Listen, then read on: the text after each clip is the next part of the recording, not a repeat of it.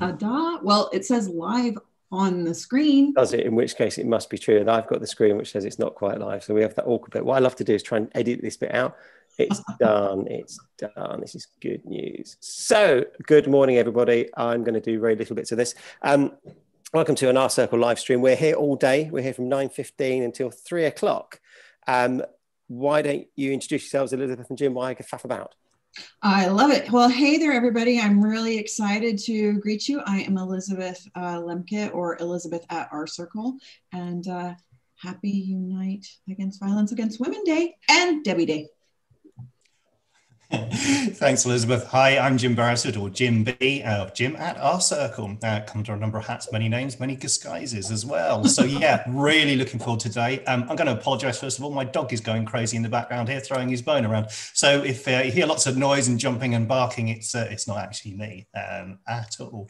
But yeah, thank you. Thank you to Martin as well for bringing and getting us all together. Thank you to all, uh, every, the, the guests, the hosts, the co hosts the people running shows and uh, everyone. Wow, from a, as you said, the Elizabeth on a post, from an idea we had to yeah today, uh, the day of Debbie, really. So brilliant.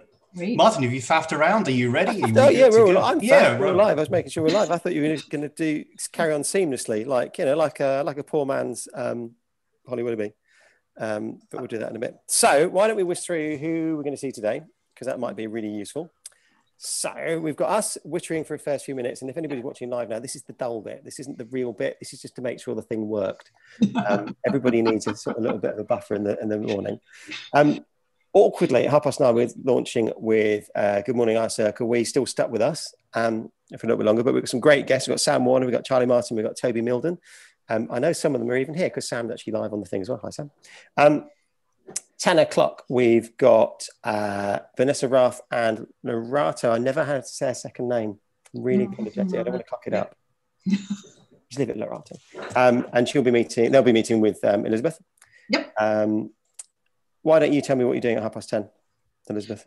So I'm going to be talking with Nofar and Adva. Um, we're going to be talking about the situation of cybersecurity and the lack of women and what can we do um, once noticing that that's happening. So we're going to take us, they're going to take us through their, uh, their best practice and their next process as to changing the situation in Israel. 11 o'clock, it's you, Jim. Who are you talking to? See, that was like, like a daytime host thing, that was, wasn't it? Uh, hey, Jim, who are you seeing at 11? Well, actually, Martin, I'm glad you said that. So uh, I'm actually uh, having a chat with the fantastic Emma Freivogel and uh, Alisha Bobb. Now we're going to be talking about the work they do at Radicals, uh, Radical Recruit, um, and how they're working to place 100 candidates in 100 days, uh, working with homeless charity St Mungo's and more. So yeah, that's will be us at 11 o'clock.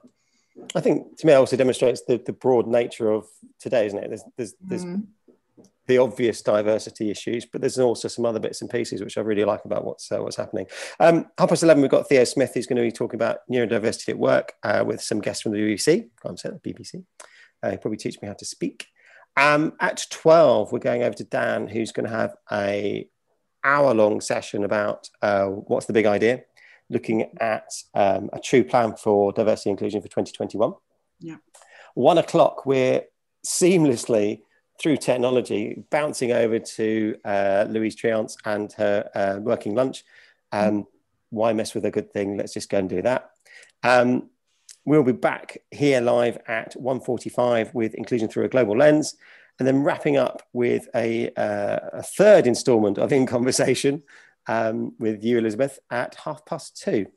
Um, those are all UK time, should anybody be watching. Um, obviously, it's available. The full rundown's on our website, rcircle.co slash uh, Debbie. Um, we will be talking about hashtag Debbie as often as we possibly can.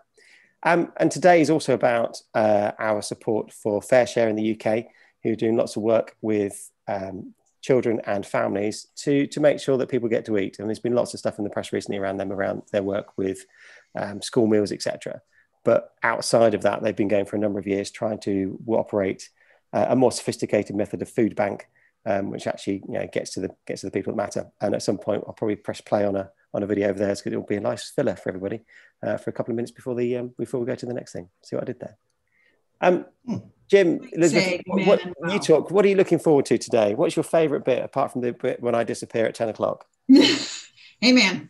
Um, so I am actually really looking forward today that we're changing up the conversation, that it's not just about the DNI and looking at it out of the lens of compliance, but really looking at it to say, how are we talking to one another? How are we just, um, looking at changing the conversation of talking to rather than not just about? Um, and diving into a couple of very different examples as to where people saw a situation and said, okay, how can I separate myself from uh, the expectations that are being placed upon me from the outside? And then finding my own voice finding my own power as to what can I do to make things different. So we're going to be looking at that basically through a lot of different viewpoints and different situations.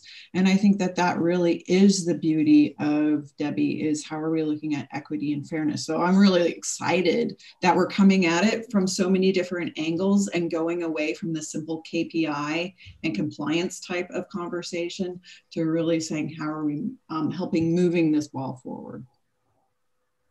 Yeah, I think the conversations you're having today, Elizabeth, and, and, the guests that we got on are just just amazing. And, and I'm, I'm hopeful that mm. the cross community that we're trying to bring together, the different people from different places, um, mm. to include that equity and belonging element yeah. in, in the Debbie, really will actually start to share some knowledge, um, make a difference. Um, and we all learn something. I think that's yeah. the key thing, you know, where we're in our little micro bubble sometimes, busy doing our own little things in our own mm-hmm. sectors. And if we can cross over those sectors and start to learn from each other, because we're all going through similar sort of challenges, mm-hmm. um, but this big learning piece on not just the DNI bit, but the equity and belonging element to it. And as you said, Martin, bringing in other aspects, other areas that, that yeah. perhaps people hadn't thought about, um, including allyship uh, yeah. and how we can work on that side as well. So, yeah, it's going to be a good day.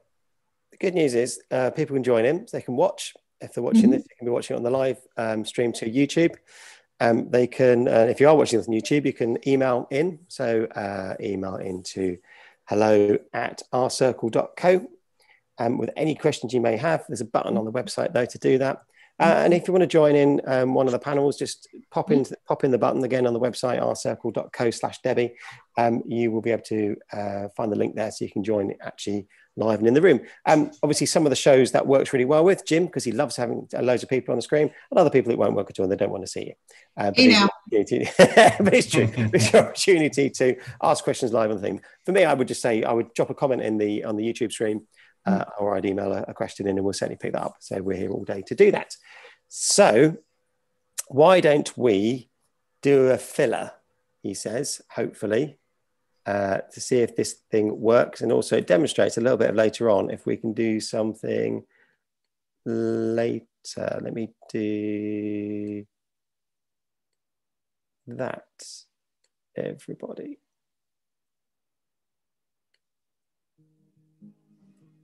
Shockingly, over 2 million tonnes of food a year is wasted within the UK supply chain. FareShare is tackling this problem in a strikingly simple way. We work with farmers, producers, distributors, and retailers to save good quality fresh food from being wasted, so we can get it onto people's plates instead.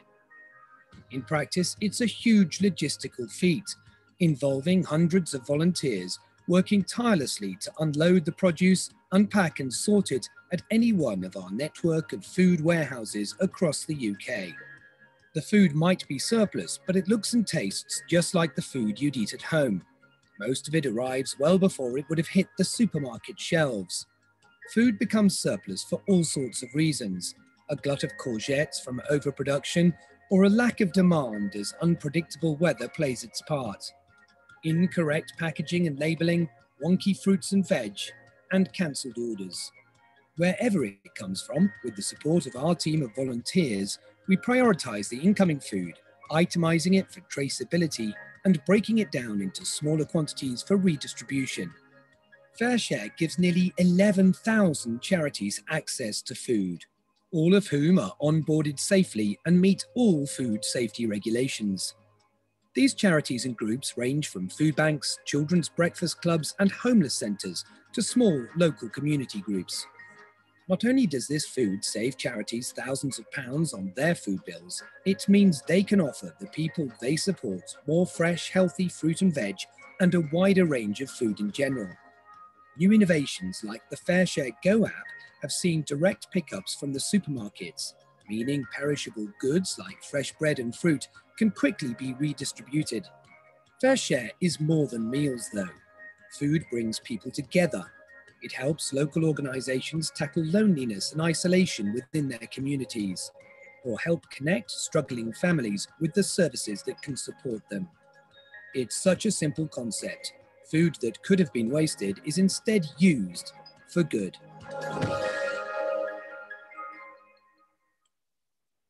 It actually worked, everybody, which is very exciting. So we'll do that again in the future. Note yeah. to self.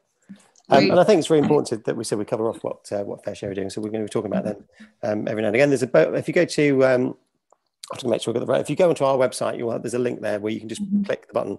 It takes you through to the donation page if you want to uh, contribute to the good work that FareShare do. But I make it 26 past. He says awkwardly. And what day is today? It's the 25th. That doesn't line up.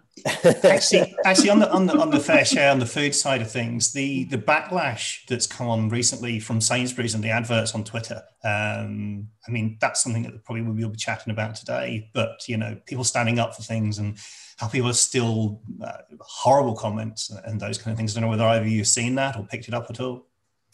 Yeah, I mean, I uh, I live in Manchester, so um, there's been quite a lot of football talk. We love a we love a good footballer. Um, and obviously I've got kids at school as well, and you have this sort of real, real um, debate about food. I mean, so it's fo- focused primarily, isn't it, on the, on children in school about whether they mm. should still be given free school meals if they were entitled to school meals during the holiday times, and lots of backlash, lots of resistance, wasn't there, around certainly from from some certain banks of MPs, just saying this is outrageous and we shouldn't be doing this, etc., etc.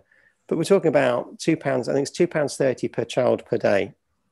Um, if you work out the big cost, it's about that much compared to what we spend on everything else. It's a tiny drop in the ocean. And of course, for some kids, that's the only hot meal they get. That's the only proper food they get in a day. So for me, it's really important that we should continue to do that. Um, Tim Marcus has done lots of really good work, hasn't he, around promoting that. And He's done some work. Fun enough, he opened the the new uh, warehouse in um, in Manchester here for their food bank. Um, and I guess for me, the FareShare bit is broader than that, which is really useful as well. You know, we, have got some you know, difficult times. We've got a pandemic still. Um, people are finding it difficult to survive and do whatever. And so FareShare's work has done amazing things to help people just find good food. Um, I guess it's also the means of distribution. They've treated it like a sort of industrial level yeah, distribution capability. Whereas perhaps in the past I've seen you know, uh, good intent, uh, but mm. without that sort of broad capability. Whereas then you know, they've got purpose-built warehouses that look like the ones that Tesco's and Sainsbury's and all the big supermarkets have got. Um, they've got delivery structures, they've got infrastructure to get things to people. Um, and I think that's really important because it keeps the supply chain good as well, doesn't it? It means that the, the people aren't receiving that slightly sort of sloppy seconds bit of old milk. It's actually it's fresh, it's good, it's it's arrived when it should do. So yeah, amazing, amazing work. Um, clearly, there's lots of other charities out there that are doing good stuff as well. So yeah, and I think as you say, Martin, there's the, the link there if people want to donate, but also they're, they're looking for volunteers. I'm sure they're yeah. always glad of help at any point, any time, wherever you are. So um, yeah, follow the link there. Brilliant. Well, we are rolling in and our guests are coming in. We've got one minute now before we're supposed to kick off and everyone comes in. Do you, have we got people in the background there, Martin? I'm not very I'm, good at multitasking and looking not, at I know. So why don't, so, no, so here's, the, here's the deal. Here's a little private moment between me and Jim. Jim, you just talk and I'll bring some people in. You bring them in, and I do you want to. I'll introduce them as you bring them in. How about that? We'll do that as you bring them in and on set. Nice. Brilliant! So fantastic. We should have any second. Charlie Martin we should coming through. Charlie's coming through. There we go. Morning, Charlie. Hi, good morning, guys. How are we doing? Very well. Charlie Martin, professional racing car driver and aiming to be the first transgender racing car driver to complete the Le Mans 24 hours. Mm, exciting. Yeah. Cool, we have Sam Warner joining us any second or two. This is this is great. This is where it's live and you're joining people in and they're not quite ready. There we go. Morning, Sam. Ready. Ah, excellent. Sam Warner, the autistic interpreter, leveraging the talents of autistic employees. Hi, Sam. How are you? I'm groovy, thanks. How you doing?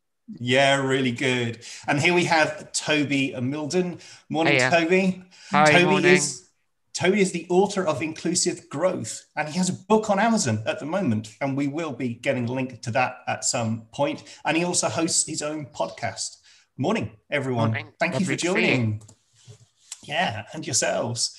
So, kicking off this morning, we're having a little bit of a chat. We've obviously had the, the FareShare chat here. And as Martin said before, it's not about us. Um, you know, we are looking at this diversity, equity, belonging, and inclusion, or hashtag Debbie for short, as we're calling it. Um, and our idea is really to chat to you all about that. We, we were just talking about the backlash there on uh, on, on the social media um, and on the Sainsbury's, the, the Sainsbury's advert as well that went out. Um, and Charlie, I'm going to pinpoint this to you in, in the racing car front. I'm, as a massive car fan, racing car fan, as we've had a few chats about, um, the backlash with Lewis Hamilton as well. There's been about that in, in the motorsport.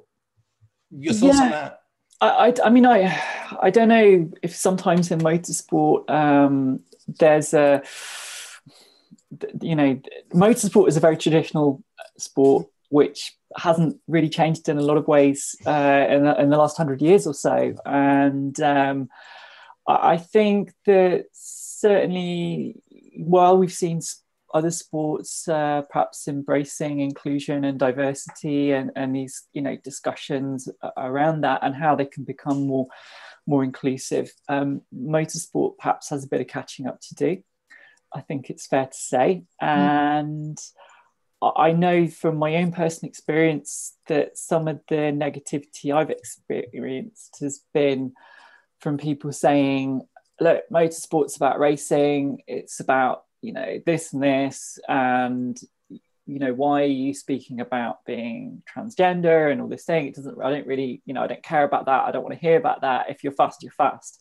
And, and I, I think on a obviously on a much wider level perhaps there's an element of that that that lewis is is up against because people have an issue with somebody especially being so iconic mm-hmm. uh, as, as him using their platform to do something other than go out and be a racing driver.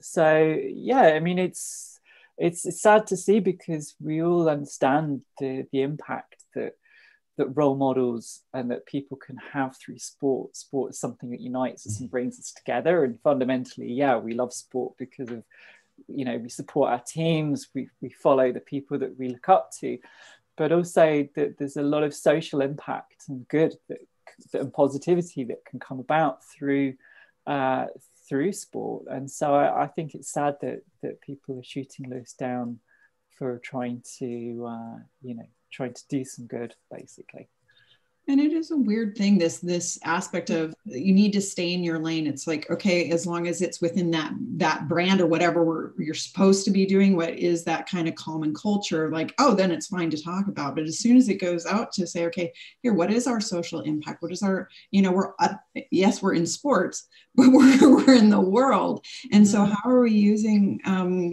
what we're experiencing and talking about it openly um, is that that piece of how are we fostering connection and that that realness of it, it takes all types it takes all different types of people and how are we looking to that as something positive rather than oh you need to stay in your lane now that that that goes beyond what we're talking about in terms of your brand yeah. yeah.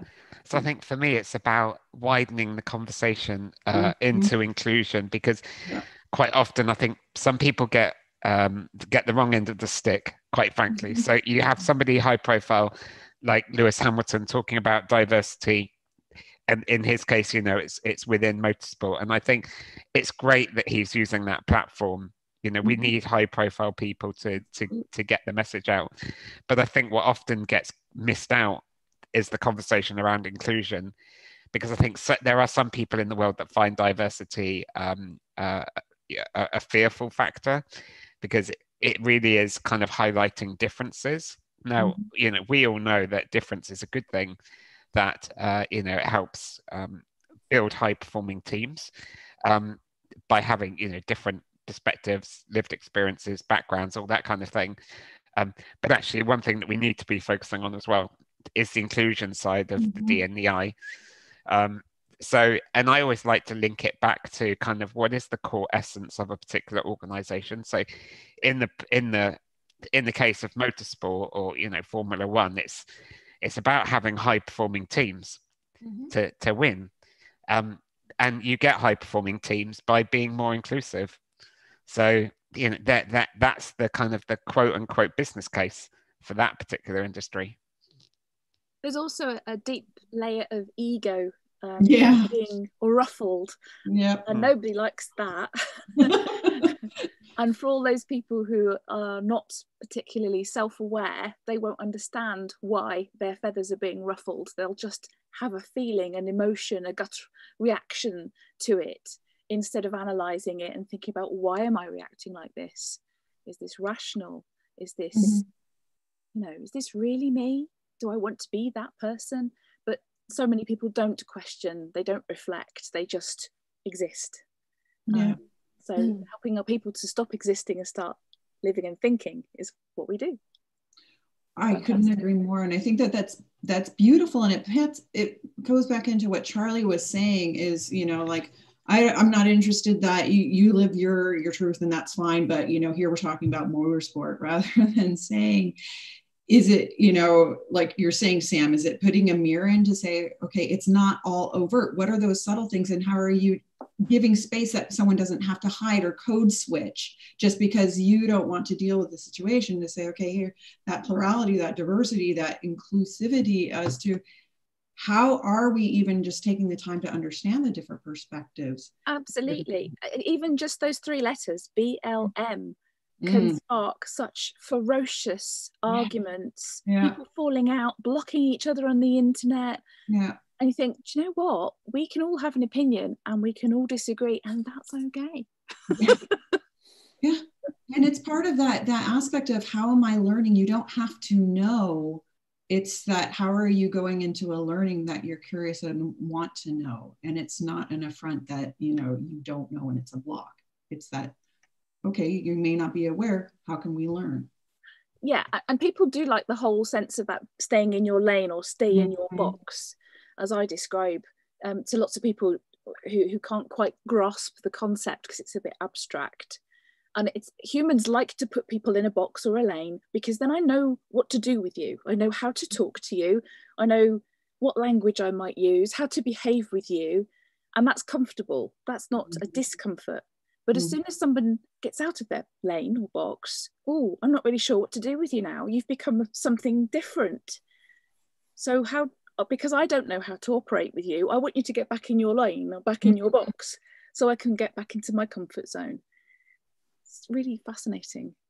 I think it's one thing, one reason that illustrates perfectly why it's so important to to constantly challenge our, our own perceptions, our own ideas, our, and, and like say, always be open to, yeah, to other viewpoints, and just never think, never think that because I'm here and this is this is where I'm happy, that that you know, tomorrow I'm not going to have some experience that's going to completely shift my whole viewpoint, and and you know, just just admitting or, or just suddenly thinking oh actually i was really wrong about that. And you know i've changed my changed my mind. It's it's uh, it's just so so important that we have that self-awareness mm-hmm. and open to uh, to challenge challenge our own belief systems i think.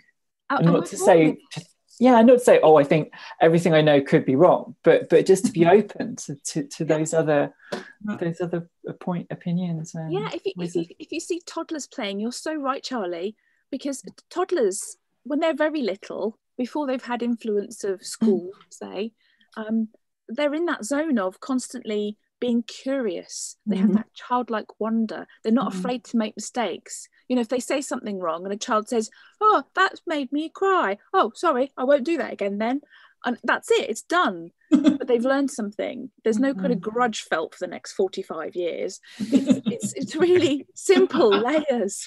Yeah. And somehow we lose that. And I, I'd love to I don't know, there's a lovely big study there waiting to be done where we could explore where that switch gets flipped. Um, I'm sure I read at the same time. I'm sure I read something that is it by the time I can't remember if it was to do with learning new things, but when you reach, I, I think at some stage in your 30s or when you're approaching 40, that, that they found that in terms of the ways our brains develop and, and absorb new information and learn new skills, that there's a there's a kind of marked shift around that point, and and, and in terms of attitudes uh, to to new things, concepts as well, you you could clearly imagine that there's some correlation between people saying, well, actually, you know, a point in their life where there's something like, no, I feel like I, I know what I know now, and I'm I'm just right. you know, I don't know. Mm. I think you're right, Charlie. But it, and I think what's concerning is mm. it, it happens on such an unconscious level.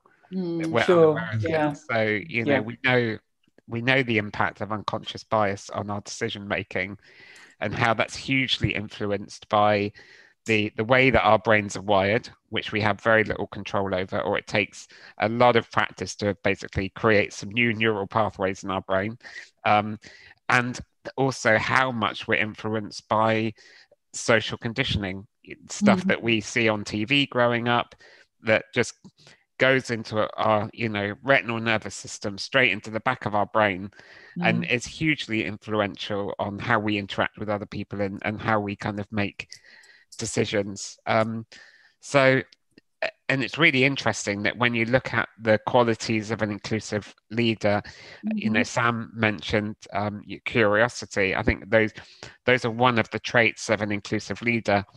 Somebody who is um, curious about your background, about your strengths, uh, about what makes you what keep makes you motivated, what makes you tick. Yeah. Um, and we have to. I think it's almost like inclusive leaders have to be a bit childlike, perhaps. You know, they maybe they need to mm-hmm. go back to their seven-year-old self when they were playing with kids in the in the sandpit. You know, to be to be more inclusive leaders within the adult workplace. Hmm. Oh yeah, how many people have been in a situation where there's been an assumption made? Precisely. I mean, crikey. When I worked in corporate, it was about 25 times a day. yeah. yeah. And they, those are the ones that you're aware about. You know, mm-hmm. think about all of the ones, you know, that you're not aware about because it's on it's your other than conscious self that that's kind of uh, that's receiving those stereotypes. Mm-hmm. Yeah.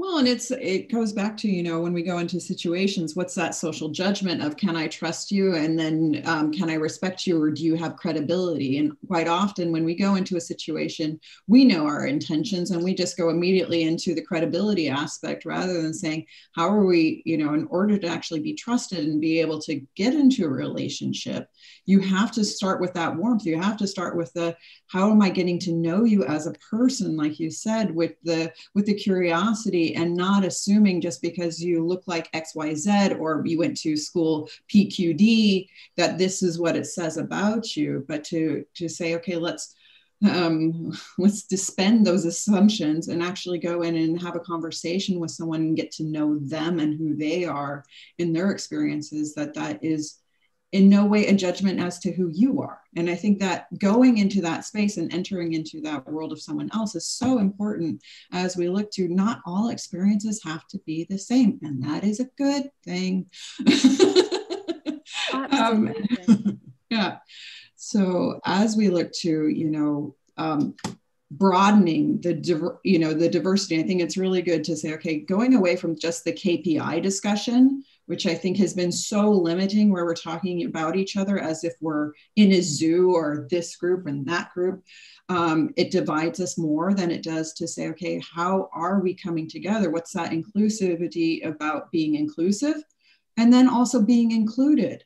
How am I finding my own voice? How am I, you know, articulating and taking the time to do my own self work to understand how do I want to show up and what do what do I need and quite often we talk about the environments or the, mm. the larger macro scale things when quite often that that self work as to how am i stepping up for myself and understanding who i am first that that's also a really important part of this discussion. And so creating the norms creating you know the lewis hamiltons the the charlies the sams the tobys to talk about it and to mm-hmm. show that there are different ways of being is huge because it also enters into that here, how are you seeing yourself and showing up for yourself as to who you are?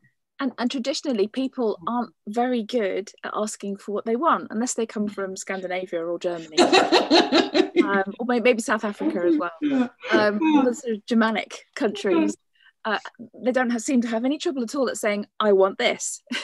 Um, but particularly in Britain, we're rubbish at it.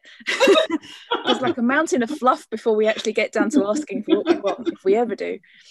Um, and, and that lack of directness um, mm-hmm. it means that we, this wool lives in our head sometimes mm-hmm. and we're unable to get that right. But is it any wonder because the messages we get yeah. as we're growing up are so mixed?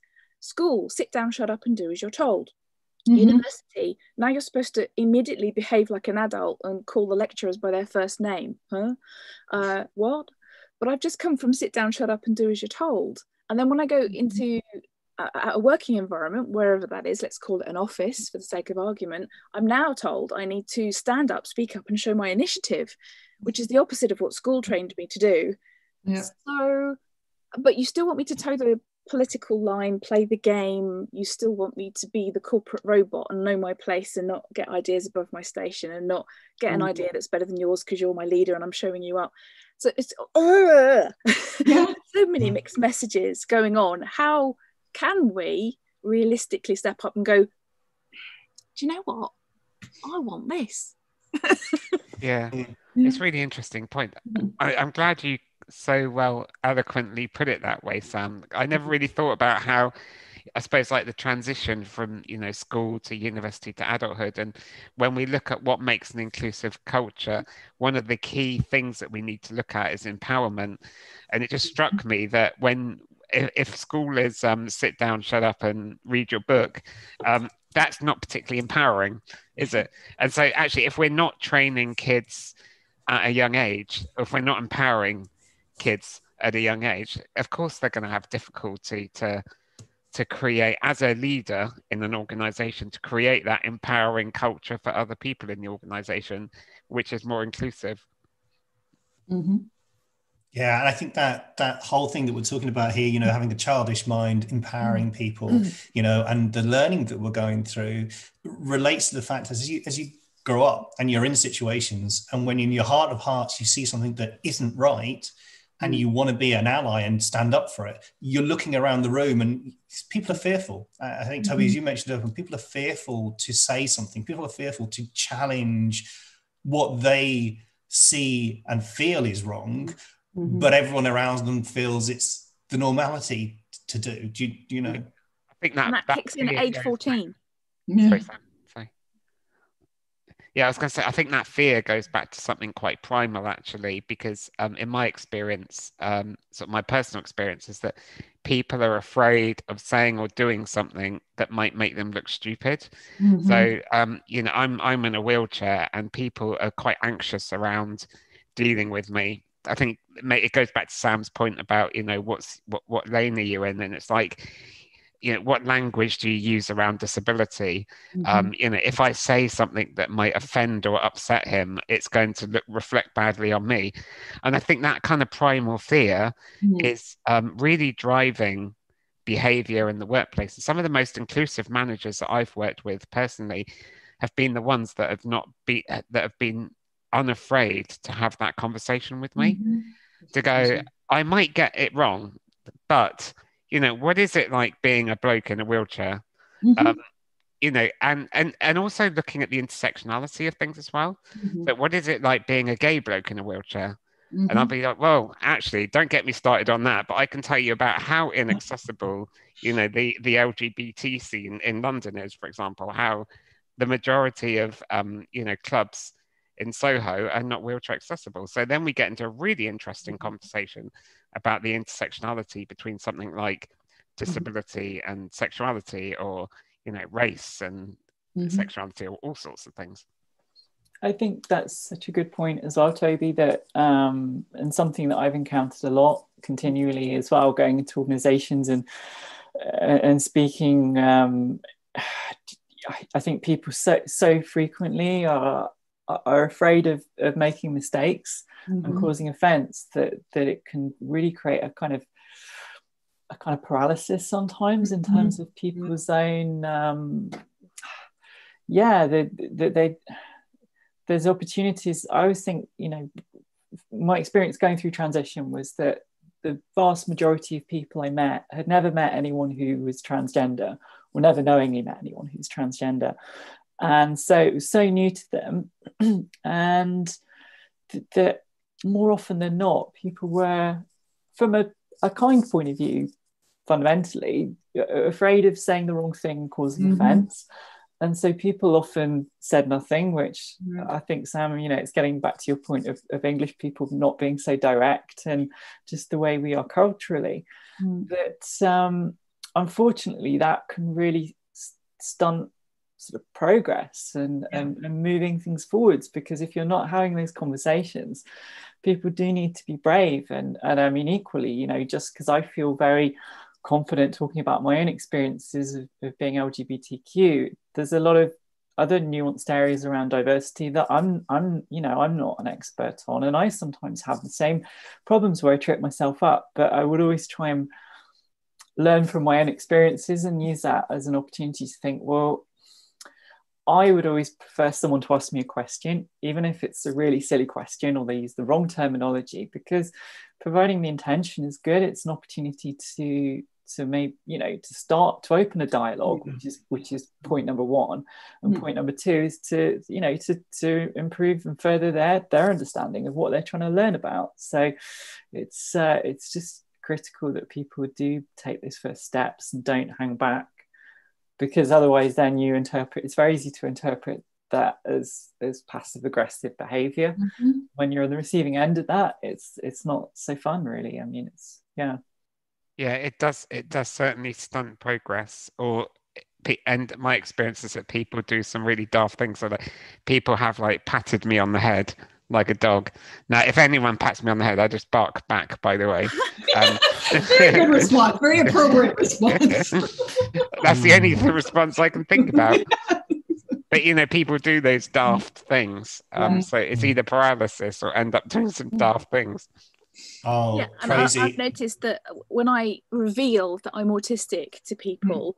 Mm the mood changes in the room. It's like, you know, like when people talk about a ghost coming into the room and it goes cold. It's not quite a heat thing, but the mood mm. changes in the room completely. Because mm. all the people over 30 are thinking, oh my God, Rain Man's here. Mm. And the, all the people under 30 are going, cool, someone who's a bit different.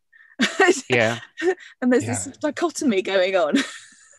yeah. It's all those microaggressions that can mm. build up over time and really impact the the person on the receiving end of it and then you end up questioning yourself it's like mm-hmm. well maybe it is something to do with me maybe i'm the one that has to change in order to fit in um, and then that you know if you allow that to happen in an mm-hmm. organization it really mm-hmm. harms the culture of the business exactly well, and I think you know you you brought up a really important point is you're dealing with the people's assumptions of what do they know about that of you know here okay this is cool this is how we've been raised. So the socialization aspect rather than saying okay how are we going into curiosity out of a um, honest point of view is we are we are colored so to speak in our frames of thinking by you know what's that little tidbit? What's that schemata that i can know? What's that that little bit about that box that i'm aware of so i can start to put it in there rather than saying okay um, this is sam. mm-hmm.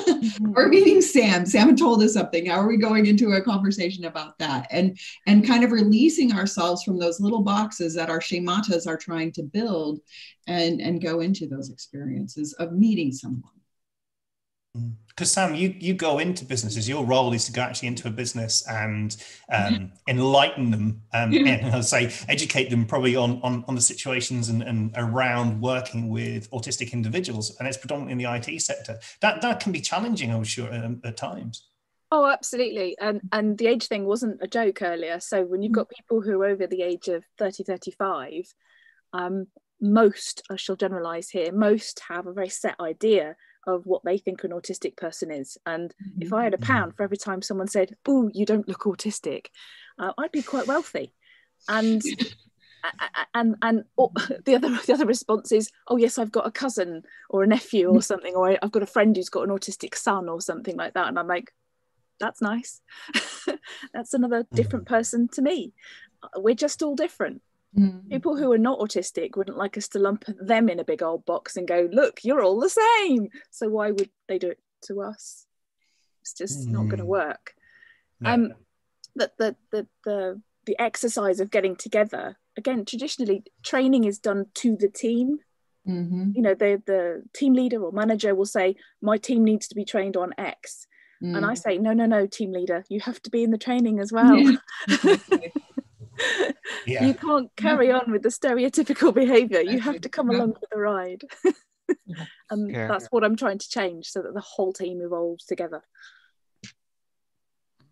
so it's, it's important and it, i think that goes to a lot of things that it has to be you talk about inclusion it has to be the whole company you know there's no mm-hmm. one bit of the company yeah, that, that can work because you've got the yeah. whole company and the whole company culture and the culture add that you want to do to that company and and make a change it can't be just one person shouting in, in, a, in a business they need that support all the way through toby yeah yeah sorry toby go I was going to say, yeah, you're right. You're right, Jim. It has to be in the culture and the processes and systems. So yeah. organizations often when they start looking at diversity and inclusion um, or frankly they've been doing it for a while um, but they've picked up bad habits um, the, the, their approach is to fix individuals um, so it's like, you know, they, they look at something like, okay, so we don't have enough women working in our technology department, for example. So what we're going to do is we're going to create this career development program for women, and it's going to be about boosting their confidence, uh, you know, opening up a net mentoring network and sponsorship and stuff like that. And it's actually no,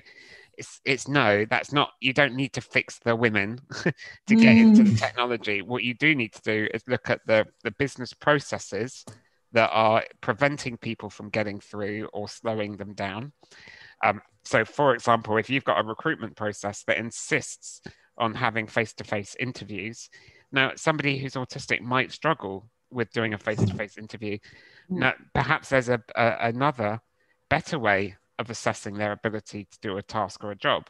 So, be flexible. You know, flex your recruitment process, and and then what once you've looked at the kind of processes and systems, it's about looking at the culture.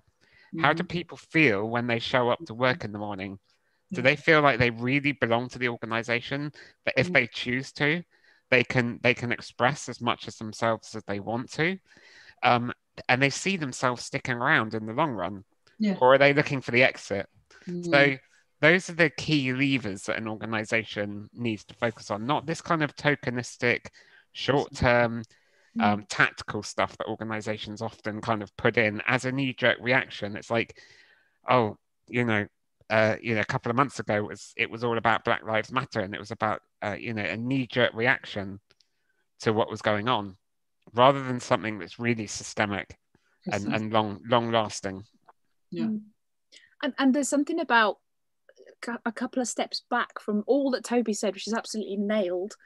Um, and it that's the advert in the paper or online advertising the job because mm-hmm. as soon as someone writes an advert it will have a male or a female flavor it's mm-hmm. traditionally it will and it might be because of the person writing it or the type of person they think they're looking for they imagine in that role mm. but also if they put something on there like must have a minimum of two years experience then most women if they've got 23 months experience won't respond because they don't have 24 months experience which was what was asked for. And autistic people will often take that very literally and go i don't fit the bill. I'm, i don't have that requirement.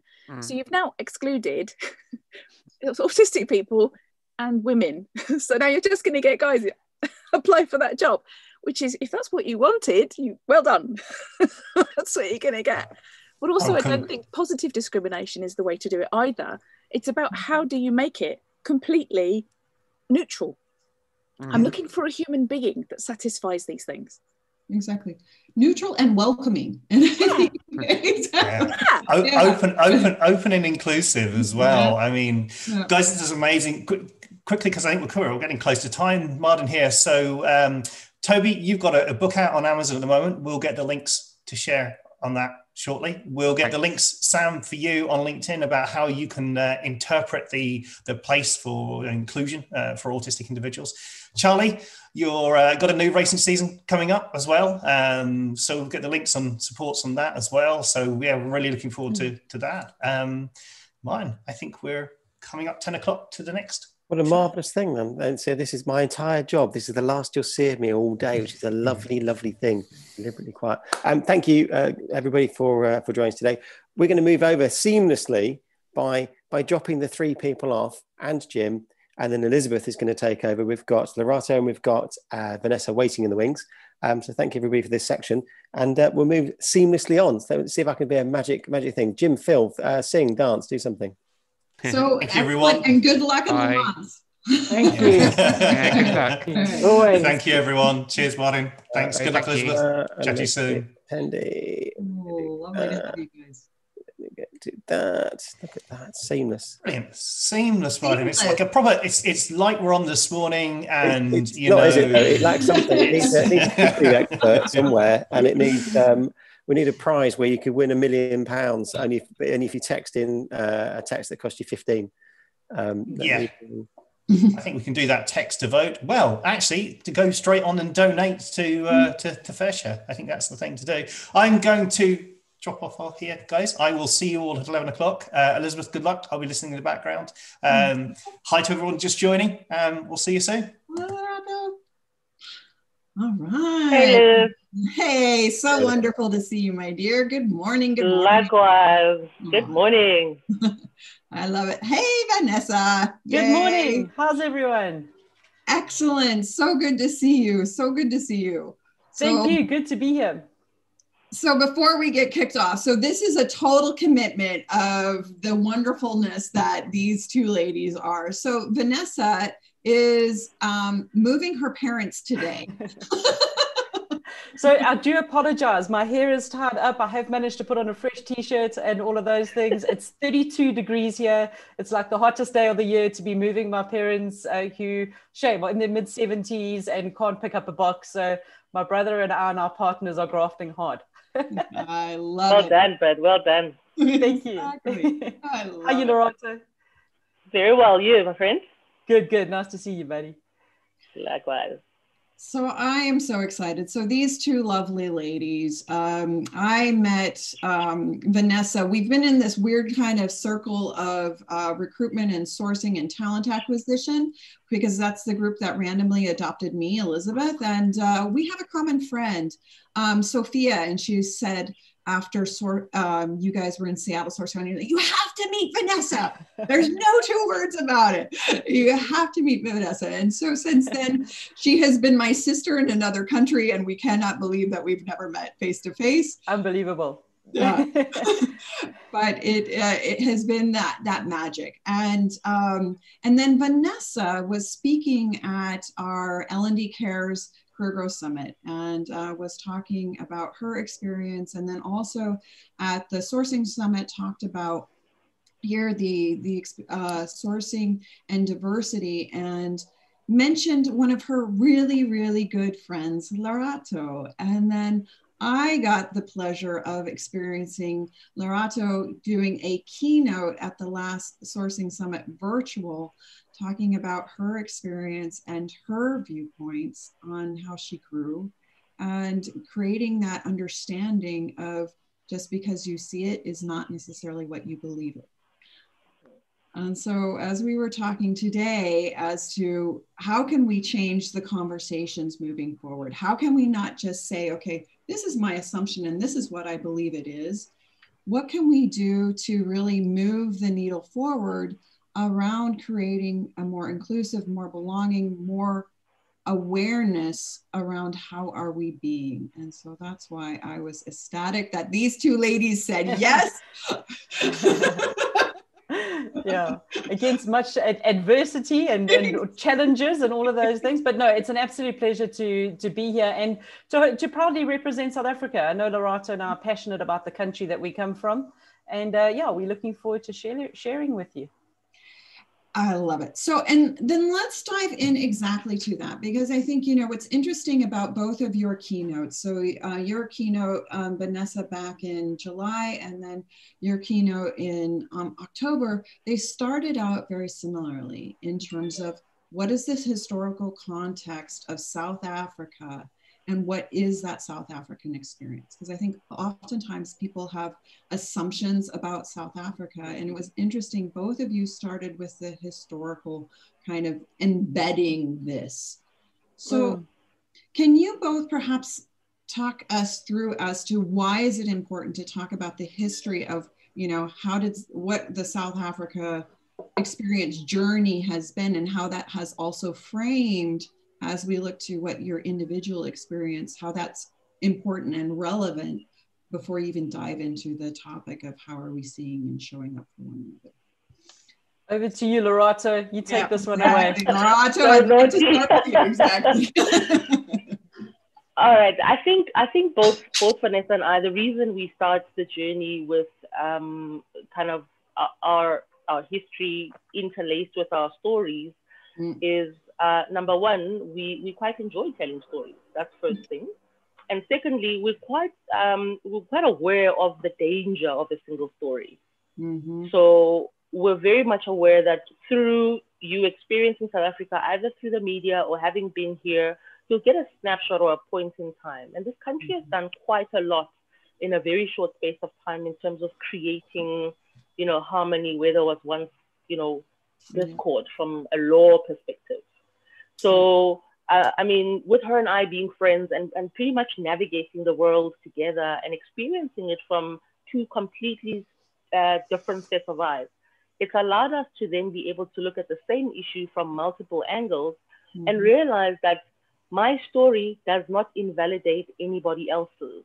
Mm. So we've grown up in the same South Africa, breathing the same Johannesburg air. or she started breathing uh, KZN air um, we we're living in the same place and we're going through the same experiences. But because of our purview and where it is that we come mm-hmm. from our lenses are fundamentally different. So you walk into a store you see something i'm going to be attracted by different things to anybody else. And i just want that to become the seminal message when we start to talk about diversity and inclusion.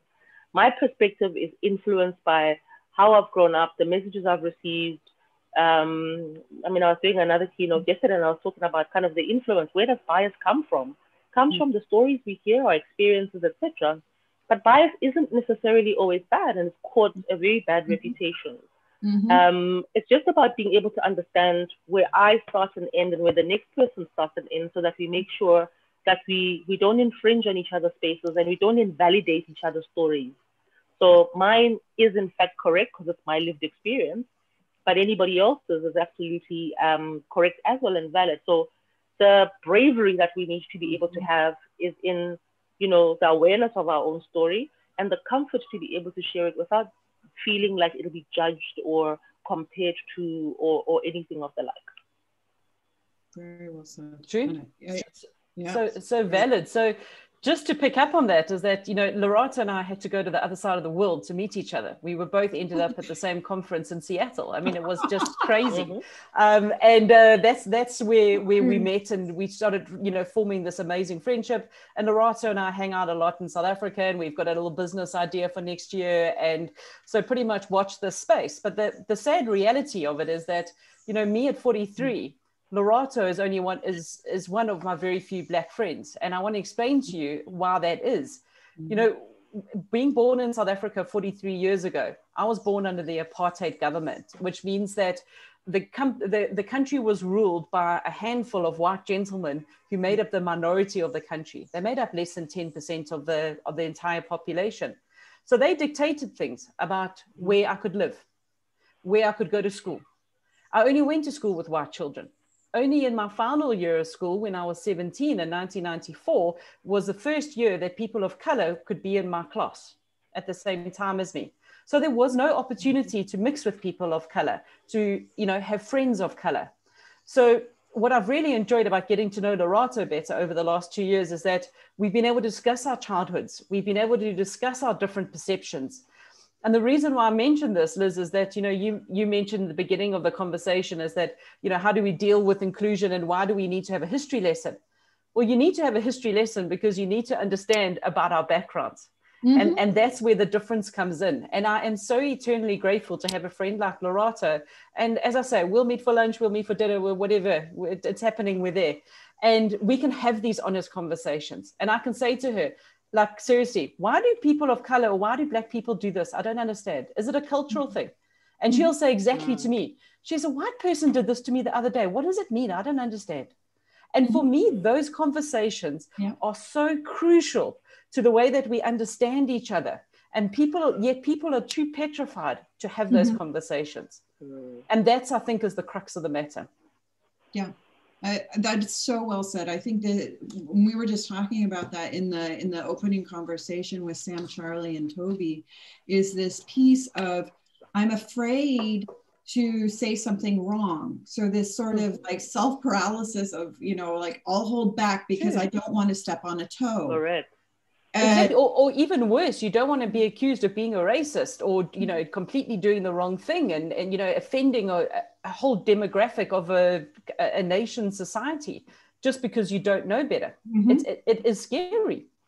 Yeah, and so and and deal and to say okay, how do we proactively say it's a curiosity? Are you approaching it? What's your attitude in terms of loving and empathy to saying i want to understand it's not to say coming from a place of judgment or saying okay mm. this is better than the other it's really coming from a place of how you know what are the differences of understanding and i'm sure quite often lerato has said I have no idea. Or you, Vanessa, I was like, correct. I have no idea. No, it's true because I mean, I can't, I can't represent the whole white population, and she can't represent the whole black population. Correct. Like, I wonder why this happens, but at least, at least the two of us can have those discussions. And mm-hmm. you know, just something else that, that I wanted to talk about, Liz, is mm-hmm. I was thinking about it while I was, you know, charging back home in order to be here.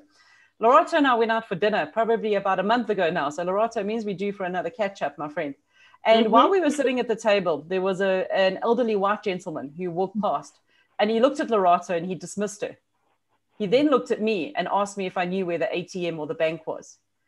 Mm-hmm. And then as he walked away, Lerato and I had a conversation about what had just mm-hmm. happened. And for me, it's amazing because it's definitely a generational thing. I mm-hmm. first of all think that, you know, he doesn't he didn't know how to approach a black female. He was sitting at the table to maybe ask we maybe thought that, oh, I'm going to ask the white person because I know the white person otherwise. But for me, it was just like the most bizarre situation that he looked at her, you know, almost was about to ask the question and then turned and directed the question to me. I mean, it's not mm-hmm. like I'm going to know where the bank is probably, you know, we were in Lerato's hood. So, I mean, she's going to know more than, more than I would. But it was just a very, very bizarre situation, which I don't think would have happened if that happened to be, say, my, myself and my husband sitting and mm-hmm. having dinner. Yeah. And it just shows that especially in that elder generation, is that they don't have the opportunities to ask these questions. Mm-hmm. Yet yeah. we do, and, also, and, we need to ask them. Mm-hmm. My, my reaction to that was he's just looking for something that he recognizes. Mm-hmm. And he wouldn't have ordinarily understood, yeah, yeah. so he chose to go a particular way. And I think if if I was uh, almost uh, overly sensitive, I probably would have attached much more negative connotation to that. And I was quite open with Vanessa to say, like, I hope he doesn't think that I don't have money, therefore I won't know where the ATM is. I'm just hoping it's the fact that, you know, he's choosing something of familiarity. Um, because he literally looked at me as if he was just trying to flag Vanessa's attention. Whereas mm-hmm. he could have asked a question and if I if I didn't know, I would have asked Vanessa myself because I was facing him. So again, going back to this paralyzing fear, etc. Um, it actually just comes from the internal awareness that your story is not the only one that exists. So when we start, that's mm-hmm. why in every single conversation that we have in keynotes, in speaking to companies, whatever, we always try and reinforce that message to say, don't think that your story is the only one that exists. And every single person needs to realize that. Because in sharing your story, then there is validity in it. Because it doesn't mm-hmm. have to represent the entire black uh, population, it doesn't have to represent the entire LGBT, as I was hearing in the, in the previous session. Mm. So I can speak on that. I can speak on my own lived experience. Yeah. And we can openly ask each other questions because another thing which I keep repeating to Vanessa is that there's no way that you'll know something if you never ask it. Precisely. Yeah. You're not going to get it by osmosis. Um, you know, so ask me the question.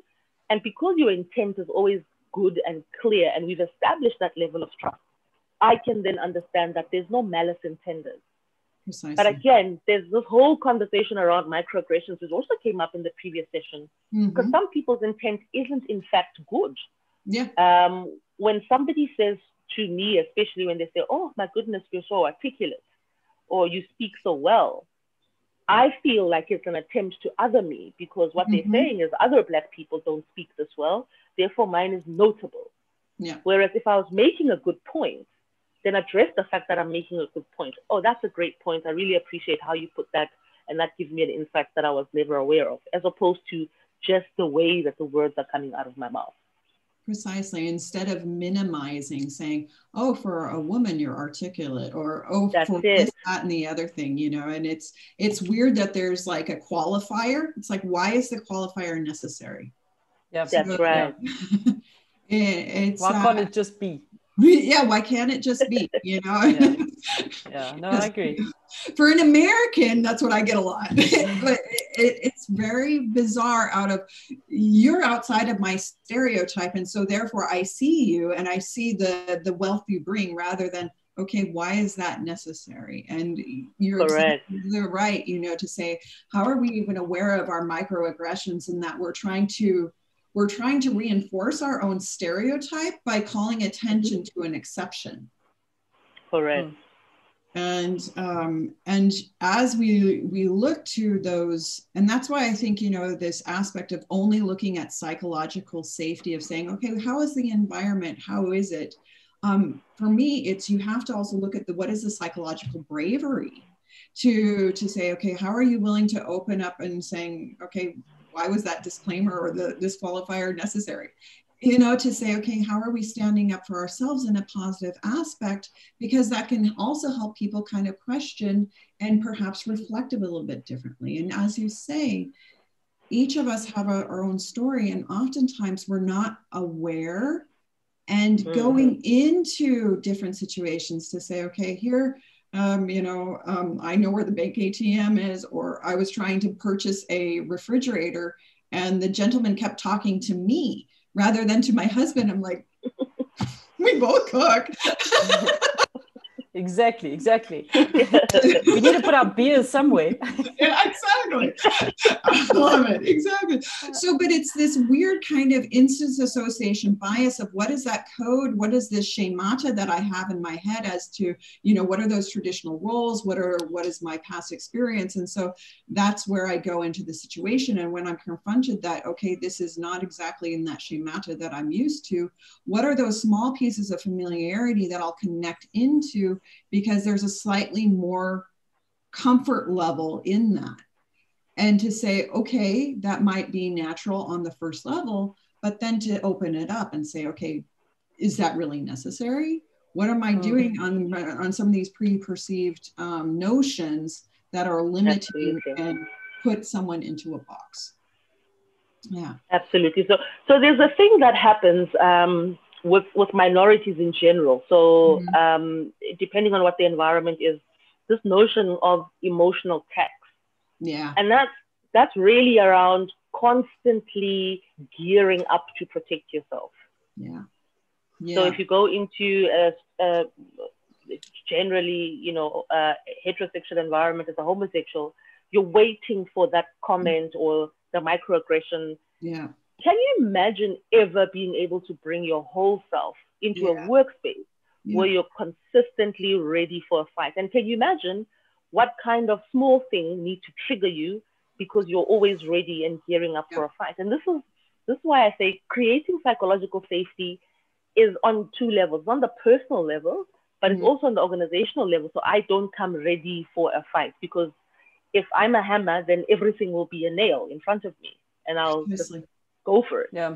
Yeah, exactly. Yeah. And it's like you're waiting to be caught out and to defend yourself rather Absolutely. than being relaxed and saying, Hey, I'm meeting up with my buddies at work and we're going to do some cool things together. It's a right frame of mind.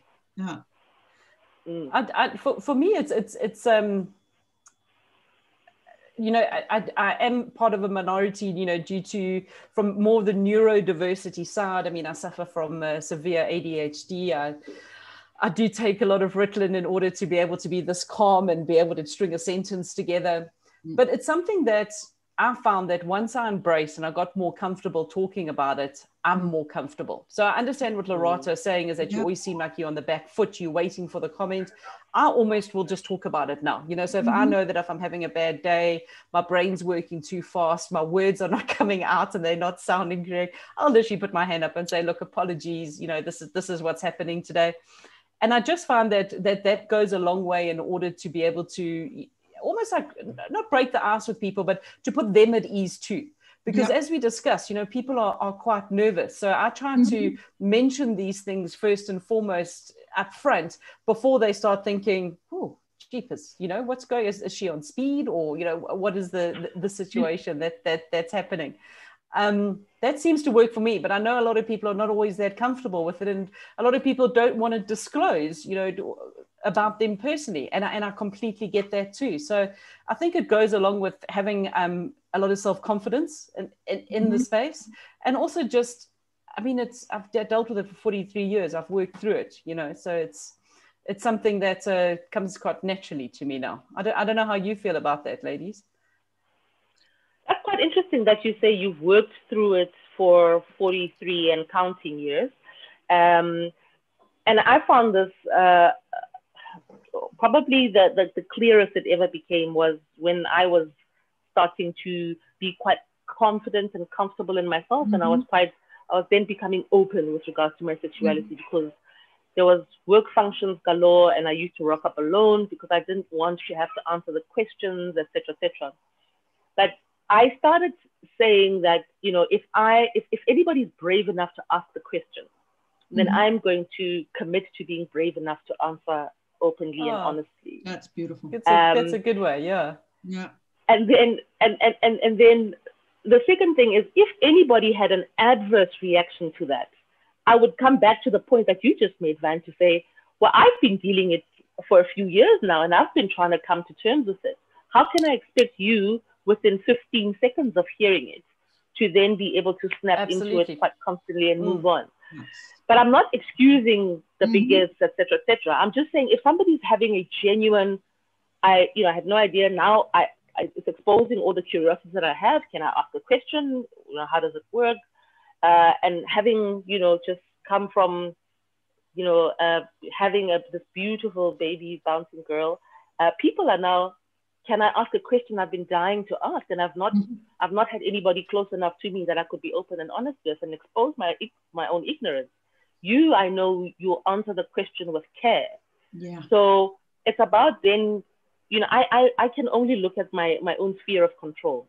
So the people that I've, you know, you build the trust with and you build this bravery with, so those are the people that you can approach and be able to, to share openly. But yeah, it all has to do with bravery. Your own to be able Absolutely. to come to me and my own to be able yeah. to, to answer or humbly decline answering because I'm not comfortable you know, because not, I mean, it's not going to be every time that I'm asked, I then just go into a lecture.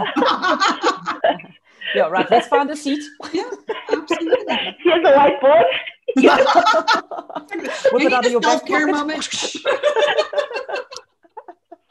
Yeah, no, absolutely. People start glazing over soon and start looking for the box. but it, uh, yeah, but that's so well said because it is that aspect of you know how are we showing up for ourselves and how are we accepting ourselves? And i think it is a huge part of confidence because as we grow up there is that aspect of how do i fit in? How you know the you know what's you know the socialization process of this is what i'm exposed to this is what i experience these are the messages that i hear. And what i'm and at some point and this is you know in the teenage years in particular that's when i break away and i start to ask more questions, go deeper. What are my values? I think, you know, as we go away to college, yeah. you're saying, you know, that first experience, your first job, you're learning so much about yourself outside of the environment that you grew up into. And so, as, and that doesn't stop just because we're no longer going to school. It's that Correct. every situation Absolutely. that we come into, mm. it's a, another opportunity to say, opening. But but is this not something that happens your whole life? Hey Liz, to be honest, like I mean, it's something that doesn't stop. I look at my parents now in their mid seventies, and my mom actually just said to me this morning, I don't know what I would do without you children. Like I'm so lost, you know. And she's really had to face, you know, the thoughts now that um, she's not as physically capable to be able to do things mm. and organizationally. So she's now like depending on on us. And i feel like you know i'm the parent. But it's so interesting because she's just got to that stage of her life where you know things are starting to change. It's, it's so interesting that you just raised it now yeah absolutely. And i think mm. that aspect of being aware that how do we unlearn some of our assumptions yeah. of what is? Oh, so key. Yeah so yeah. key. So key. Yeah. And so, I mean, I always. I always liken it to, say, having a jug of water. You can't put more water in unless some water comes out. yeah. You know, yeah. I'm not going to yeah. ask for a refill with my glass is full. Yeah. So I'm going to gulp it down and then I can ask for a refill. Oh, and she does. exactly. she does. Exactly. I'm totally with you, Lerato. I'm like, I'm constantly like, okay, when's that person coming back? exactly. So, so I mean, it's it's the same with learning. Um, mm-hmm. If you completely close yourself off and you consider your glass perpetually full, then there's no way that you'll invite people for for you know open and honest discussions or even create opportunities for yourself to learn and grow. You know, so um, yeah, here are some lessons from drinks. lessons from drinks i love it. Well and i think you know here as we as we continue to learn and grow and vanessa you said this at the beginning that you guys have a little bit of an inception of an idea. So i want to like uh, take the opportunity and say okay what's what's the what's the inception of the idea? You ladies partnering together to bring something different to Oh, I think we. Oh, is yeah, Liz, Liz back? There we are. So let's let's let's take it from here while Liz is frozen. So yeah. pretty much Lerato and I have been in in conversation. As you hear, we we catch up quite often, and I just think that if the two of us were, you know, to get together, and we've discussed this at length, uh, to look at you know working with uh, big corporates, talking about diversity and inclusion you know, especially tackling the South African or the African market, because I come from a very different perspective. We've discussed our childhoods a bit. Lerato comes from a different perspective, mm-hmm. is that it will hopefully appeal to more people in the room to have open and honest conversations because Lerato and I can have those conversations and we can have them in front of, of an audience. And hopefully this will encourage people to do the same. Lerato, what do you think? Yeah, I think um, as I totally agree. Um, the the aspect that we want to also tug on quite a bit is just the notion of here are people who look different from each other, mm-hmm. and one will look like me and the other is different. But look at them able to have created the space. Yeah. So we want people to be able to find themselves in us. Mm-hmm. Um, and I, we're also looking forward to also the dynamic of people finding themselves in the person that they didn't anticipate to find themselves in. Because diversity sits more than just kind of the identity components, like I've discussed. There's the cognitive ones, there's the, the, the neurodiversity components. So somebody might think, oh, there's Rato, she's a black female, I'm a black female, so I identify with her. And then they hear something from Vanessa that resonates with them actually a lot more. And now they'll sit back and be like, well, hang on, what's going on with me? And that's, mm-hmm. that's kind of the joy that we want to unleash uh, within people to say, what brings us together is infinitely stronger than our differences, whether our differences are on the outside or on the inside. You know, Absolutely. so uh, so that's that's kind of the angle that we're going for. Just be able to create spaces for people to be able to have conversation, and then also help them to remediate so if there is a culture issue, what are the steps that they should be going through in terms of being able to to come back? So that's that's about the idea in the nutshell. Awesome. So I just want to point out that it wasn't the two people that are presenting from third world South Africa who've had data and connection issues today. no, it's the, it was the, the lady sitting in Stuttgart for a change. Infrastructure's like, you know, it's it's run on little bits of coppery, wiry, whatever. So I just thought I'd better stick my face in there. I mean, actually, as luck would have it, and it's it's about time, isn't it? Um, it is. This is it where is we're really going to wing it because if she's not back for the next section, which has also got Elizabeth in it, it's going to be really awkward. It um, is, it is. But you've got Nofar, so I mean that's great. Nofar will just carry your conversation at any oh, given yeah. moment. Uh, she's wonderful. Yeah, let's, assume we that she's going to be on the line. Too. Let's assume that. Um, um, obviously, I think I can't remember if I ever said this, Vanessa. I uh, I was born in Hillbrow. Uh, in Johannesburg, and, and you can tell that by my accent. So obviously, every I related to everything you said. Wow. Um, going, oh yes, yes I understand that. I don't remember any of it, of course, clearly. Um, Wow. I think Excellent. we're there, aren't we? With the, with the, was that is that a lovely point to finish, or was that a bit awkward? That's a, that, that's a lovely point. so I'm going to start at love and leave you because I need to go and finish unpacking boxes yes, now. exactly. Finish I want to just thank you so much for, for joining us this morning. It's been fantastic, and as you say, demonstrates so. that that that, um, that you can be well. You're six and a half thousand miles away from me. Um, six and a half thousand miles away from Elizabeth, but it's actually Elizabeth's bit of string that's fallen apart. So, um, yeah, I, I know. So, so what I'm going to do is slickly move awesome. you into the attendees bit. Um, if you disappear, you disappear. But thank you so much. much. Uh, cheers, man. Cheers, cheers. For people. Cheers, bud. Cheers, bud. Bye, bye. And look at that. There we go. Oh, there we go. So obviously, if you're joining us now live, you'll realise that I'm not Elizabeth, um, which is the the power of, of the internet. Um, I'm going to bring on our next guest, and I'm going to wing it. So I'm reliably informed uh, based on, on Vanessa that it's going to be okay, and that they're going to be um, uh, really good stories. Um, let me bring in our next two guests and uh, we'll take it from there. Let's do that. And let's do that. And Elizabeth's back. Look at you there, you cheeky thing. You, you just wanted to, you wanted to see if I was actually listening. They're awkward. I, luckily, I just finished my piece of toast. Um, Love it. Otherwise, it would have been uh, been really, really awful. Let me think. Think. Hello, Nofar. So lovely to see you, my dear. I'm so glad to see you unfroze. I know. For the occasion. I don't know what's going on with our Wi-Fi in like a major metropolitan area in Germany. I mean, why would we need stable Wi-Fi? why would anyone, right? Uh. Exactly. So, so hi. Hi, Adva. Adva. hi, hello. Hello, so wonderful to have you two ladies here. So I am excited. Hi, I'm Liz Lembke. Welcome to R Circle.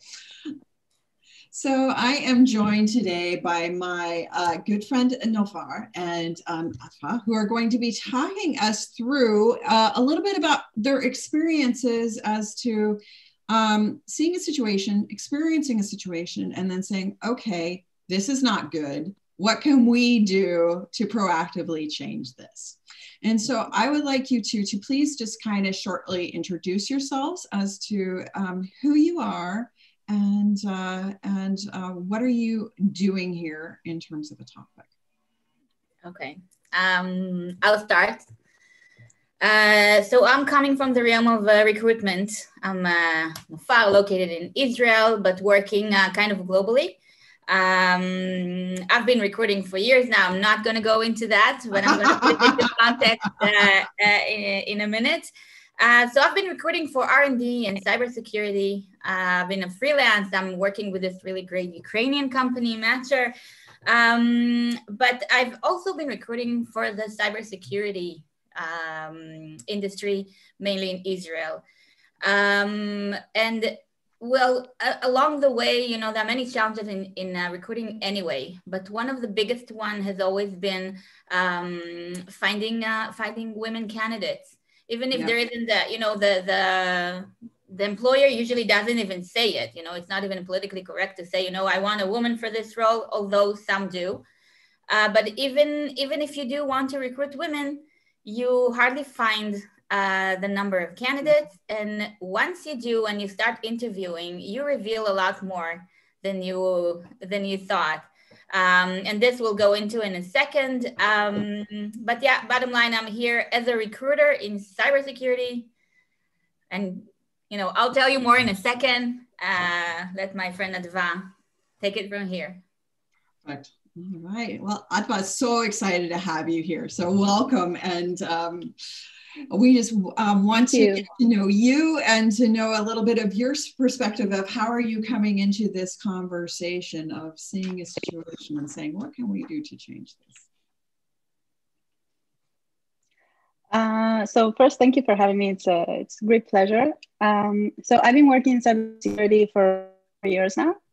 Um, started as a SOC analyst. Um, currently working for an American company, mm-hmm. and since I got started in cybersecurity, I kind of um, got always those little people that you're a woman. That's very unusual to see you here. Mm-hmm. Um, always felt like a little bit of a minority, you might say, in the and got those annoying little every now and then sarcastic comments from people, and it's always kind of bugged me a little bit. Uh, but nothing that I've ever done. You know, it's kind of like something you say, well, you know, it is what it is, and we just accept it. Mm. Um, it's growing me, and and as I grow um, a bit more mature, I, I started saying to myself, why is it like that? Why is it the way that it is and just accept it? Why not try to do something about it? Um, so yeah, so I just started talking with Nofar one day, and you know, we both started what sparked a small conversation, uh, started this uh, great, amazing project that we've been working on that uh, we'll be happy to tell you a little bit about.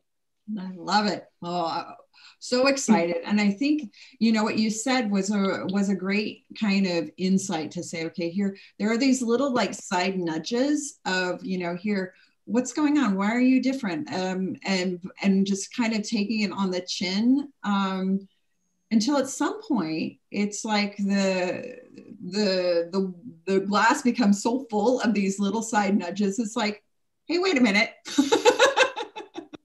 there's plenty to drink here. There's some more people who could be sipping some good tea that we can change the situation. So can you ladies and perhaps Nofar, you you two were working together to say, okay, we have a, a cyber recruiting role mission and we're noticing okay there's these little side nudges as to what are you doing here as a woman? Um, that you ladies said okay all right let's take these nudges and make them into a different proactive kind of approach. Yeah. Take me through? Um, so it wasn't even just the, the numbers or the mm-hmm. uniqueness of seeing a woman in a team. Um, we've actually both of us been interviewing. We're actually uh, trying to recruit together for a mm-hmm. Uh, this is how we got the conversation going mm-hmm. and we started sharing you know adva with her experiences uh, and i i've been talking to women candidates you know mm-hmm. why are you leaving you know it's one of the questions you ask as a yeah. recruiter mm-hmm. why why are you uh, currently searching for a new job and the stories were unbelievably painful i mean uh, women that are already in a team uh, have been experiencing uh, you know, they've been talked down to, they've been uh, ignored. they've been uh, uh some women just, uh, you know, got requests for being a woman, a woman, you know, serve tea, serve uh, serve as food, and like really extreme stuff that you really don't you don't expect to find in such high quality companies. You know, yeah. it's not. it's it's very unusual. You won't see it in an R and D team. You won't see it in marketing uh, and these are the kind of stories that got to both our tables, you know, mm-hmm. Adva's somebody from the inside. And for me, just talking to candidates that, you know, get me out of here, get me a new position because this team is, is not for me. I want somewhere to feel like I belong. Yeah. Uh, so we figured it's not just about spreading the news, you know, get women into cyber. It's also about connecting the ones that are already in the industry to know mm-hmm. that they they belong yeah. And if their team doesn't acknowledge it, then you you belong to this big group called Women in Cybersecurity in Israel. And uh, and this is how the idea started. This is a, has been a dream of Adva for a while, and I'll I'll let you tell about it because this is nothing new. It's it's her dream. Love it. Tell us about your dream. Um, Love it. so yeah, it's kind of been um, uh, picking my head a little bit for a really long time now.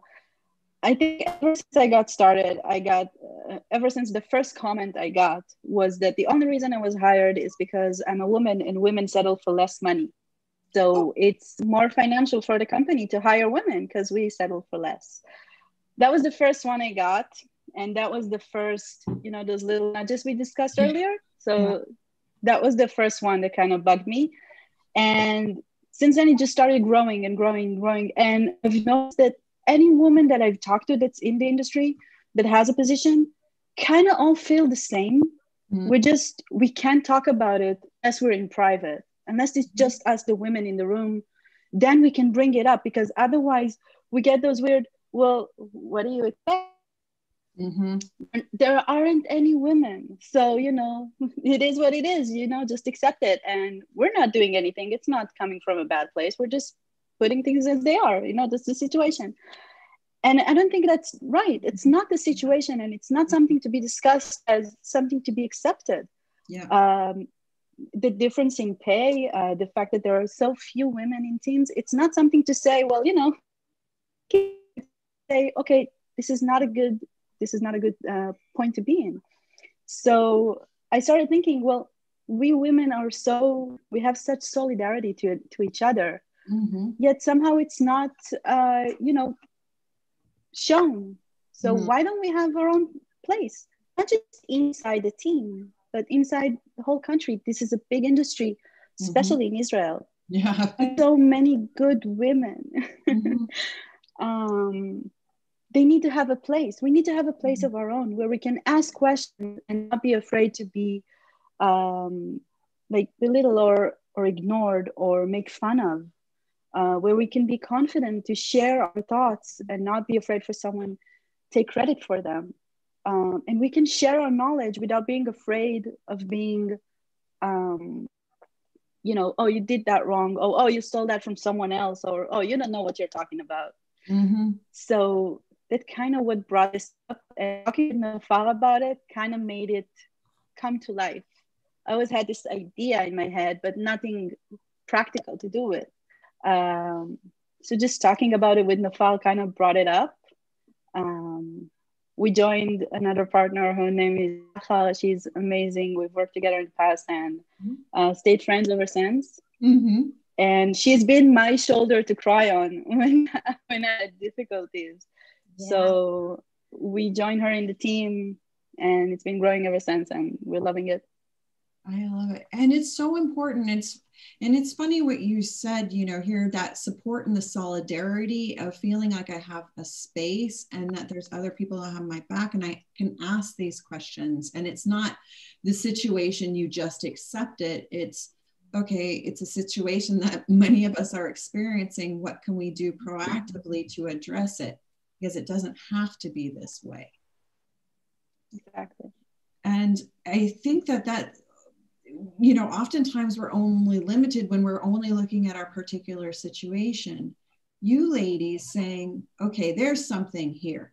What was that trigger for you to reach out and and to meet your partner and to say, okay, here, what can we do together? What what was your personal kind of trigger to say, yeah, no, I've had enough? of this accepting the situation. So Adva, what was for you? What was your enough point? Because that first one of I got you on the cheap because you're a woman, you're not willing to negotiate. Yeah, that's not. so what for you was the the say what can we do? Um, it's actually what Nofar mentioned before. Um, the one that Nofar mentioned before is that we started recruiting together. Yeah. Um, and and when you start recruiting, you you get those resumes, and I've noticed I'm not getting resumes from women, yeah, almost at all. Mm-hmm. Yeah. So that kind of opened my eyes a little bit. I started looking around. Mm. All the women I work with, there there's always this like one, two in every aspect I work in. Mostly it's men. Mm. So that started the whole what's going on, you know, kind of opened my eyes. Um, and then I asked Nofar, just like out of a basic conversation, I said, Hey, so how many resumes do you get from women in general? Um, that spark up a whole conversation. I love. I love it. I love it. And seeing these things a little bit more out of that perspective of let's let's raise it up a level of what are what are those trends what are those things that we're noticing that seem weird and like you said, Nofar, of like, okay, this doesn't happen in marketing. This doesn't happen in R and D. What's right. going on here? Yeah. Yeah, actually, we, we actually know each other because I was I recruited Adva to uh, to her uh, first position and, and she she grew in it. Now she's a manager. Uh, but I recruited her at the time, and I couldn't believe how lucky I got, you know, to get a woman candidate. And they have been praising her ever since. I mean, she went in there and she just, you know, she just did her thing, and everything is so much more in order. And, and I think they're so great, and they're such a good, a great team. Um, so this is kind of how we started it, and now we're recruiting together. And the unbelievable thing is that the um, the responses that you get, you know, you can't unsee something. Once yes. you see it, it's all it's it's mm-hmm. there all the time. So yeah. suddenly you see, you know, you you see like conferences, and they're like 12 uh, men speakers and one keynote woman, and you're like, what? so that's that's the 1st mm-hmm. that's okay maybe this one time and then you know we have this whatsapp group and every time Adva's like okay here's another one here's another one here's another one um, so this kind of became a, a, a, thing that we probably should be touching upon and talk to these conferences and see you know what there are women we're not not a lot of us hopefully mm-hmm. there'll be more um, but that's one thing and uh, when we started the, the, get to get the uh, things going uh, and Adva's building this amazing website. And mm-hmm. we're all kind of writing. And Shachar, she mentioned Shachar, which is our third uh, partner in crime. And she's also this amazing cyber lady, very, very experienced. And she has been experiencing uh, a lot of things uh, in her career. Um, uh, so there's a website, and there's going to be, uh, you know, social media is so ripe for it. I mean, so this right. is the right time mm-hmm. for a community. This is like the right time. The channels are there. The stage is there. You just need to grab it and, and you know do something with it. And Adva's been talking to uh, uh, to women in her line of work, and I've been talking And Shachar. Like every woman that you talk to her about this Women in Cyber project, uh, she's like, "Oh my God, I'm so in. I'm, uh, you know, everyone's just excited. tell me what to do, and I'm in." They're like thirsty for it. It's unbelievable the, the, the responses we get. Actually, from men too, about right? Mm-hmm. Men men hear yeah. about it, and uh, you've been talking to a lot of cyber people since. So the, it's people are ready for it. It's like it's been waiting to happen. Well, and, and I think you bring up a really important point is this piece of you know allyship of you know here we want to help bring these forward and you know and here how are we finding our allies? How are we finding our friends to say hey we want to proactively change the situation because it's not good. It's not good for anybody here in terms of how are we even also finding our own self-value? It takes a lot of confidence um, and it is very hard when you're constantly getting nudged down to have that self belief. So saying, oh, here, hey, we see you, we want you to grow. It's not only with women, it's also with the men and saying, hey, this can be different. How do we address the machismo? How do we address the systemic um, pieces that are working against us and what can we do to to proactively show different paths and give real solutions that we're coming up with together. Because it's not something where we can just say okay plug and play because we said it needed to be changed it's going to be changed overnight um, but to say okay how do we address it? And then also address it on the own personal level of how am I growing? What are the things I want to do to take my career rather than saying, okay, I, am okay with being the token. I don't think any of us, and the way I've met, uh, particularly the women in Israel, that's not how I've met you. Say that again. there seems to be uh, some very powerful women in there, uh, which I'm so excited about. And to say, okay, what can we do about this? We're not accepting the, this status quo. What can we do? So, if you ladies were to say, okay, what would your be your dream? What would you be really looking to to make in terms of a social impact? What's the social impact that you're looking to to make by, by addressing just starting with this aspect of cybersecurity. What's the social impact you ladies are looking to make? And I'm gonna let you take this one. Um, so talking about those things kind of got to start think where's the problem coming from? Uh, mm-hmm. Uh, where is it starting? Yeah. And Israel Israel cyber community is uh, heavily impacted by military. Mm-hmm. Um, a lot of uh, cybersecurity uh, startups and employees come from uh, cyber related positions in the army. Mm-hmm. Uh, you're selected to, do, to go to those um, in, a, in a relatively young age, around a teenager when you're in high school. Mm-hmm. And how many women in high school do you know that love cybersecurity, sit at home, do hacking, gaming? Um, I'm not sure it's, I'm pretty sure there are a lot who like it. And mm-hmm. if they had the opportunity, they would love it and mm-hmm. they would be very interested in it. I just don't think they all have the same opportunity and it's not very well accepted mm-hmm. as much as for uh, mm-hmm. men. So I think that's kind of like one starting point that our goal and our like faraway dream is to have more women coming from in in that time in high schools and mm-hmm. universities mm-hmm. give them the opportunity to experience it and understand if they like it or not yeah exactly um, and our second goal kind of for the women that are already in it mm-hmm.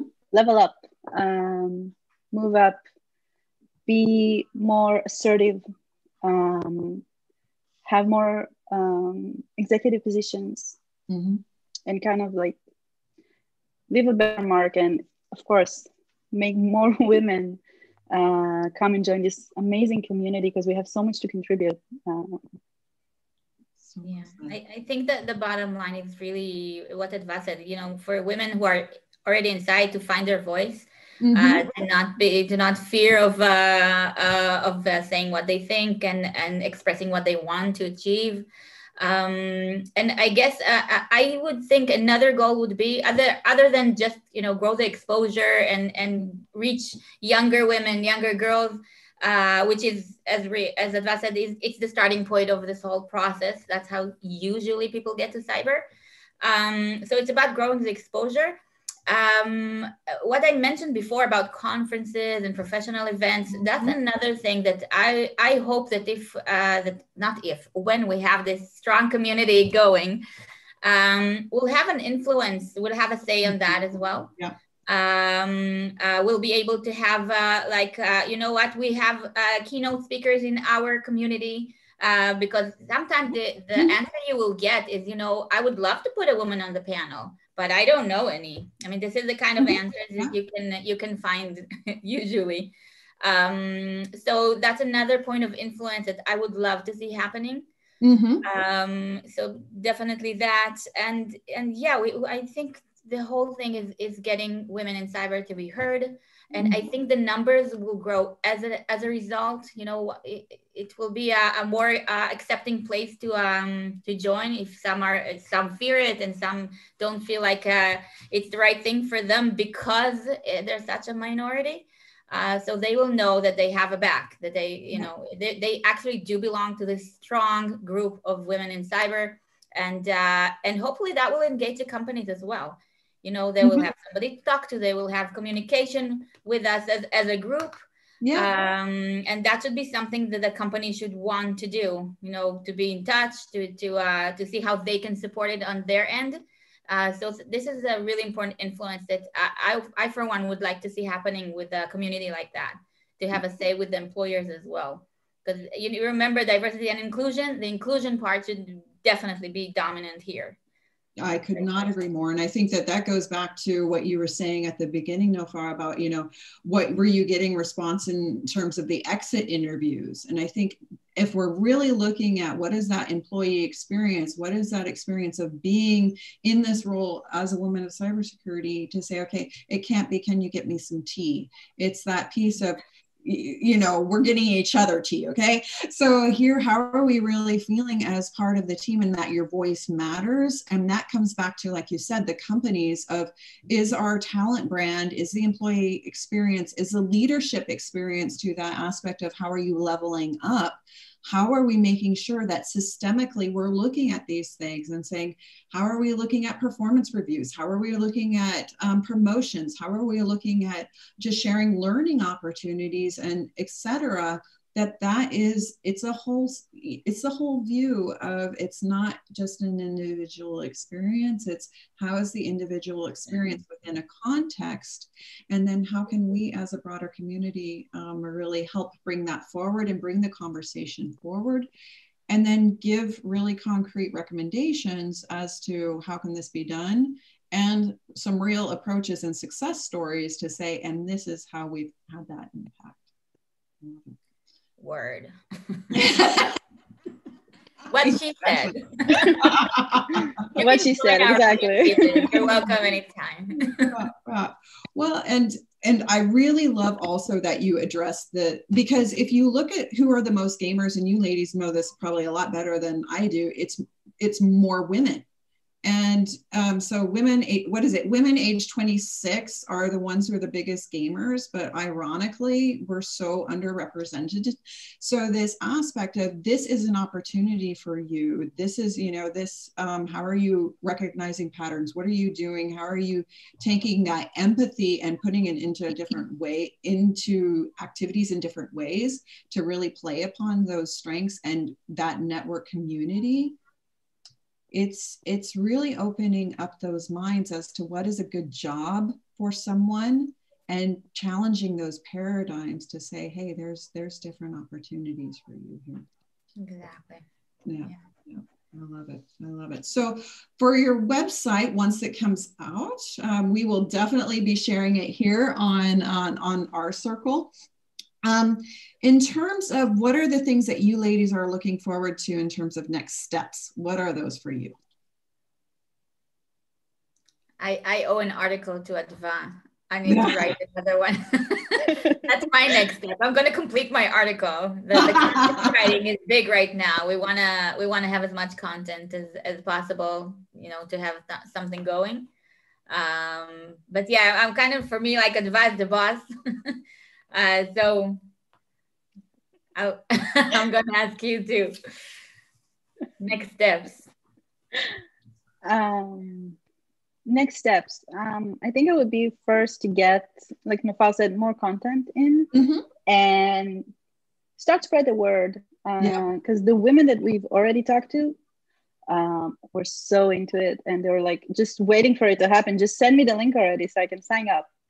Um, and to bring value uh, kind of mm-hmm. like to hear back from them for the ones that are like started uh, first one in the community to hear what they have to say what do they want to improve and what do they want to like see uh, what is missing mm-hmm. so and that i think would be like our our next step to be to kind of match it to what they're looking for Beautiful. what the community needs mm-hmm. um, and then to actually uh, bring it up and spread the word really as far as we can get more as much women as we can uh, to join.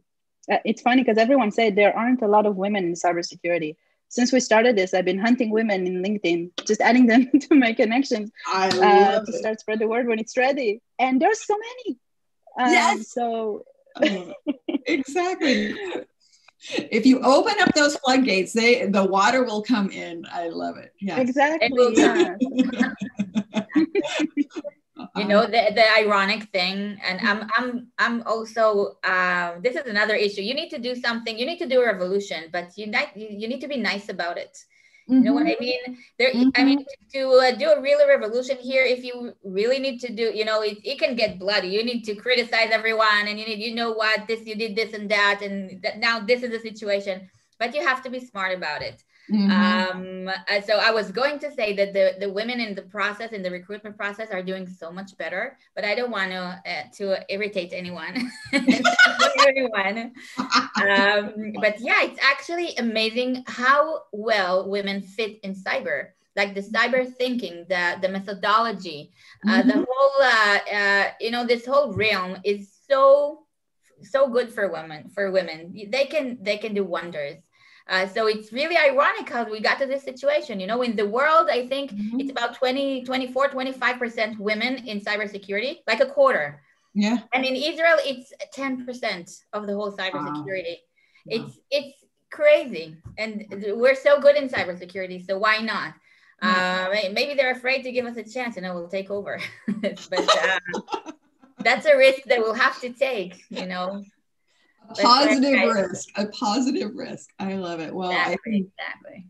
I think you ladies are awesome. I think it's exactly the right track to say okay how are we noticing the things that are floating up systemically, putting those different patterns together and saying, okay, how can we make that impact starting early, being consistent, um, and then showing that this is a great community to be part of to level up and to co-create. And i think adva what you said there was perfect to say okay what does this community need and how can we all come together to say how let's let's get this together um, what can we do and how can we address the different topics?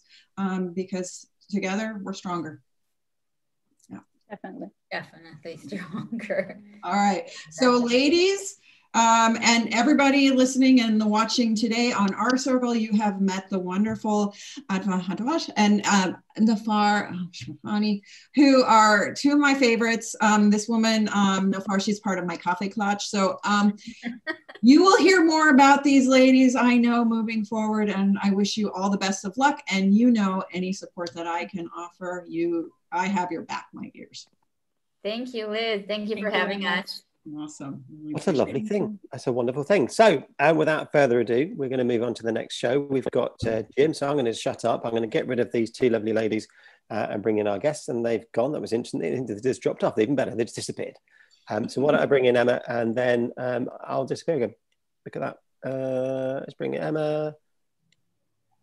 Let's bring Alisha in. Dun, dun, dun, just feel, just hum, sing, dance. Great chat, Elizabeth. There, a nice save earlier on, Martin. I know your your really? Wi-Fi there in Germany is dropping in and out a little oh, bit. Oh, so. German Wi-Fi, it's the worst. oh. third world infrastructure. Magic. Hi, Alisha. Hi there. How you doing? I'm well. How are you guys? Good, good, good. Yeah, we just listened to some amazing chats that we've had this morning and, and conversations that have been going on. And of course, the lovely technology that works perfectly every time for every, time. Oh, yeah. yeah. in the middle of people having deliveries, and as I said this morning, up my crazy dog running around in the background, throwing his toy bones and bits and pieces all over the place, trying, trying to avoid a meeting. Silly things. Uh, he's now asleep, but I'm sure he'll join in, in a minute. Um, so yeah, great. Yeah, Hello. lovely chat. Uh, Kim, hi I'm Emma, here. how are I'm here. I just here. can't. I don't know why my video is not working. speaking of technology and it failing us. Um, I that. even I even put my makeup on today, so it work actually. Um, yeah. I'm not sure what I can do. So shall we carry on without my oh, face? Regardless, and I'm going to disappear and leave you to it. Good luck, Jim. Enjoy the enjoy your show. I should sit back and watch. Thank you very much, everyone. Uh, yeah, welcome, uh, Emma. Welcome, Alisha. And um, yeah, we're going to be talking about sort of widening the net. And we're going to be chatting to Emma Freivogel, Alisha Bobb. Um, hello, both of you. Hello, thank you for having us. I'm waving at you, Emma, and there's no screen of you here at Jim, all. I'm waving You're, back, I assure you. I am sure you are fantastic. So, really want to chat to you this morning a little bit more. We had a conversation recently, um, and I actually uh, said the wrong thing while we were chatting. I mentioned Radical Recruitment uh, as a recruitment agency. So let's start there. Because you're not a recruitment agency, Emma, tell us a little bit uh, about what you do, you know, the differences there. Yeah, sure. So we're a um, we're a not for profit we are a recruitment agency, Jim, but we do lots of other things as well. So we're a not-for-profit, community-owned um, recruitment consultancy, and we represent people who are underrepresented in the labour market. So anyone who um, has a barrier to work, for example, has been or is currently homeless, um, has been through the care or criminal justice system, is a um, domestic violence survivor has um, you know got an enduring mental health condition a physical or intellectual disability we work with people who are in recovery um, who have sort of um, poor mental health that has um, made it very difficult for them to come back into the labour market or, or, get into it in the first place and we mm. we approach recruitment in the same way as our um, sort of um, for-profit counterparts in the sense that our candidates get offered an interview on the merit of their application um, and get the job because they're the best candidate at the end of the race. The key difference for us, I guess, is that we support people who are um, sort of on the the fringes of the labour market, but not quite interview or work ready to become interview and work ready. And then um, once we place them, uh, we support them to sustain their employment and hopefully with time um, progress in their chosen careers. So pre-work support, it looks very different for everyone, but essentially um, it's all the things you would expect around confidence building for people who um, perhaps fail to see, their own potential or who have um, struggled to, to find a job of, of being long-term unemployed, all the way to um, supporting people to develop ATS optimized CVs, teaching them how to answer competency based questions using the Staff Plus L framework, um, mock interviews, these types of things. And yeah. we also partner with um, an amazing uh, group of sort of specialist providers that um, help us to provide the specialist interventions that people need when life throws a hurdle their way. So, for example, once a candidate has um, started in, in, their workplace, we don't leave them. Um, we check in with them once a week for the first three weeks because that's when people tend to trip up. Um, and we support them with all sorts of things uh, through these partnerships. So, for example, if we've got a, a, young person who's been in a domestic violence situation and the ex boyfriend moves himself back in the house without her consent and he's abusive, then we will help her to move out of that situation and negotiate, for example, some time off work in order to get that that issue resolved so that that person doesn't lose her job. Um, it's the same with things like, you know, we might have a candidate who suffered a, a loss in their family. Um, it might be that the candidate's actually been, you know, managed retrospectively or their remit and responsibilities aren't clear and they need help to find the right language and the right ways to have conversations. It can be a little bit tricky if you've not mm. been in the workplace for a long time or at all um, to to you know find solutions to those problems. So we do lots and lots of things in addition to recruitment um, with our candidates. And on the other side, we also support our employers to be more diverse and be more inclusive. Yeah, I mean the the, the, the and, and, the chats that we've had and the, the work that goes into pre uh, the support and all that journey that you take people on um, is amazing, Emma. You're you're on a mission at the moment. Um, I think loads of people are on a mission through COVID, many different missions to to get through all of this. But you're on a mission at the moment. Place hundred people in hundred days. How, you know where where are we up to with that? Yeah, yeah, so um, we were. I was contacted by um, St Mungo's. They're one of the big homeless um, charities in the UK, and um, it was at the start of um, lockdown 1.0, and they had been tasked to move thousands of rough sleepers off the street um, and into temporary accommodation that was uh, funded by the government, uh, so that they could self isolate safely and many of the people that they've moved off the streets were actually capable of working.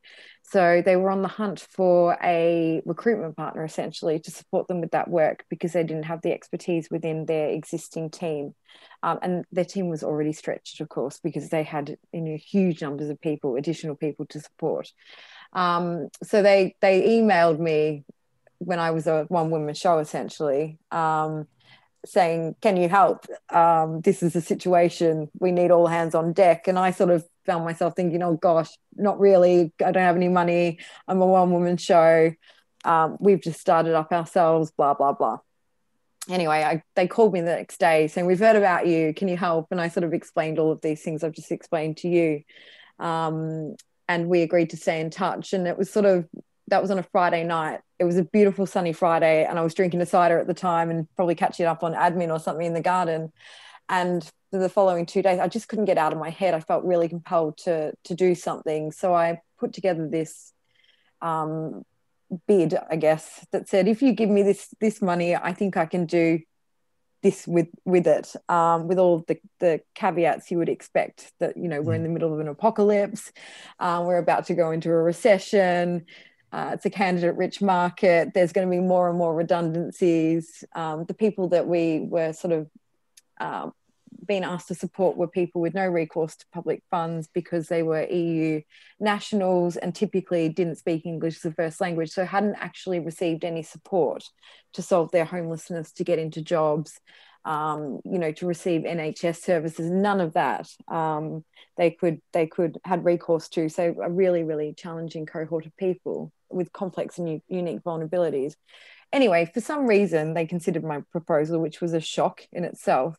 And it was one of several that were tabled with the Ministry of Housing, um, Communities, Local Government, who then funded the GLA, who funded us to do this piece of work alongside St Mungo. So the project has been um, initially was to support 200 people with no recourse to funds. That sort of reduced down to about 60, and we've assessed, assessed 53 as being um, work ready, although probably not interview ready and um, I recruited a, a, crack team of recruiters. So Glenn Martin is one of them.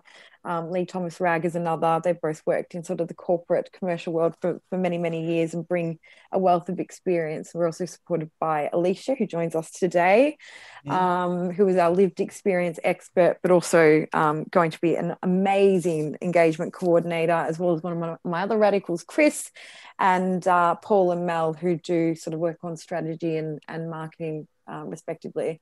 So we've got this amazing team that have been working sort of tirelessly to get this cohort of 53, well, it's 51 men and two women into work. We've made around 20 placements, um, got seven more job starts on Friday, and we're working with some amazing employers who you know can see beyond the labels who have worked with us to ensure that their their recruitment processes are accessible and fair and that our people um, with loads and loads of support to get interview ready, have an opportunity to apply for jobs um, that that uh, are available sort of in the open market. So that that's the work that we've been doing recently. Um, and it's going incredibly well. I don't think um, many people expected us to make any placements, and I certainly didn't write job starts into the KPIs framework because I ain't silly.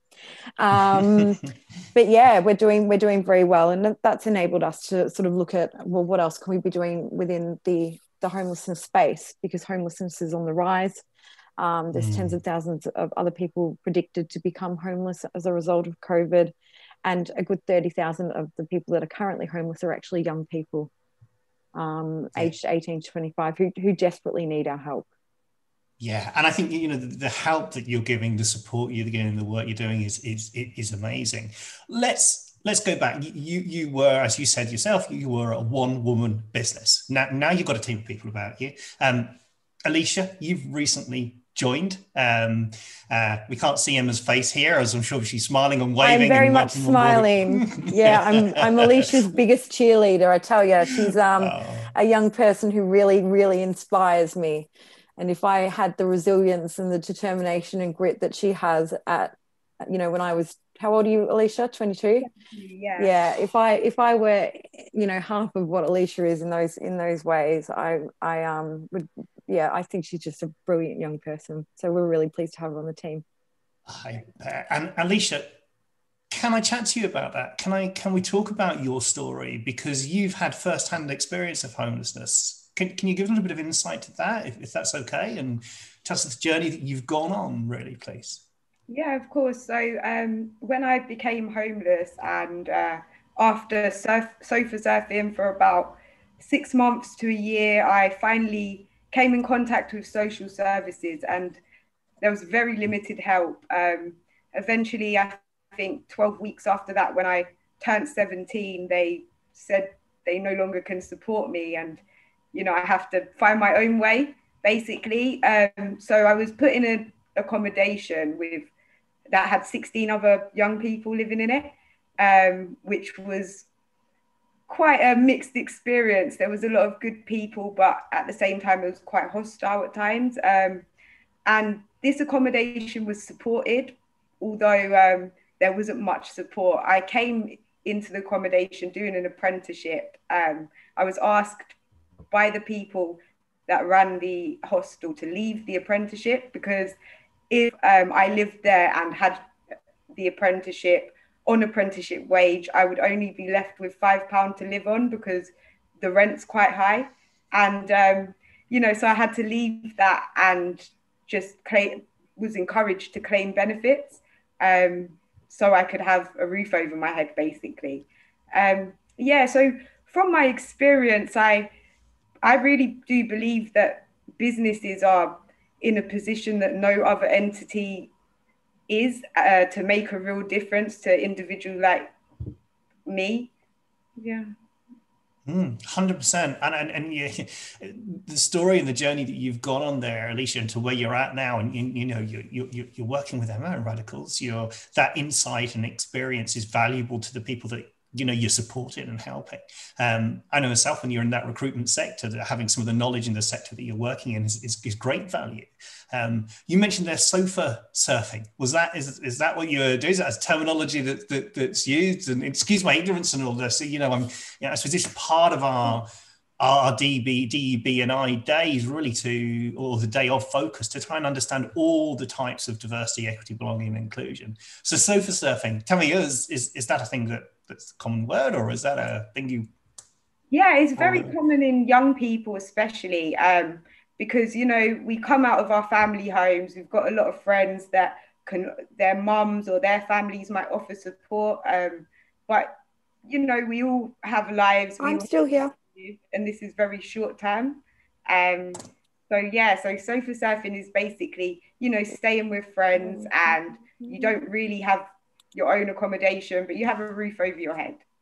Mm, oh, excellent! Oh, it's that, and it's it's a warm term, isn't it? Really, I think if you think about surfing and that kind of thing, it's a it's, it's a warm thing considering the difficult situations that you're going through.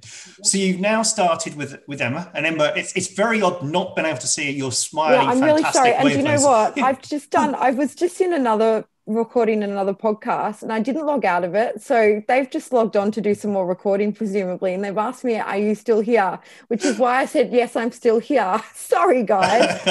Don't worry. Just, just to add to Alisha's stuff, um, sort of comments around homelessness and hidden homelessness.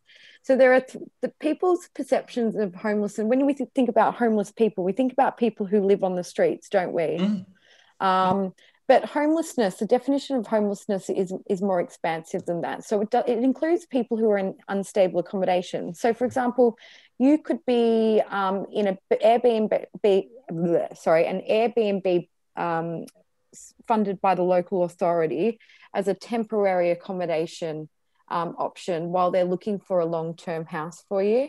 Or you could be rough sleeping, or you could be sleeping on the floor of a friend's place or in their garage, or you could be in a tent in the forest, or you could be on a car- in a caravan on the side of the road.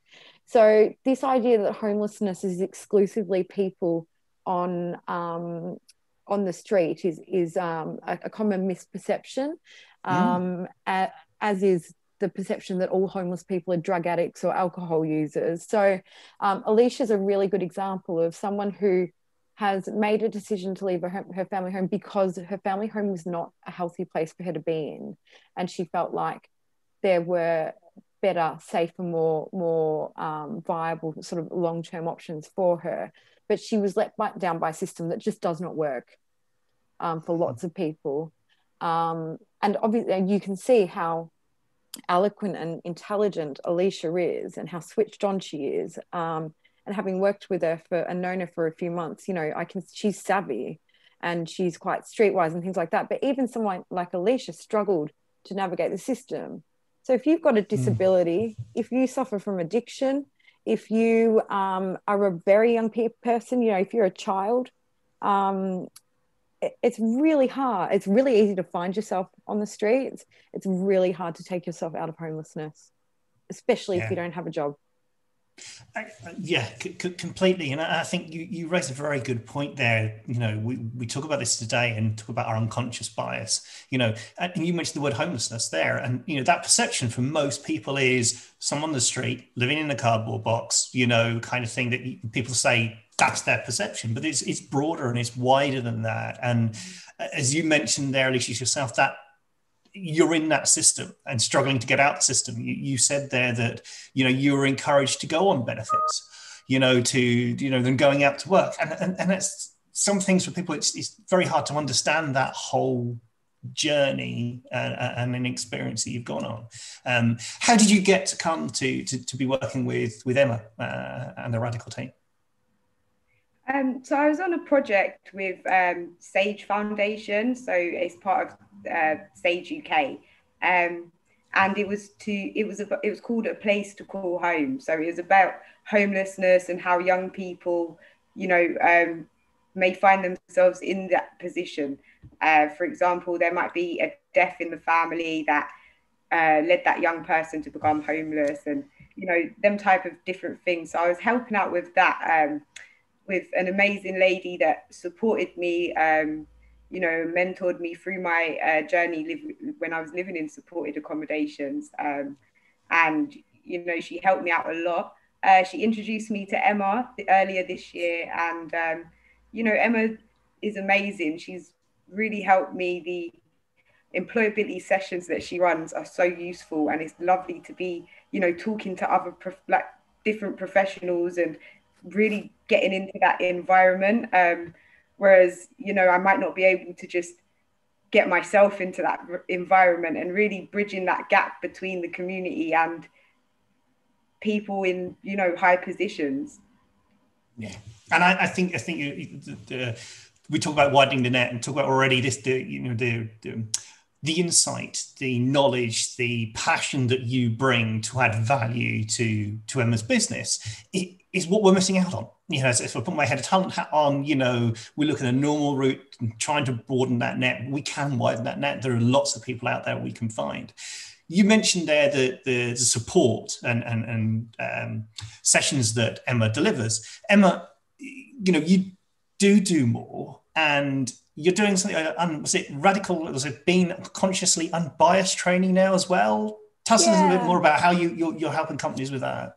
I think um, after the George Floyd murder, um, there was a whole load of discussion, particularly on LinkedIn, that caused me to do more listening and more thinking and more reflecting. And um, one of the things that I became acutely aware of was that I mean, diversity, equality, inclusion, belonging is, is core to our business.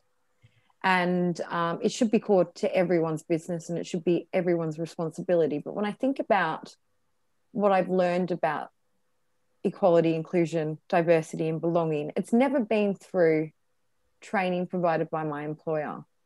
Hmm. And employers, you know, across the nation spend hundreds of thousands, probably millions collectively, training their staff on matters relating to D&I.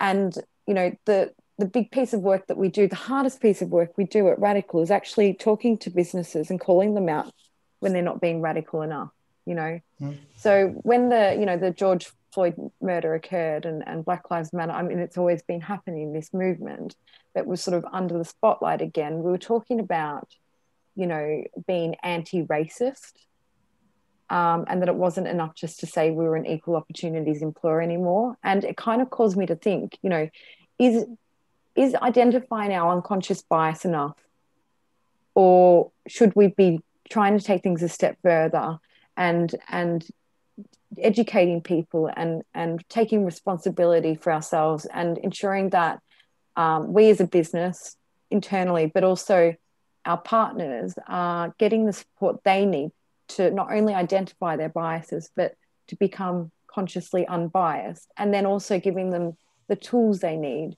to um, take action and be anti biased. And so when we look at, at Radical, we prescribe to um, sort of three dimensions of diversity. So you've got sort of internal dimensions, and, and they're the things that everyone thinks about when we talk about diversity. We talk, we're thinking about age, we're talking about gender, sexual orientation, physical ability, ethnicity, and race. They're they're what we call internal dimensions, but there are two other dimensions. There are external dimensions that look at um, variables like, say, for example, income or someone's socioeconomic background. Um, it might look at religion. It could look at their work experience. It, it could be the way they they look and and the way their accent sounds. And then at, on the, the outer layer, if you think about it as a circle, you've got organizational dimensions.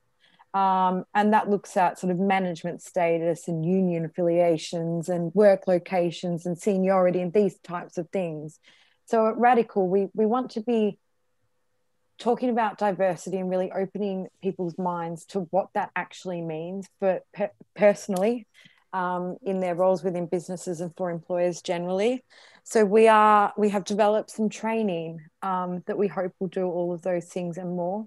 Um, we it, it's sort of a, a, combination of theoretical classroom-based training tailed with um, experiential learning, which will make everyone, I hope, feel really uncomfortable. it mm. will um, help people to identify their implicit bias. It will give them the tools that they need to change the way they think, to add to their perceptions, to do better at work and in life. Um, and it will um, be coupled with sort of three virtual check ins um, that will occur quarterly. Um, every quarter after the delegates com- complete the the face to face stuff, um, whereby delegates from all of the sessions we've delivered in the in the previous quarters can come together and um, share ideas, exchange ideas, um, talk about what what's working and what's not working within their businesses, um, support each other, uh, learn from mm. each other, and also keep each other accountable. Because I think, you know, all of the training that I've done around DNI has always felt like off the shelf, three hour mm. tick box, company wide, compulsory training that that didn't make me think that didn't you know it didn't mean I had to lean into what was uncomfortable, you know. Um, it didn't teach me how to listen as an ally. Um, it didn't teach me how to sort of state my intent and and share my corner and bring people into my my sort of perceptions and my experiences. It didn't ever feel really very authentic or you know create a sense of safety for myself or my team members. This is what good training should do. So this is what we're delivering at Radical Recruit, and we're doing it um, with the help of our radicals. So yeah. it's not going to be some white bird who's um, you know was born into incredible privilege ranting about what you should and shouldn't do in your business. That's not what what our training looks like or will feel like. I'll be co-facilitating, as will some of my other colleagues, um, with people with lived experience who have expertise, who've been on the other side of, of our bias, um, and who can bring the narrative to life and, and make it real because mm. these are human people, you know, we're, we're talking about and that, that are being treated unfairly, essentially. 100 percent, and I love the fact, Emma, you're pushing people out of their comfort zone. You're making them feel uncomfortable because then you sit up and listen. You know, if you're sat in a nice, comfy chair, you can easily relax and fall asleep and not take the important bits on. But if you're feeling uncomfortable, you're gonna you're gonna sit up and listen. I think that's, that's such a valid point. And as you say, bringing other people's life experiences, you know, that story, tell that story, and it, and it will really sit with them.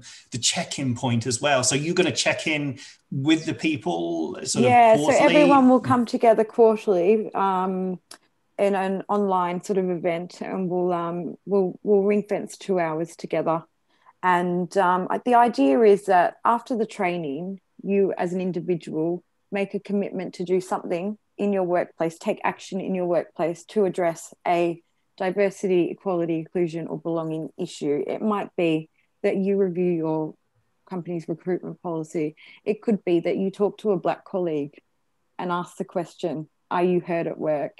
It could be that you start a DNI book club and read a book a quarter and report back to your team members about what you've learned about white fragility.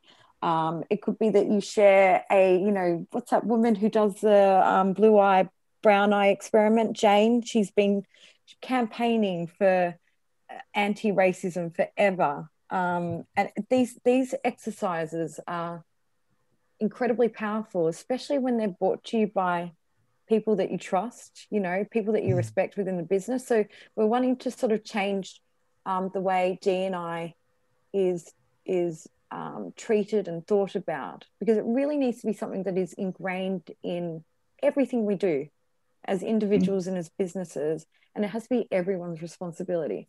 So once once people sort of have a, a, we'll give them a toolbox of things we'll give them a whole range of ideas and they'll pick ones that they think are relevant and will be useful in their businesses. And then we'll say okay go implement them. Go give it a try. Go have these conversations it could just be a conversation with a manager. It could be that you put dni on your team meeting agenda. It could be that you build that into your um, performance management framework or your support and supervision frameworks where whatever whatever makes sense to you as a business you do that and then what we do is we come together and we talk about the work that's being done as individuals and as businesses. And the idea is that we learn from each other, we exchange ideas, we sort of troubleshoot what's working what's not working. We'll bring in people with lived experience, people who are experts in this because they've been on the other side of the bias, um, yeah. to to support and to to talk through things and and keep people accountable. Because this this whole three hour tick box exercise, it's if I can be honest, bullshit, Jim. It's not. Oh, oh no, no, hundred percent. It's it's the tick box tokenism, reactive sort yeah. of way things people are doing. Yeah. It's it's today. It, it isn't a day. It's a day of. It's every day, and the exactly. conversations that we're having today should be everyday conversations, and we exactly. should be learning. And hopefully, those people listening, um, hi mum, if you're listening, um, you know, are actually learning something and and and taking things in. You know, I love that Emma we'll come to 11.30 we've got theo on next. Alisha emma fantastic. Emma um, uh, you're crowdfunding at the moment so we'll get some links up there. Thank you very much for sharing your time both of you this morning. Um, emma sorry we couldn't see you um, but i'm sure with the, the power of technology when uh, martin does his edit he'll be able to get a lovely picture of you into the screen there at some oh point. gosh make sure it's a good one martin cool. please. Do me a favor mate. thank you so much for having us. Well done alisha. Proud of you mate I'll speak to you soon, guys. Bye. Thank you all. Take care. Bye. Awesome discussion. Thanks, both. Marvelous. Let me um, do that slick thing. Um, Theo is waiting in the wings. Let's bring Theo in first. Emma, let's get rid of you first. Come on, Techie. Yeah, she's gone. And then we can all clear off. Um, fill the fill the void, Jim. Thank you. Yeah, I mean, well, listening to some of your chats this morning, Elizabeth, fantastic. Um, I hope people are joining in and listening. I mean, it's not just my mum. Hello, mum again. Um, but yeah, I mean, some of the chats have been amazing. There's a real common thread that, that's happening, and we're talking about this whole DEB and I. Um, and here we have a fantastic Theo Smith. Hey, Theo, how are you? Hey, yeah, very good. Thank you very much. Excellent. I think we're going to hand over to you, Sean and Leena, um, and we're going to we're going to let you uh, crack on, and we'll be listening away in the background. So uh, thank you for doing this, everyone. Incredible. Thank no you problem. so much.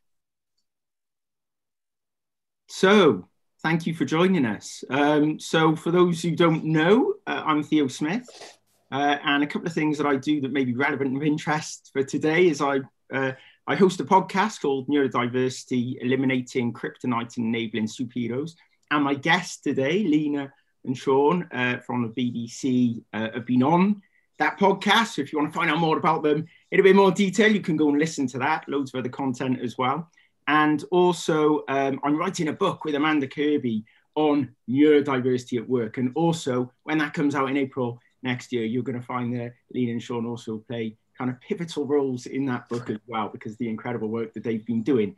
So we're going to cover off a few things today um, that have kind of been buzzing around my head, and I know uh, Leena and Sean w- would have been uh, coming across these as well uh, in discussions, conversations, and just what's going on in our own minds. So uh, it's kind of where uh, first Leena and Sean introduce themselves in a second, but what we want to know is kind of where ND is at, where neurodiversity is at currently um, uh, uh, and what our thoughts are around that.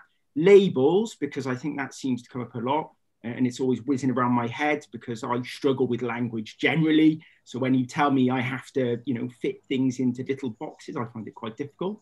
So we'll discuss that. Uh, disclosure, you know, do we need to? Should we have to?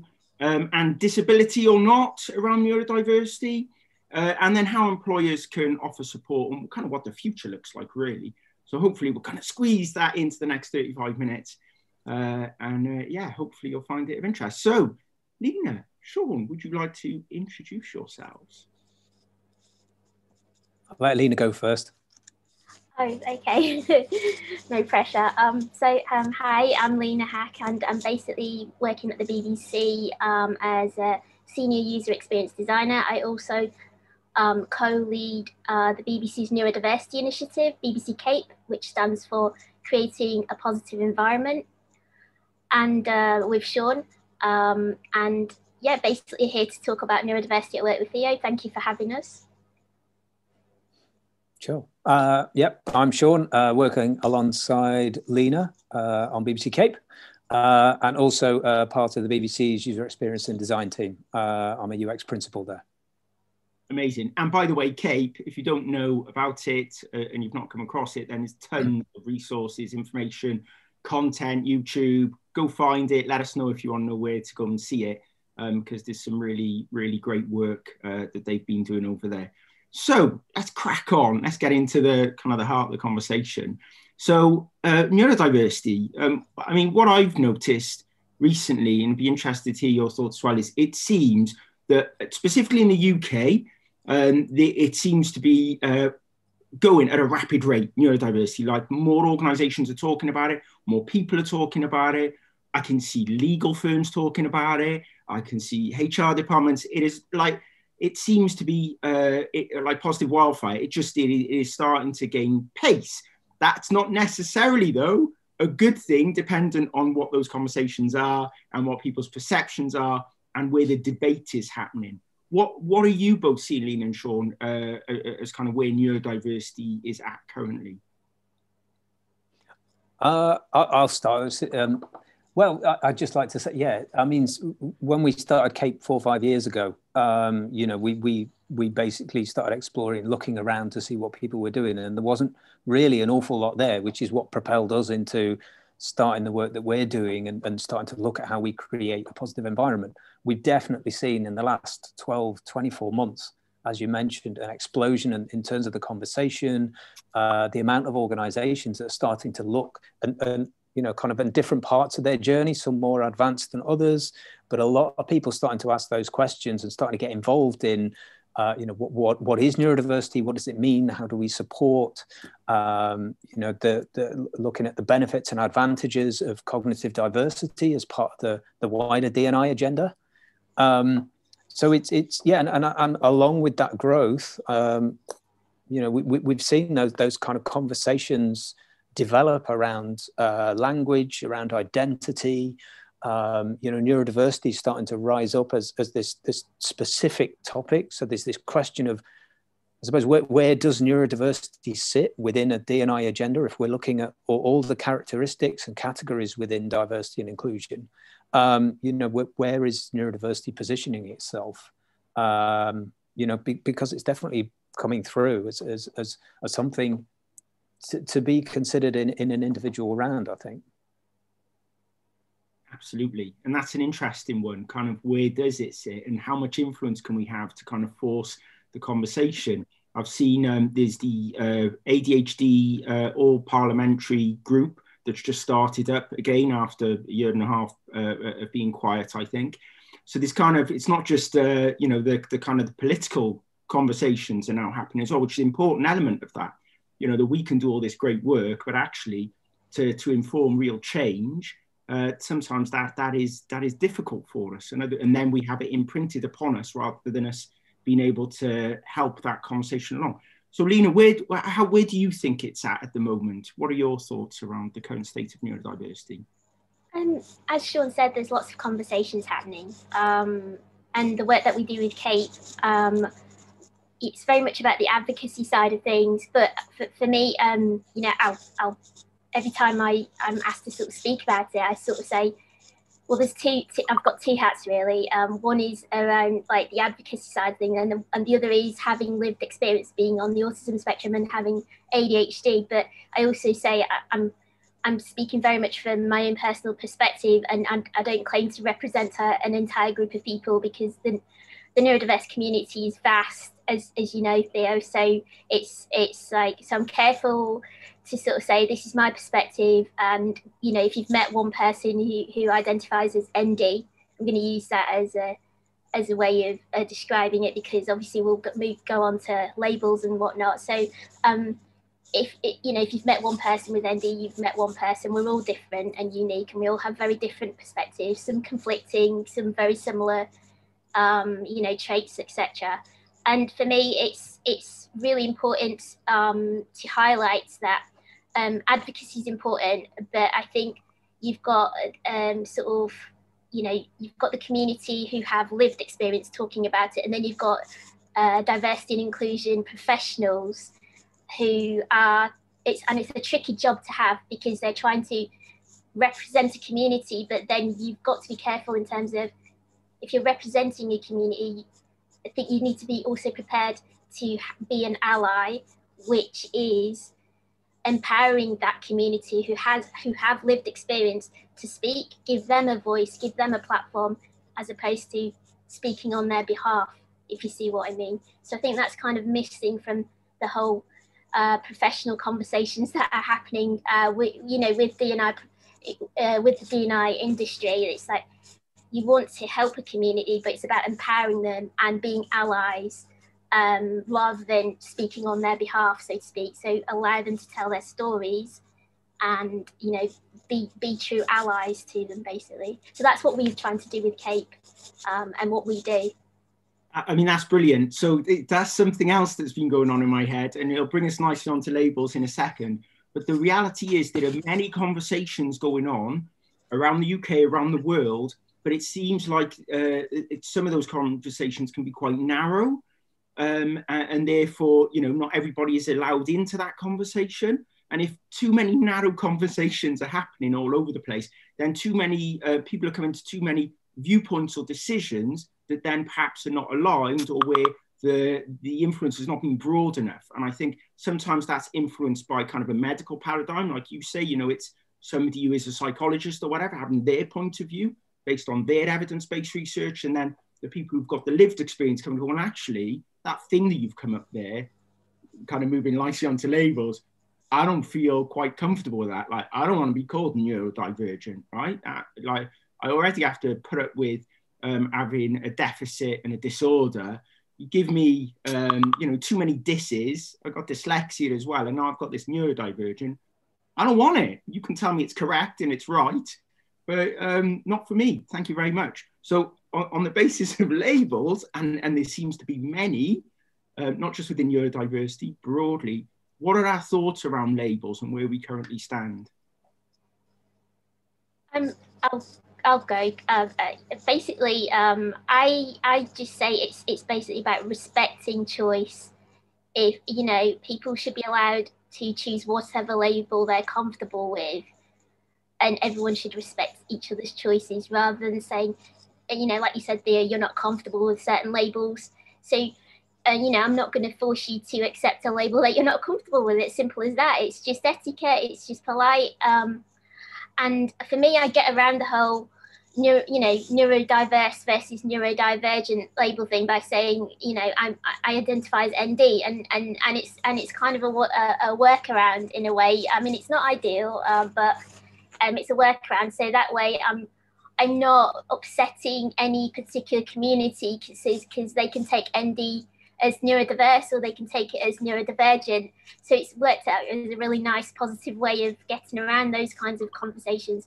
Um, for me, um, labels can cause conflict, you know, um, but at the same time, people should should have the right to choose how they label themselves, um, and uh, without fear of being judged, uh, basically. And and when you look at other conversations, for example, around LGBTQ, people, you know, people are, uh, you know, strongly identify with certain labels. You've got your cisgender versus transgender, and people should have the right to choose uh, you know, in those conversations, quite rightly so. And I think it should be the same within when uh, within the conversations happening around neuro, neurodiversity.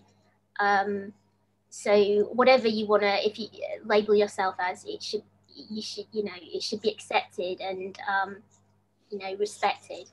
Basically, it's about choice. I, I, I, think you know it, it's interesting looking at the parallels in terms of how how the neurodiversity movement uh, and the community is is kind of mobilizing and, and starting to have these discussions with itself in terms of language and identity and the parallels with with perhaps how the LGBTQ community have, have kind of generated th- that that kind of identity and then you know kind of push that forward as to this is who we are this is our community and how we identify um, you know, it, it's nice to see that the conversations occur and, and people talking about different language and different styles of language and how people identify. Um, I'm not entirely sure necessarily. I think it's it, it's it's sometimes a little bit dangerous when we start, you know, within the community start start trying to impose language on people or trying to introduce. Well, this is what I think it should be, so everybody start using this. Um, I think it's interesting to offer suggestions and opinions to share maybe how everybody is identifying and what different language that they do have. So, so that maybe what we can do is you know, as a community, is rally around each other and support each other and go, okay, that's how you identify. I, I recognize that. This is how I identify, and it's a bit different. Um, but we can respect each other's position. And what we should do is, is maybe be allies together to represent and support each other's position on this.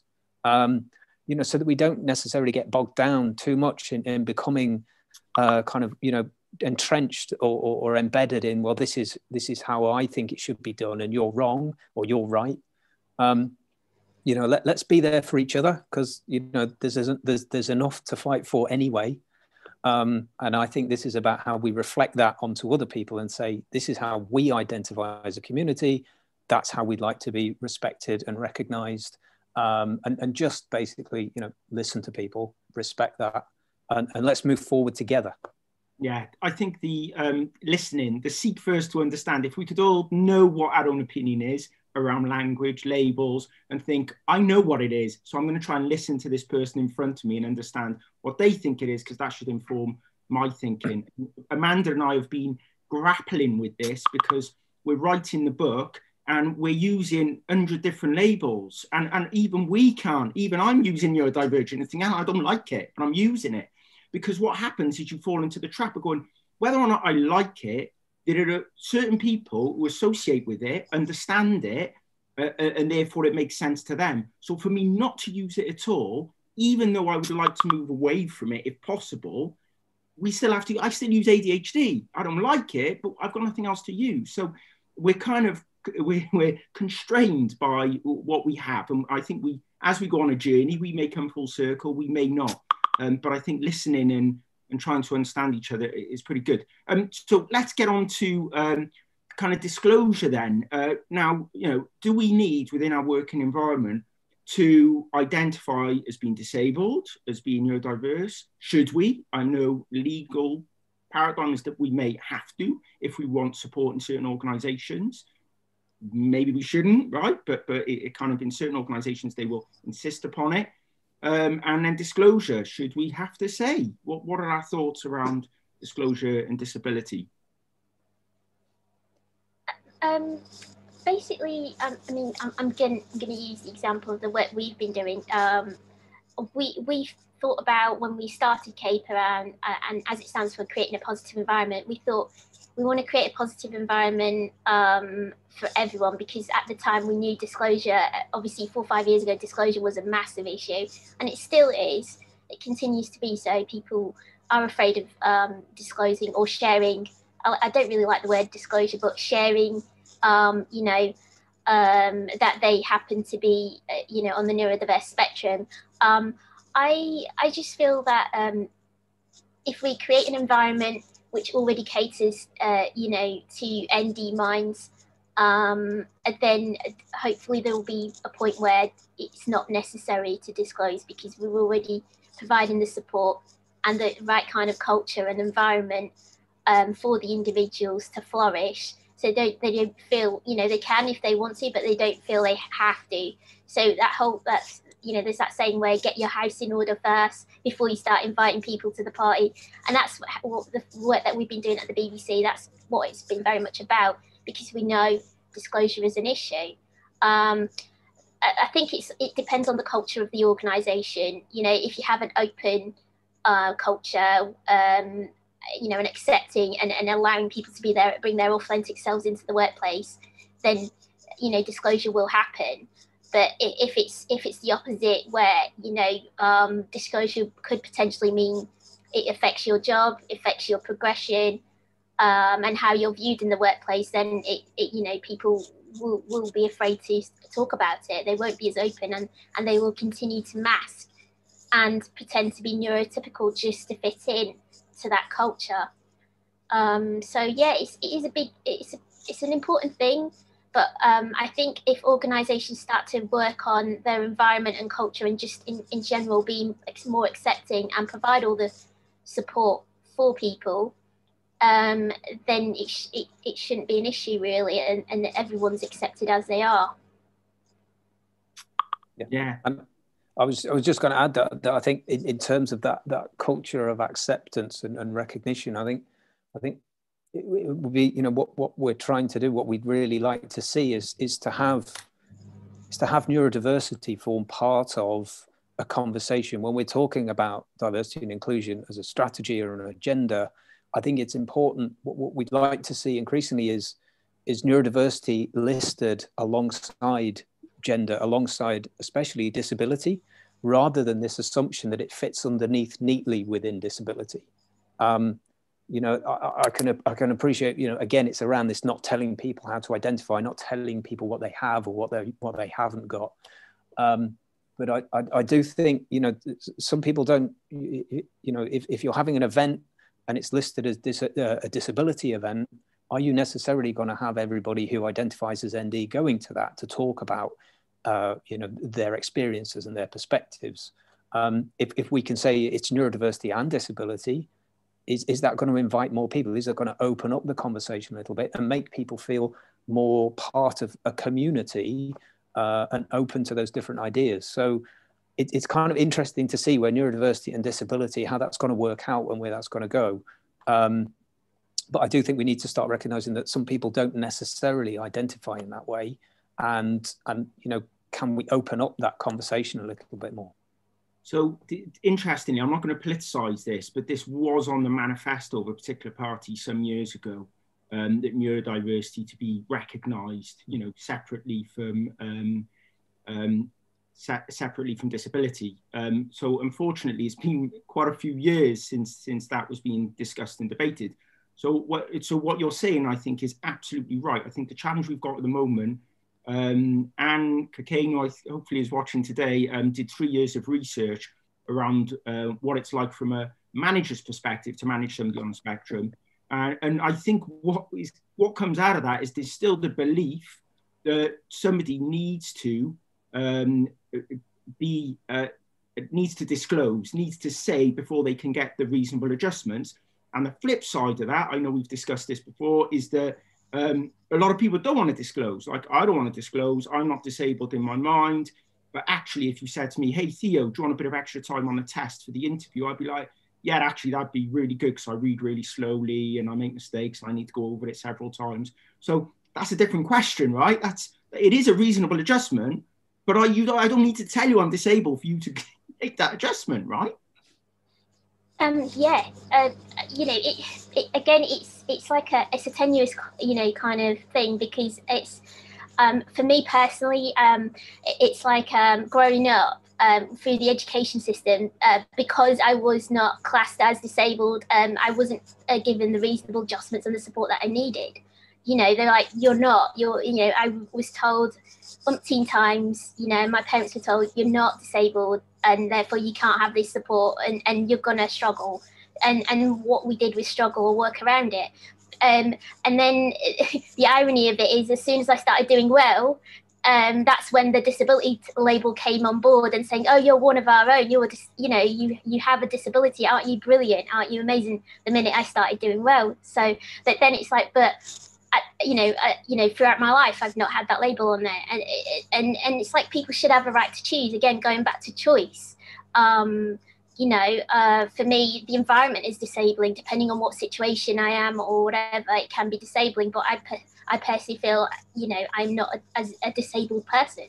It, it depends on the situation or the environment. The environment can be disabling for, uh, you know, ND individuals and we need to recognise that. And also, there are a group of people within that community who, who won't tick that disability box, and we should we should really respect their wishes rather than again and you know imposing a label on them which they don't necessarily want. Yeah, yeah. And, and, and I think to your point also, Theo, in terms of having to share, disclose, declare, um, you know, it's important to recognise uh, you know, the effect, the importance of the Equality Act uh, and disability as a protected characteristic uh, and ND conditions within that and the obligation that puts on employers and organizations to support and offer reasonable adjustments. Um, you know, and, and, and that's that's crucial. It's really important, and and you know that that's something that we need to recognise. But it's about it is about you know it's a shame that we have to rely on on what often becomes a minimum bar of legislation, which is as long as you do this much, you're fine. You don't have to go above and beyond. And, and I think, you know, that, that's a shame. If we re- rely on legislation, you get so far. but but we should think about this as a you know this is about uh, business. This is about an opportunity. You know, uh, people are, are an organization uh, an organization's greatest asset. So why would you not go uh, above and beyond to, to, to be able to, to bring out the talent of that asset, to, to create an environment in which you can get the most out of the people uh, that, that, that you are asking to do a job.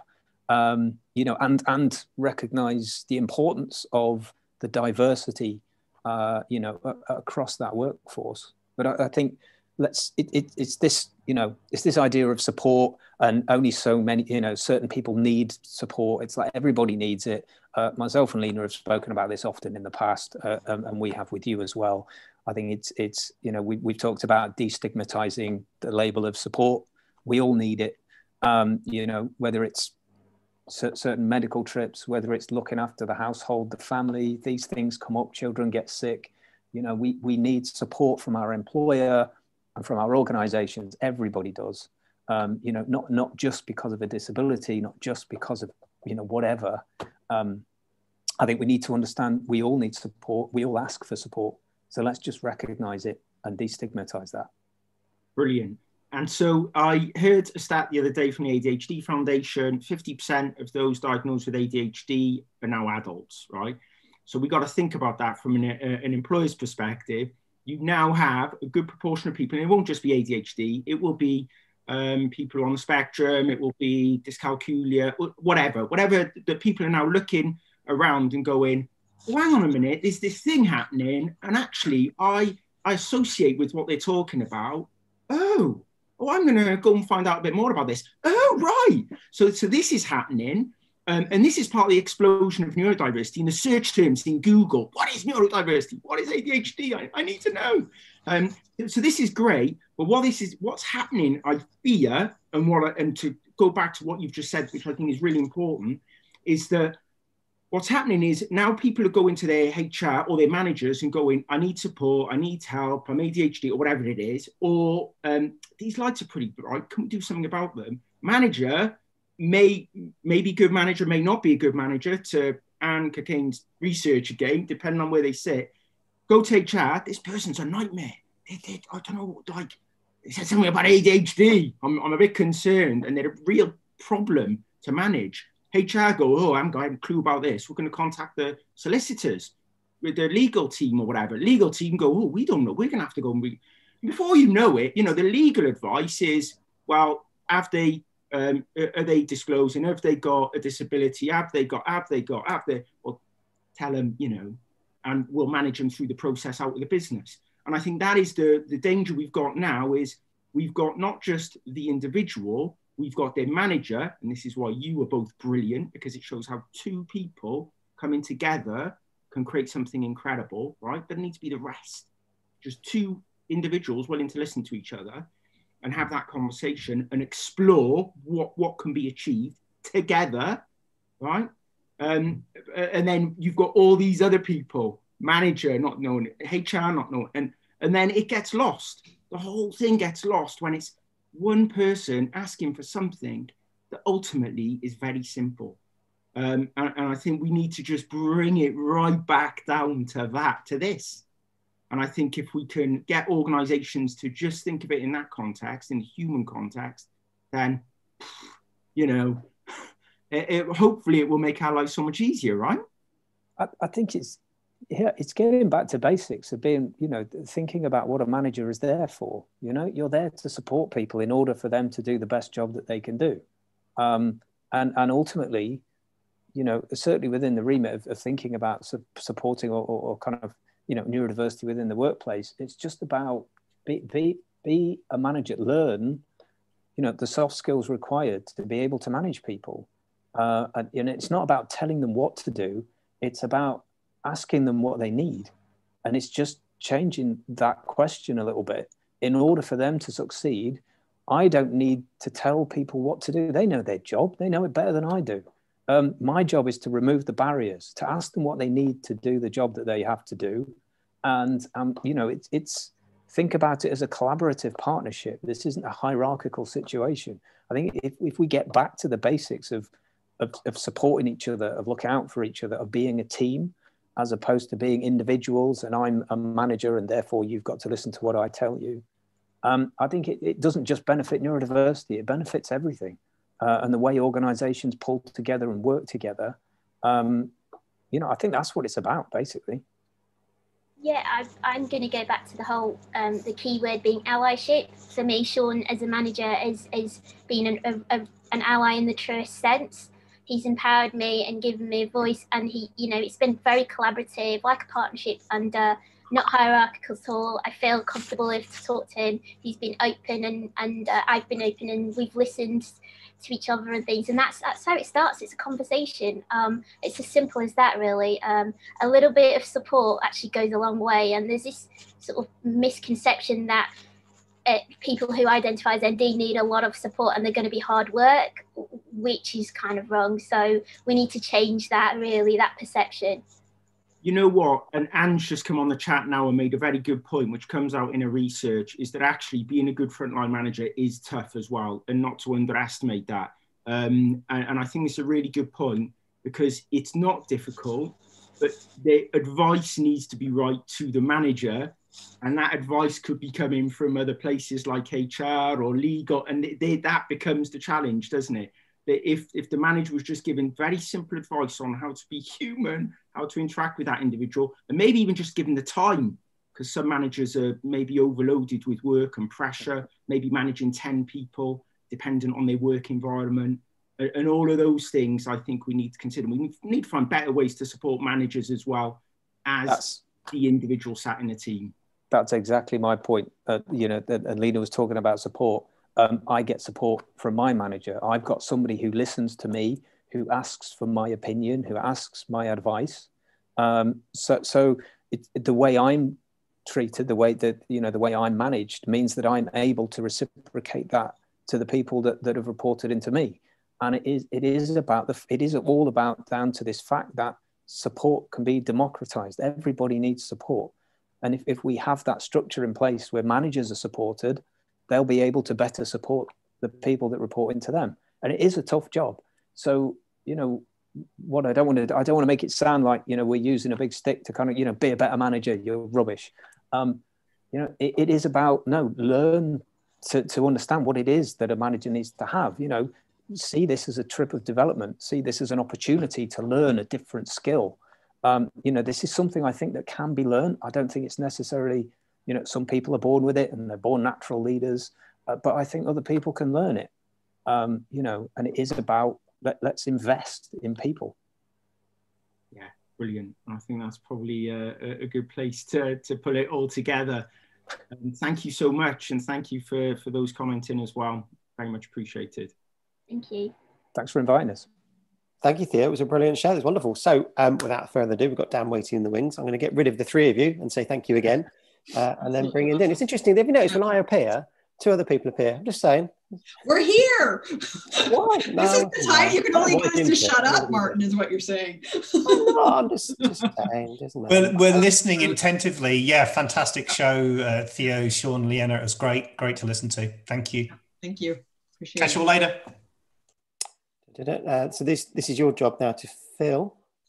No, it's been really interesting. So I've been looking at kind of the tweets and even rereading, and I have been absorbed. I even forgot to take some pictures because I've been so absorbed in the conversations. And I think, you know, here there was a talk about um, line managers, the responsibilities, and how do we have access to the support. And as we continue to move forward, these these aspects around empathy and seeing out of another person's eyes being willing to unlearn. Absolutely. I think, I mean, said um, it's probably worth also stopping at this moment to, to say we've obviously this is uh, it's 12 o'clock now. Um, we have got uh, Dan's going to be running Dan's show. Assuming I've got the right Dan. There's mul- I had multiple choices of Dan's here. Let me go. should I go for the other Dan as well? Because he did. He's in logged in twice. Let's bring both Dans in. Not there's a schizophrenic Dan, but there we go. Often the way with me, I, I, my ego is so big, as they say, that I'm in twice. So uh, that's another conversation the other day. Um, so uh, said so. Dan, Dan, leave it with you. No pressure. You finish at one. Just saying that.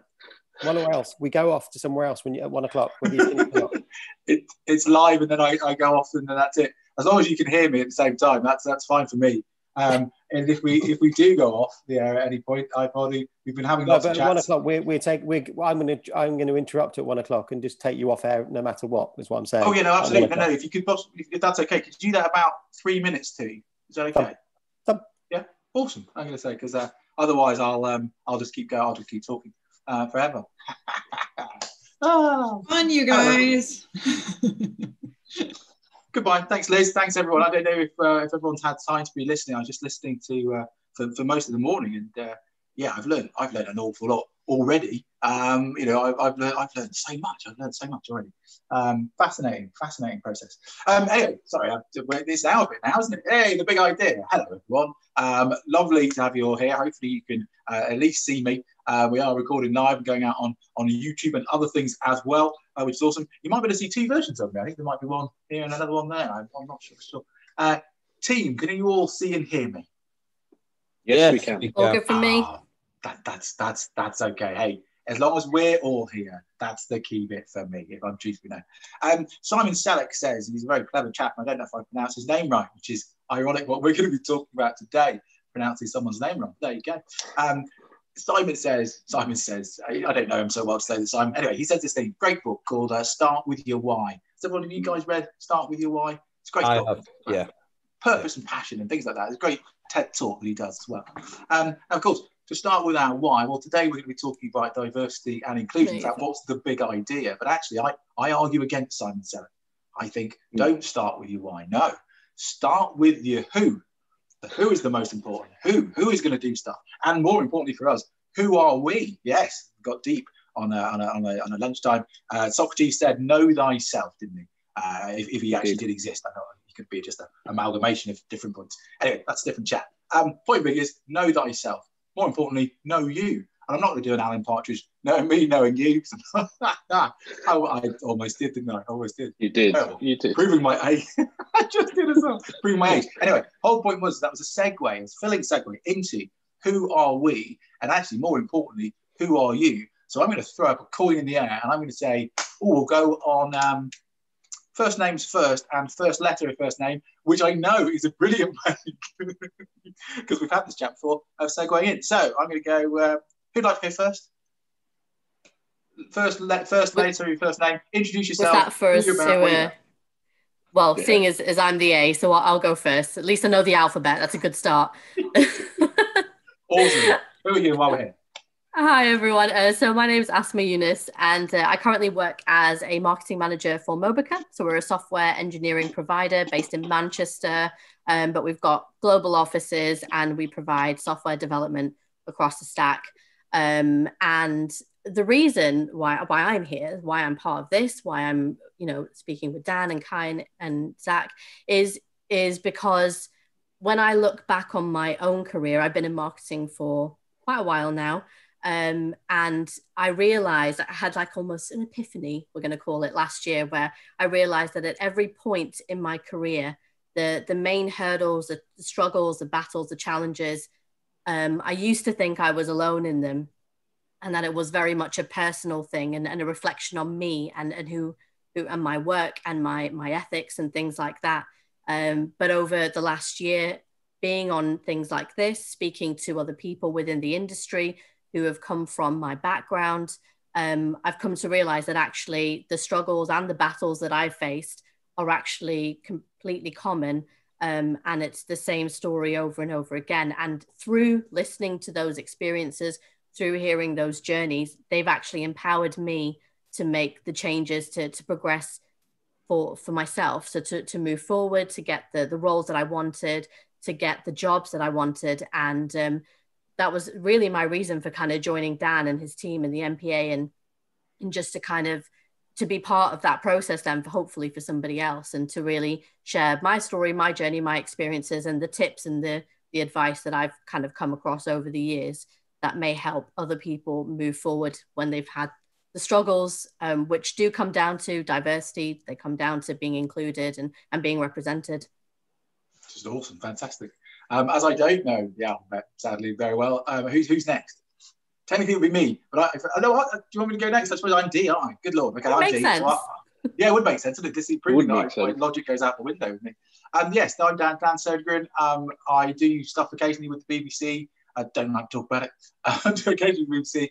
I do occasional stuff with radio and other things, but my big one really is is I work for a company called Your Flock. Your Flock is uh, an HR and tech startup company which helps companies uh, make sure that they recruit on values, and that helps the diversity and inclusion thing.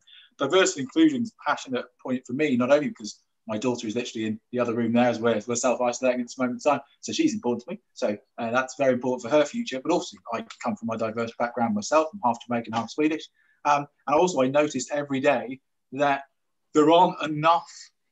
I don't think there's enough of us in the right places. We are underrepresented in so many areas in tech, especially in tech. And because I'm a futurist, because I do a lot of stuff with technology, my bigger fear is the implications of that. There is a much bigger problem with a lack of diversity and inclusion and equality inside technology for the next driver for the next years, because it will create products which themselves will be problematical for society that is the, the big issue for me. And that's why that's the big idea. The big idea will be for 2021, we'll need to bring in diversity, not because it's a nice to have, but because it's a must have.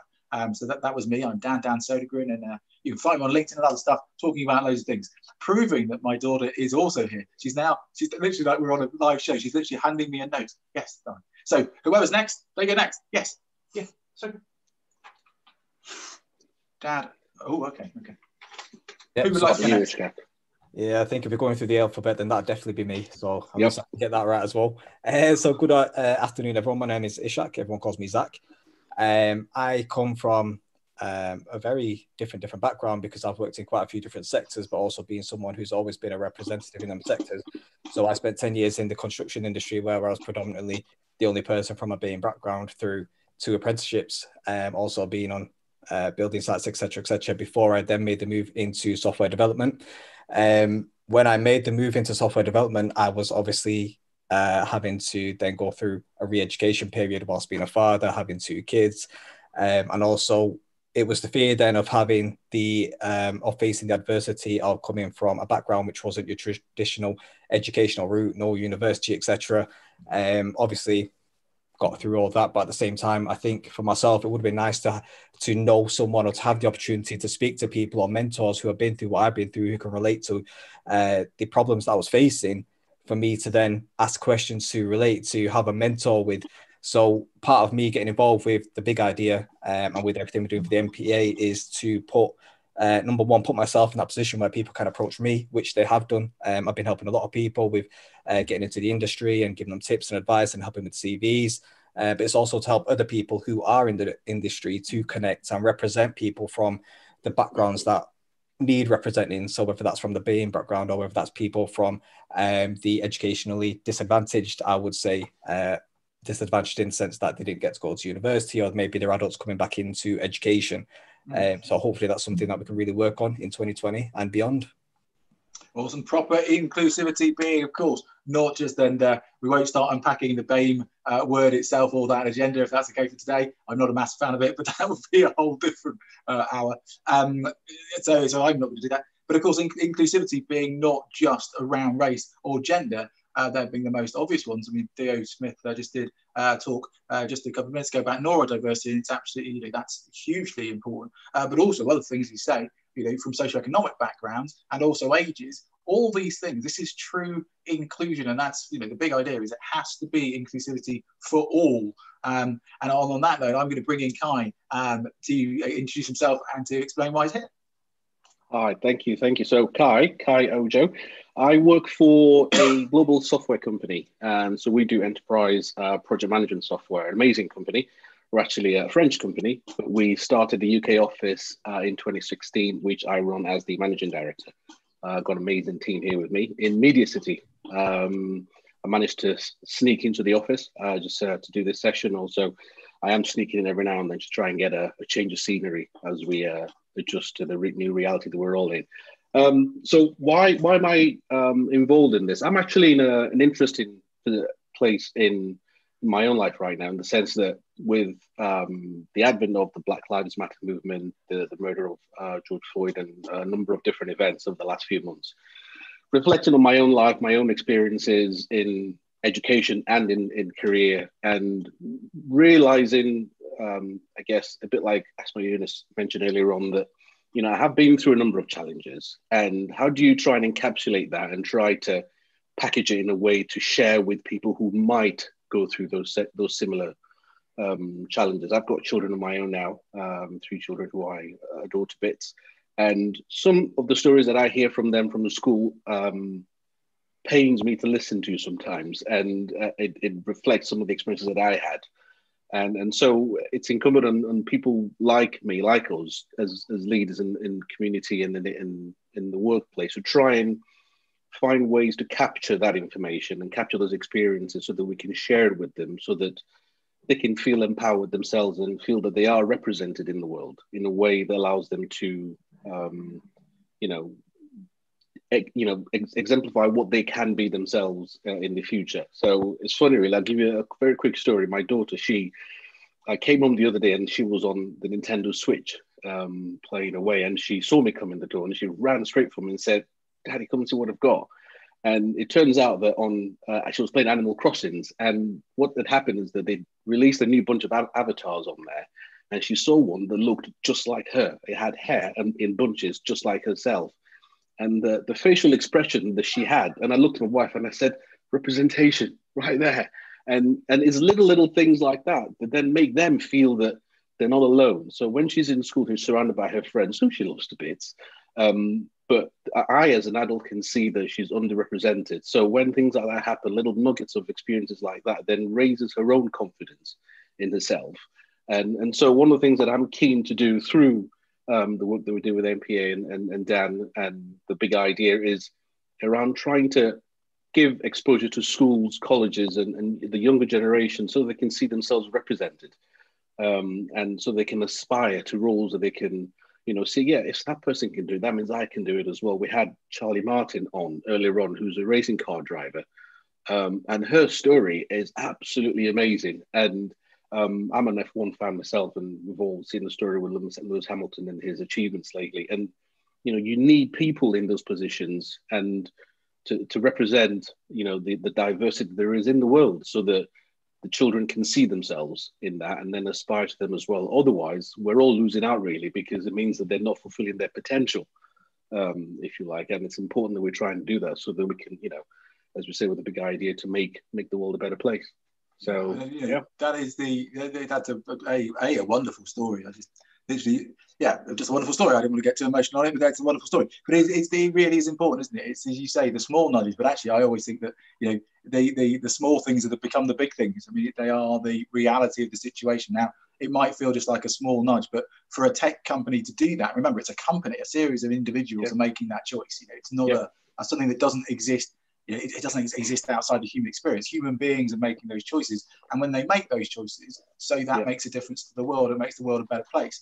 And even though they might not always think about that secondary consequence, that is one of the most important reasons why we should be doing stuff. You know, and a lot of people do talk to me about, you know, why should we be caring so much about diversity and inclusion? Actually, not only is it the next generation, and this is a brilliant, well, terrible segue, but yeah, it was my dumb attempt to go through a segue into the first question. Really, is like, why is it so important? Why do you think personally diversity and inclusion is so important? Not just from your own opinion and your own life experience, but why else is what are the deeper kind of business reasons? Because we're most we're all and most people on the call or listening, I would imagine, are, are from a business background as well. So why is it important uh, for businesses and organisations uh, to be much more inclusive in 2021? And uh, I'm going to, uh, I'm definitely going to instantly put that over to. Oh, I can't do it to Kai. Uh, so uh, um, Zach, we'll, uh, Zach, you, you go first because my daughter's now just raiding the fridge. Give me a second. I'm back in a second. Not a problem. Should I answer that while we wait while we're waiting for him, or should I wait for I'd him? Go, I'd go for it. just answer it. so, for me, being someone, as mentioned earlier, that came from uh, when I was 30, 31 when I transitioned into tech, and applying for a lot of the jobs for a junior role, traditionally it was I was going to get to people who were 20, 21, 22. So when I finally got into a role, um, there was so much more I was able to bring to the role because I had people skills, soft skills, communication skills. Um, I could obviously speak quite well. I could deal with a team. I could lead a team. And one of the things I then noticed going around different companies and working with different people is that people who are coming from different a, diverse group of hirers, sorry, now, is that yeah, um, you are hiring somebody with who might be uh, a junior level, who might be slightly older, or who might come from slightly different background. But what they're actually bringing in terms of their other skills, their soft skills, and what they can bring to a team is absolutely amazing. So I think that's one of the uh, standout points for me. I love that. I love that. And absolutely right. My apologies as I say, I was just bringing my full sense of my full, full self to work here as the reality of being on lockdown and being self-isolating And with a loved one who I do love dearly, Mia. It's not that you're not important. It's just a moment of life telling that. Um, she didn't, she wasn't, she didn't dive in. So that's good. But I think what you're saying there about the soft skills, and I, I, one of the things that I get a bit cross about sometimes is we call them soft skills when really I think personally for me, they're the harder skills you know, it's the emotional mm. intelligence and it's the bringing your full self to work and all these things. And as you rightly say there, my friend, and it's a brilliant point that people from diverse backgrounds, socioeconomically and other backgrounds, they bring this richness of their own life to your business. And actually, it, mean, it means it develops in a much better and deeper way than it would do if it was just standing by itself. You know, and they didn't. So those soft skills that people bring, those those extra points that they bring in, might be they're very hard to quantify, I think, sometimes, but they might bring in a richness that you know is almost uncomprehendable, but it, it adds a vastness to it. Um, and yeah, so uh, it's over to you. What do you think about uh, diversity, and why is it important for organisations? Because I know you may you may not have mentioned it. Because I know you also work for the BBC as well. So and I know the BBC were just talking earlier. So I'm just can you bring any of those kind of experiences over from that, and why we should be doing it more?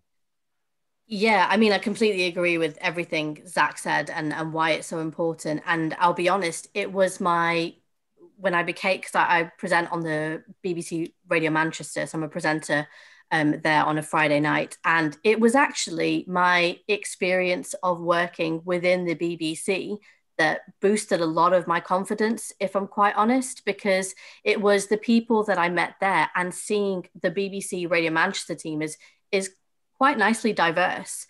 Um, for me, you know, it there's always room to to improve, but considering all the other places that I've worked in, it was the most diverse team I've ever worked for. And seeing that respect for colleagues, that respect for culture, that respect for everybody as a person. And if something ever came up, it was let's have a discussion about it, or is everybody okay with this? Are you comfortable? Um, is there anything we can do to make you feel more comfortable? And it was honestly eye opening. And I've never worked in a company or a culture that has done that, uh, you know, from a small team level anyway. Um, and it was one of the reasons why I, I did kind of think, actually, I don't know why in the past I've apologized for certain things or I've tried to fit in um, rather than just you, you know be true to, to who I am and, and what I can do and what I can bring to the table and instead trying to fit into the little box that I think I needed to be in. Um, but also you know as as much as I think you know we need to remember that we are bringing those you know all important soft skills and those experiences and the different socio-economic backgrounds we come from but also that there's skills within everybody um, which, regardless of where you come from, regardless of your background, need to be appreciated. And you shouldn't have to be a certain, you know, um, I shouldn't have to be Indian or white or or black or or you know Chinese. I shouldn't have to come from a certain place to be associated with a certain skill set. You know, I can still be um, a, a, British Muslim Indian woman, but I can still be confident, outspoken, and um, you know, not have to need a man to dictate where I go, which is what the stereotype is. Um, so it's kind of bashing through those stereotypes as well, where people maybe treat you or speak to you in a, in a different way, and and moving more towards this culture of actually we're all just people, and we need to be more respectful of that. Um, sorry, I feel like I went off on a tangent there, but no, no, I think I've done this before with you, Dan. No, no, far from it. No, no, no. I was being, I was being as uh, respectful as I can with my uh, lack of emotional intelligence by not trying to interrupt you as soon as you paused. Uh, because I was listening to what you were saying. You're absolutely right. It, it, the lovely thing, know earlier on today, I was listening to, I think it was Vanessa who was talking about you know, bringing that whole self to work, but also kind of being a bit more not, not necessarily proud of our differences, but, but actually no, no, that's true. It's proud of our differences. And so I think she was talking from a neurodiverse point of view, and she was saying, well, I've kind of I've come to terms with it, but not only that, but now I'm you know it becomes a superpower, and I think that's true of so many of us that we ha- we sometimes like you know put our lights behind a bushel or something, and then of course you say there are the other aspects about other folk singers, and then that becomes a stereotypical moment. And I suppose that that's you know diversity and inclusion is so important because then you're starting to learn a lot more about other people, and in a diverse group you can be you can start to learn to be more respectful. Because without having that bigger group of folk, how would other people ever know if that makes sense? You know, I think I think sometimes we blame companies and say, well, they're not diverse. But what happens if that company itself, because it's not diverse, finds it almost impossible to become diverse? Um, I've just realised now it's a chicken and egg moment that I've talked myself into. Luckily for me, I've got Kai who's going to rescue me and talk about some other whys of why diversity is important, especially in technology, uh, because of course he works and, and manages a huge company um, that comes from France, but is now in Media City. So it's over to him. No, definitely. I mean, a couple of things first. The, the, the session that we're having here and now, um, here's the thing. This is actually by inference, the, the one of the benefits of doing you know something around diversity and inclusion because by inference of us having this session we as leaders will go back into our businesses richer more diverse more aware of the topics and the challenges so our organizations by inference will be richer for the for yeah. and you know by by doing this we're actually you know this is one of the reasons why we need to do it um, you know, as a, as a tech company, uh, a global company, we are global. We've got offices in Paris, Munich, San Francisco, um, all over the US, East and West Coast in the US, Japan, um, Media City, Tunisia. Wow. Um, and so, as a management team, when we meet, um, it's, it's, a French company, so we do all our management sessions actually in French. So I speak French as well, um, which is very it's very hard trying to do the whole management call in French. But it's it's you you hear the stories of each regions and the challenges that they're facing. We're all having similar challenges, but in very, very um, localized contexts. And by having those conversations at that level, we're able to share ideas and understand how one, one, you know, one way of working might not work in another uh, situation, for example. And so, as a tech company, you know, in Media City where we are now, we're, we're about to start doubling the size of the team. So I'm recruiting right now for to expand the team. And that in and of itself is a challenge because I, I want to make sure that uh, you know the, the recruitment drive is has got a very um, albeit you know um, to be completely um, uh, what's the word? Um, controversial um, more biased towards diversity inclusion. I want to do that and in talking to recruitment companies and talking to people who are going to help me with that that in itself is a challenge to make sure they understand why i want to do it because in the tech company, it's important that we have a diverse background in the organization because our software and our, our solutions and the way we consult with our customers when we're trying to deploy our solution, if we are insular about the way that we do it and we take no meaning from their own context, we'll miss things. So mm-hmm. we have an in joke, in, you know, between ourselves in, in, internally in the organization about how the French do things this way, the English do things this way, the Americans do things this way, and the Germans, well, they need to have a list of rules for everything.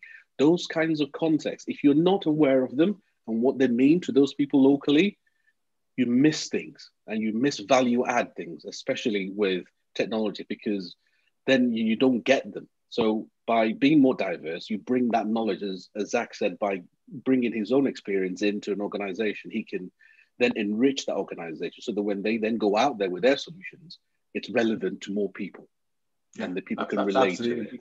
Yeah. Mm-hmm. We, we build better products because we listen to our customers more and our customer is the globe. I love listening to you know, especially because you're a global tech company. So it does, you know, that's exactly what it's about, isn't it? You know, if you've got a global reach, then you've almost presupposed a culture which is multicultural because, of course, you have a global reach.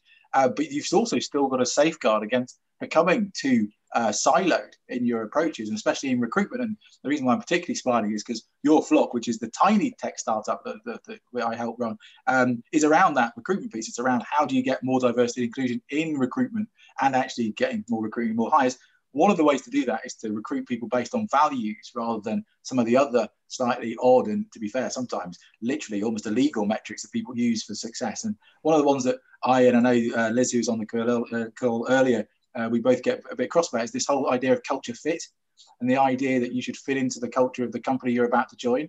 And actually, I, you know, I, strongly argue against that. So I don't think it's about culture fit. I think it's about values fit. The values are the thing underneath all of these things. Yeah. However, you should bring in more different cultures, and it shouldn't be about culture. It shouldn't be about You know, can we go for a drink with them at you know uh, at 4:30 on a Friday for just a whole host of reasons? But you'll be surprised how many tech startups um, and almost was probably appalled, and certainly in creative and the digital world and agency world, as we're very famous for in Manchester, um, you know, that drinking culture and those other problems. Yeah, I mean, that's a deeper thing because you create, or you sometimes you don't mean to, you create a culture which itself becomes non-diverse and then it excludes and it's not inclusive. And some of the things you think are the value adds would be the exact opposite. And, and to be fair, I'm completely stealing something that uh, someone else uh, I know, as I said, uh, because we wrote it down. We were talking about the other day. In fact, we're making some graphics for the MPA and um, for, for what we're doing, the big idea here. And we made some of those graphics we're going to be pumping out in the next couple of weeks. And they've all got these top tips on how can we do things better as an industry. And that's what I want to go on to next. I think you know the why part of it, brilliantly covered by everyone. And it's hugely important, but actually how, you know, how are we, well, how, how is how has diversity been a problem in your life, if that's okay for me to talk about, you know, with your experiences? Not too many negative. Remember, you know, it's a live show and it's a nice and you know fun bit as well. But it's the reality, isn't it? You know, how's it affected us all, and, and how's it impacted our families, etc. And then later on, we'll then discuss, you know, what can companies do to, to make a difference. So I'm going to go um, for the how. If that's okay, I'm going to do it for myself first here because um, my own personal story around this is that diversity and value stuff does make a huge difference. Um, you know, the how for me, I was quite affected by a lack of diversity where I was brought up. I was cliched being, you know, I was literally the only uh, the only brown guy or the only black guy in the village. I literally was that. Me and my brother actually uh, adopted by uh, by a vicar. It's very you know, two thousand people. Everyone else was white. Yeah, so you can imagine, you know, late 1970s.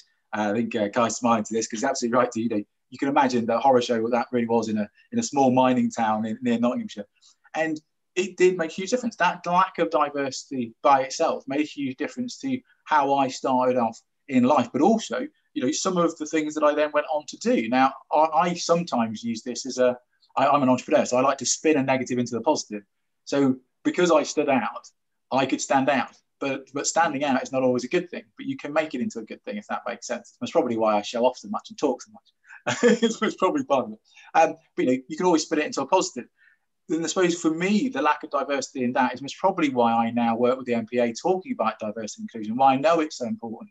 Because you literally will create a situation, and we have a danger, I think, maybe not in Manchester, uh, because we're quite a diverse uh, crowd in Manchester, it's pretty good. It could be better, but you know, but compared to other places, and in the creative industries and digital, tech, I think, has a bit of an issue. Certainly around funding, there's a huge issue around uh, problem with diversity. Um, the, the stats on uh, being able to get uh, funding as a, as a black woman is just a horror show from a founder point of view. I think it's literally like like there's one person that's managed to do Series A funding in the last decade, and if you think about that and the billions of money that's gone in, it's it's an appalling statistic. It really is. It's, it's terrible. Um, but, that, but that's how it, that's how it affects it. So I suppose that was my question to you. Is I know from from our from my point of view that as a uh, as a as a founder from a diverse background, Flock itself by its very nature is a diverse team. We're a diverse and remote team half of our board are women. Um, at least 30% of the people that work there are from a BAME background. Um, you know, and we are at the moment we're looking to recruit people from diverse backgrounds. That's just exactly for the reason that Kai's talking about. Because we know that you build better teams, you build better teams and build better products because of it. But I'm going to ask a question because I know because of your new coding background. How have you found um, have you found your experience so far at the beginning of your career, uh, Zach? So, I realised I didn't I didn't segue at all there, Zach. I gave you no chance whatsoever. it's fine. I was ready. I was ready and prepared. um, so it is an interesting question. You know, how has diversity been a problem? Because there's two folds of it for me. Because I'm somebody who's been who's worked in obviously a few different industries. So in my first set of industries, the main pointer was being the color of my skin, how you pronounce my name, where can I pray, etc. Because I was obviously in the construction, which is not a, a, an industry where you see a lot of people who represent us. Mm-hmm. Um, but I feel that's something that we've already touched on as a whole, and it's something that's already sort of inclusive. So being in tech is more. I found more diversity, sort of, uh, especially as being new, as you mentioned, new to coding. It was age, um, age diversity, and also educational diversity, as I touched on earlier. So I found it was actually harder um, I'm 31 now. So when I started my transition to tech, I was 28, 29. Uh, so I find it harder when I was applying for jobs because everything was graduate, graduate, graduate, graduate. Um, and every interview I attended, it was 19 year olds, 20 year olds, 21 year olds. And I was sat there thinking, you know, I'm sitting with kids and I've got real world problems to go against. But it was a fear as well that them things were going to go against me.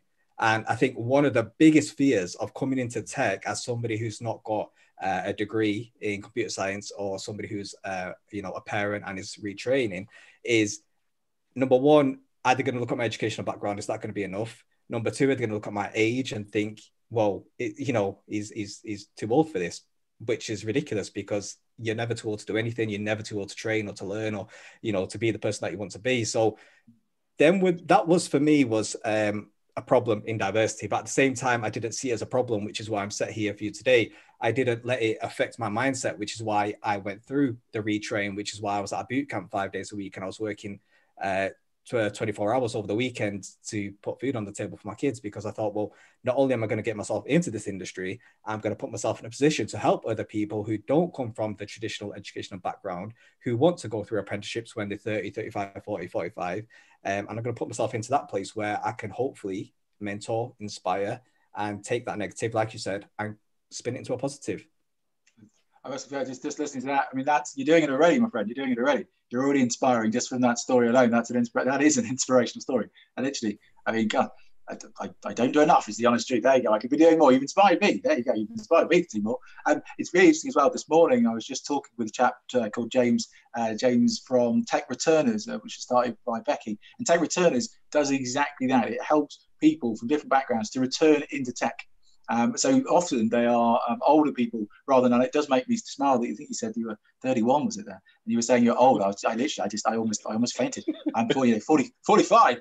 I was like, oh God, I didn't consider myself to be old until then. Oh, I almost fainted. Uh, fair enough. Um, you know, uh, there you go. I don't know. I don't know. I think I just got a bit panicked about my age there. Um, as I know you've got some great hows as well, but um, can you give me some more about your own kind of personal life experience and and I know that times are changing, but can you give us some more of your kind of your, your story and your journey and, and how you've got to be the place you are and how that can inspire others? Yeah, sure. Um, I think if I look back, as uh, you know, as I said at the start, when I when I start to sit down and, and think and, and look back on my career and when I moved into marketing and the things that I had to do, because I did I did it kind of off my own back, I suppose. I started my own blog and um, taught myself social media, did a lot of my own kind of going away, doing my own wow. research, practically doing it. Um, so I'd, even though I'd studied graphic design at uni, it was never anything I moved into because I kind of always thought I want to be in business, I want to be in marketing. I knew what I wanted, I mm. just didn't have anything around me apart from my own drive to kind of get to it. Um, and you know, thankfully, I did push hard enough. Like Zach said, you know, you put your mind to it, you you really go for it, and try not to think about all the other noise. Um, and it does become, you know, you can make it a reality. But what I found in terms of moving ahead and, and working through companies and um, the stumbling block that I tended to, to hit every time was that point of promotion or that point of moving from being a junior and getting towards a senior position or being an exec and moving into a manager. And I, I often found um, that I had to work twice as hard as everybody else because I felt mm. I had to prove something because one, maybe I didn't have the the qualifications, or two, because they'd come from industries or, or everybody kind of took a very relaxed approach. And I always felt like I was the one that was, I will do everything. Whatever you want me to do, I'll do it. I can do this. Um, but then I was never really kind of um, rewarded for it, let's say. Um, and it was only when I started speaking to other people or looking outside of my own company and speaking to other professionals who were from my kind of a background and they would sort of say well what are you doing? Why, why haven't you asked? Go go out there and ask for what you want. And when i started doing that and, and either pulling people up on it and saying look as an fyi this is everything i do. This is everything i'm promised or this is everything i should be getting why mm. isn't that happening and then they'd kind of go oh yeah, why aren't you getting that? Well, let's let's yeah. reassess the situation. And um, and I and I have had to do that. At, I'll, I'll be honest, at every stage of my career. You know, every time I've moved forward, it's only because I've asked the question, and that might be true for a lot of people, but but actually, the people that I've worked with who've then mm. been promoted above me, or they've they've never had to do that. And they've always been in my inst- in my experience male they've always been white. Um, and i'm not saying that they weren't qualified because they absolutely some of them were. But was i more qualified at that point? Did i have more experience? I'll never know. Um, but for me it's always been about i needed somebody else to tell me to have that confidence to go you've got this. You know what you're talking about. You absolutely can do this job why are you not doing it? And then yeah. I've kind of had to sit back and go, oh yeah, I'll go, I'll go and I'll go and ask that question. and yeah. um, and that's that's been you know such an important factor for me, that confidence factor. And like I said, you know, being on the radio that gave me that confidence because I was like, I actually have a voice, and you know, and figure of figure of speech have a voice, but I I felt like that when I went into my companies and my job. Um, and I really think it's so important for other people to realize. And it's it can be such a cliche you know speak out you know be true to yourself and and say what you think and always fight for what you believe in. But actually the reality is quite hard when you're mm-hmm. in a job and you're worried about your position. You, you don't want to upset the balance. You don't want people to look down on you. Um, so it's a, it's a very difficult task. And it's it's important to know the right way to ask as well without kind of going going in all guns blazing like why didn't you promote me did did make did make me smile as well because I was listening earlier and I can't remember uh, who exactly it was who said it, but we were talking mainly around the idea of psychological safety. And you know, mm. as as Flock, we talk about culture and the important you know company culture matters, and we talk about the reason why you should all share values is because actually this can then create this psychological safety because you you all have a lot in common at that baser level. Now, I suppose what I'm trying to get to is when you create a company culture where people feel psychologically safe, they can then have those difficult conversations, or even just those conversations, by the way. Um, it does always makes me smile that we live in a world where people sometimes don't like to talk about money or progression or career progression to you know because they don't want to rock the boat, as you you know as you just said there. And different cultures, you know, they're, they're not great at not different cultures as people, but different company cultures sometimes aren't great at that. And of course, that can make a difference to you know how good your boss is. You know, a lot of people leave companies. I think it's something like 34% of people leave companies because of a mismatch in culture and cultural values, but it's a much higher percent actually that leave because they don't like their boss. Um, which, by the way, is almost the same thing if you think about it. Bad bosses tend to ruin companies. Uh, this is again a wonderful segue to say, but ah, but someone who's not a bad boss, who's a great boss, is the gentleman who's going to answer next that question of of how uh, diversity has made an impact in his life, and that's over to you, Carl. He's a great boss. Um, no pressure there. No. Um, yeah. yeah um, so here's an interesting thing. So both Zach and Asma Yunus, one of the things that the, the themes that I heard in, what they were saying around, um, you know, wanting to make sure that you were excelling in yourself, you were doing the best that you could in yourself. This goes back to childhood experiences and, and what goes on in school and the perception that you create for yourself as an identity is and then the perception that you see of the world and um, on the in the in the chat in the the Zoom that we've got, someone's just put something along the lines of, "You need I need to see what I can be." It doesn't mean that you have to be that. It just means that you need to see what you can be. And if if we talk about unconscious biases, but there's also a flip side, which is the negative side of the psychological safety that you you end up creating for yourself as a child as you grow up because of what you see and the limitations that you give yourself. So when you get into the workplace, you whether you need to or not, you find yourself working, as you put it, um, Asma Yunus, you, you find yourself working double hard because you think you need to. Even even whether, irrespective of whether people have said that you need to or not, you do it because you think, right, I better do it or else. Um, and that goes back to what happens when you know. You, I think when you're when you're a child, you you're growing up, and the the perceptions that you have of society. And the thing, you know, when you think about what what is it what is it that makes it important. So when I go back to my own experiences, um, I certainly don't want to take anything away from the employees that I've had over the years because I've had some brilliant employers and some some great and some, some not so good managers. Um, you have to mention names. I won't mention names. I won't mention names.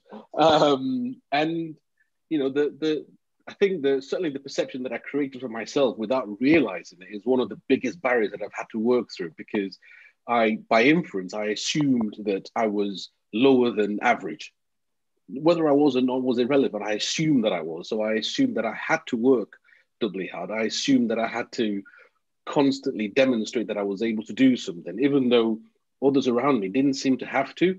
they kind of seemed to just elevate around me. And I was like, okay, well, I must work harder then. It must be because I'm not working harder. And I didn't have that psychological safety to raise the question, even in a, oh, so what is it do you think I need to do to be able to get those promotions or those extra projects or whatever it might be? I kind of just felt as if, well, it's all on me. I've just got to keep doing it. And I think the the the positive that I take from all of it was having the right people around you to support you. So, you know, my, my family was certainly the the anchor, if you like. Um, and now with my children, the purpose, if you like, to make sure that I can keep doing these things. So you need that, you do need that, need that psychological safety. But um, I think society with some of the narratives that we've got, it's hard to kind of find that unless you've got more people like ourselves talking about it, sharing it and dissecting it and trying to understand it as much as possible. Um, yeah, it's the, the, old cliche, and I was try, I was trying all the time never to use it, and I'm sure it's been said several times today. Uh, you know, if you can't you can't be it if you can't see it, but it's truly what I believe. I mean, if you literally can't see it, you can't be it, and that ranges from product placement stuff, you know, and all the way up to you know the very fact of being like you know. I know it sounds a bit silly, but you know, but seeing I saw on social media today, um, great video by a black guy who's in space because of Falcon Six or whatever. I don't really follow the space stuff, but as a seeing a black astronaut, it just it just cheered me up. I mean, I'm not going to lie to you. It would have been great if it had been a lady at the same time, but it was not. But you know, but it, it just it just cheered me down up. I was like, God, you know, yeah. well, you know, the world has changed, and it is awesome that this can yeah. stuff be happening. Now, what I'd like to do though, the last bit, if that's okay, and then because I know we've got loads of them, uh, I should have given it more time. So sorry, I promised I'd look at the time more, and I, I haven't done enough. So, so what are the things that? What are the top tips that you can give uh, people on the call uh, and listeners to the show uh, about what they can do for their businesses to make them uh, become more diverse. I think we've now gone through why should you do it. I think we know why. There's a few hows and how you can affect people's lives, but actually the nitty gritty, the what. What can they do specifically that can help? And, I come from this because you know your flock is looking for diverse front end developers for our business. Yeah. And we find it tricky. And I've learned, by the way, a lot from who I work with the MPA because you know, I was too down and deep and trying to do stuff and trying to stuff with flock. But actually, putting my head up and learning from you guys uh, has taught me so much. So, if you could give us a couple of tips each uh, on what um, businesses like my own and bigger businesses can do to make sure that inclusion and diversity is the big idea for 2021, I'd be most grateful. And I'm going to say Kai first because I was looking at Kai. awesome. Okay, sorry. I can do that. Um, yeah, sorry, it wasn't meant to come back to you. Sorry. No, no. Uh, Zach, I'll go Zach, go for it. Yeah, no problem. Okay, I think I need a drink. Uh, yeah. Drink first. Sorry, um, so again, another interesting question: What can people actually do for their businesses to increase their obviously diversity in hiring? Um, as somebody who doesn't actually own a business, I can obviously only speak from person who's applied to work with businesses and somebody who's trying to help other people get the opportunity to work with businesses.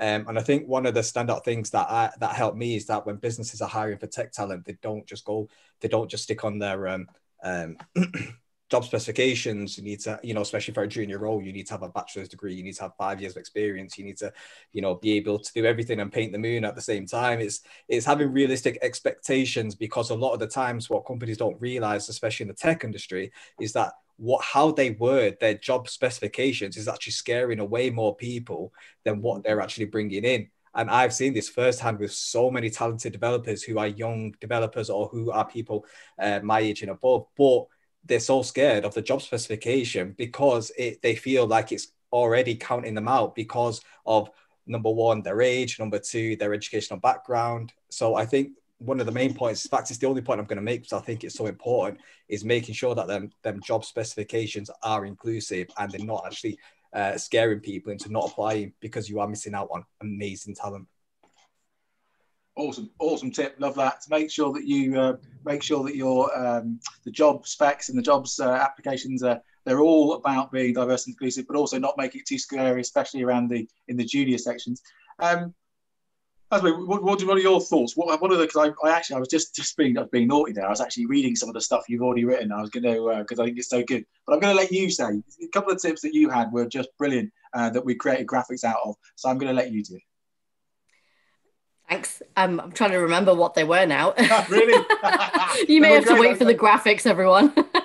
um, but uh, I think for me, it is and I know you said it before, you know, you've got to kind of see it sometimes. And, and I think it's just so important. You know, we need to almost we've got the people out there, and I have to say, what I'm also recruiting to expand my team, and it is really hard sometimes to find people from or get people from diverse backgrounds to apply or to to know where to go and find them. And there is a lot more work that we need to be doing ourselves i think to try and, and, and fix that and, and be able to find the right places to encourage people. And and as kai's been saying you know it does start from from schools and it starts from right at the bottom end of, of getting people from when they're quite young to knowing that they can do these things. But um, there's a few things for me is just that kind of that understanding or representation at a senior level because we're not there. I've yet to work in a company where we have a, a diverse board. I've worked in a, a number of companies now, and every so often there's a female member. Yay, that's a great thing. Um, we've got a long way to go for that. But then I've not seen a single board in my career history where I've had somebody from a, a from an ethnic minority group that's been Muslim, that's been Asian, that's been Black, that's you know that's been from another that's been anything other than white. Um, and you know there's that kind of thing where you can put the token person in tick that box but it, we don't need to do that. We have the people out there. We just need to give them the skills. We need to give uh, not really the skills we need to give them the opportunities or the yeah. voice to, to to be part of those senior discussions to move on to those levels to give them that confidence to go you belong there um, and you fight for it and you go for it. And, and you should you will help to, to then work from the top all the way down to make hopefully your companies more diverse to make you know just as kai's doing you know he's actively going out and and trying to make that difference from on a global level which is incredible. Um, but then there's also those little things dan i know we're conscious of time. Um, there's those little things that you said about like the, the culture within a company is that is really important because especially in tech that I, I witnessed it where there was a very heavy drinking thing, um, but not even in tech, actually, other industries too, where yeah. there was a lot of this after hours drinking and going to bars. And if you're not in part of the crowd, then how are you going to get to know your directors? Um, and that's something that I came across a lot with getting to know exec or board is that if you're not going out and having a vodka on a Friday night, then mm-hmm. can you really be part of their team? Um, and as a Muslim, I don't drink. I will go to a bar. I will hang out at a bar if I have to, um, if I'm with the right people and I enjoy it. But yeah, it's that assumption right. and creating that kind of, oh, if you're not there, then you're going to be left out. Um, so that yeah. that looking at the values is is makes a difference. Yeah, no, it is the problem, isn't it? And it's sometimes, and I have to say this often to with tech companies and other people because I think sometimes they get quite personally, especially if they're the boss of a company and they haven't meant to create that culture. And they, they then take it quite personally. They're like, well, well what, what were we meant to do? And it's like, well, yeah, but you cre- you gave away free beer and that and it became a lads drinking culture. And then you've recruited mainly men. And that's and it makes it so you know one of my bugbears and it's a, a, bit of a silly one but you know the, the silly jokes at those kind of parties and i've been in lots of them and i've had you know basic racism for quite a lot of my life but you know stuff like people playing with your hair and stuff I, you know i get it you don't have very many black friends but i know it's a bit silly but literally you know and my other one, which I which I do all the time as well, is get people's names wrong, but also then people having to change their name to fit into the crowd because they know that someone can't say their name, so they change their name. That's a bugbear for me. And it's happened to me, not to me personally, but it's happened to a couple of friends of mine. And I said to them, look, don't do it. Don't, not the fact, don't let them get away with it, because that sounds awful. But what you're doing is you're allowing that culture to exist because you're basically saying, well, I don't mind. But the next person who comes in most probably should do. They most probably should mind, really, you know, mm. because it actually is quite important, your name. Mm. He says, knowing that he said Kai's name wrong so many times, I'm just embarrassed. yeah. So, actually, well, no, you didn't, well. No, you didn't do so bad. It's funny, really, because that name name um, change or name pronunciation thing is extremely important because you know over the years that I've, I've lived in different parts of the world and name pronunciation and, and, and sort of the, the phonetics is actually quite important to a lot of people so if you if you pronounce someone's name with the wrong um, sort of intonations you could actually be saying something completely different which could then offend them without you realizing it. And so, what I always say to people when they see my name sometimes is rather than me pronouncing it for you, I say, you know, I turn into a bit of a uh, an exercise. Well, you try, you have a go, you try it. So that then the onus is on them to make the effort to try to pronounce it. And then if they do well, then fine. But at least you've had the effort rather than I don't want to have to teach you to pronounce my name. I want you to make the effort because then you, if you get it wrong, I'll explain to you why it's wrong and why you should say it this way. Um, and I think that's important. And, and just important about what should companies do, because I'm conscious of the time that we've got. I think it's important that we don't, as business leaders or business members or businesses generally, categorically do not pay lip service or tokenize, as Asma called earlier on, to any of this, because I kid you not, it, it will um, it will create a hugely adverse consequence for not just us as businesses, but for the people who are looking at society as young people. They will they will see people saying, "Oh yeah, of course we're diverse," and they will see the diverse on their website. But then actually, when they then get employed by that company, they see actually it isn't. Then they slowly lose faith in the idea of companies saying they're diverse. So it, I think the one you know tip is if you're gonna do something, make sure it's, it's sustainable make sure it's it's true you're true to it it's true to the business and the, the employees that you're working with understand what the project is going to deliver and they understand why they're doing it so that when the outside world sees it it, looks feels and is genuine rather than just a token exercise i think that's the the biggest tip that I can. I mean, and it's such a big thing because I mean, we also work in marketing, and I work in marketing quite a bit with things. And yeah, it's that difference between brand values, the stuff that's on your wall, and actually really being it. I get quite cross, and people talk about cultures being you know the football table, the football table. The fact we've got integrity as a brand value, and it's like that isn't the reality. The, your brand is what people say when they leave the room, and your employee brand, by the way, is what people say when they leave your company.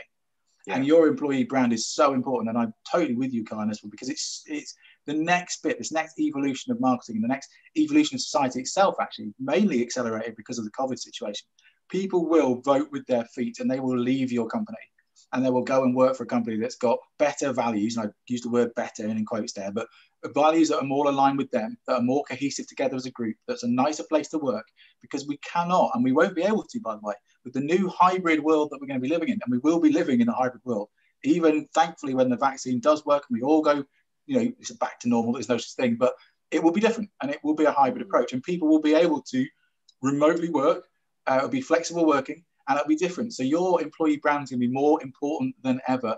And another piece uh, which is going to be really important is technology, and I've got a real bugbear on this one because because of the lack of diversity in past tech companies, we now have an issue inside recruitment itself where the AI systems that recruiters are using, because of the scale of the issue they've got, themselves are biased. Yeah, and this might sound a bit geeky, but it's absolutely right. And the people who are recruiters listening on the call, please be aware that the cognitive biases that are inside AI that, that makes themselves a issue is your issue too. So start looking at start looking at how you're using technology. Don't just let technology dictate some of the most important and humane decisions you're going to make, because we need human beings in that process. If it's all done by the computers and the computer gets it wrong, or the computer has a weighting system without realizing it against diversity, that extrapolates into a huge issue. For example, you know, AI systems at the moment do not, or for a little while, have not recognized black and Asian faces as well as they have white because of the data set. Now, you expand that into a global situation, it's a massive problem, but also into police state and all sorts of weird stuff. But think of it the same for recruitment. It's the same principle. Be really careful of what we're teaching AI systems, and sometimes let's not use them. Let's not use them. Let's let's, let's use human beings as much because I think human beings and the right company culture will create diversity. And I suppose that was my what is start using pieces of technology that aren't necessarily just churning stuff based on AI. They've got to, you know, you've got to augment your own experience. Now, of course, we would say hire on values as well because Flock's really important with you know diversity and inclusion, and it'll help you do that. Of course, it would do. But that's not the point. It's just one part of your tech stack. But don't just rely on technology because even though I know I'm a technologist, I just have a big issue with the fact if we let the computers do it all, they might not be, computers might not be as nice as we are. That's kind of my point. That's kind of my point. And are there any other kind of what's that people can very, very quickly do and quickly grab any kind of one sentences just to uh, finish up? Because I did say to Martin that we were finishing, you know, round about uh, three minutes beforehand uh, to give people time for the handover because I am respectful of their time. Thank you. Um, but, but also, has anyone got like a one sentencey uh, bit that we could sum up that, you could do to make sure that the big idea in 2021 uh, can come through their companies? I'm going to throw that to anyone on the call because I'm lovely. just I don't really have a one sentence, sorry, but I'm going to get okay, in there just to say, Dan, with what you just said about the technology, just to highlight how important it is, I've been in a situation over the last few months where I've been to, you know, you get those thermo scanners and we've had a problem where it's not picked up my face or another Asian face. Um, and that's been the the issue, and they've tried to rectify it. So you know, those those are real life, you know, things that happen. Yeah, absolutely. But this is it. We're allowing the data sets of the past to then dictate the future. Those data sets, if you read about it, like half of them are bad data based on fact they didn't know any black people. So they just made it about white people because there's only white people in the team. And that's the core basis of the technology. Slightly worrying in that one. Uh, so that's a good reason for diversity as well. Um, I, am I'm totally cool. You know, if, if people would like to contact any of us, is there a way that people can get uh, get hold of you all? Um, that would be a lovely way to finish off. So, is there anything they can find you on social media or any of the things? How would you like to be contacted uh, for people that might have questions for you after the show? As I know, we must have inspired some folk, uh, especially some of us. Uh, some of us just did a hadget job of uh, hosting it like me. Um, you can find me on Dan Sodergren, so just at Dan Sodergren, uh, S O D E R G R E N. Uh, that's at Twitter or at UK Marketing Help, or on LinkedIn, Dan Sodergren, easy peasy, or at Your Flock. Either way, yourflock.co.uk. Uh, but over to Kai. Kai, where would we find you and your company? Yeah, same LinkedIn. So um, at Kai Ojo, uh, Kai underscore Ojo uh, on Twitter and on LinkedIn as well. And same with the company, plannerswear.com. Um, we'll be posting, I think we've got six roles that we're looking to to hire at the moment. So by all means, make yourself available and um, we'll, uh, we'll have a chat good company to work for, awesome culture. Zach, and I'm going to say Zach because I know your your uh, name, your handle for Twitter is different to your name. So yes, so you can find me on LinkedIn, uh, which is Ishak Amin. Uh, plus on Twitter, I am Digital Guys Zach. So add me, and I'll share some awesome. insights. yeah, no, no, but you're brilliant, mate. It's fantastic. Thank you. And last but not least.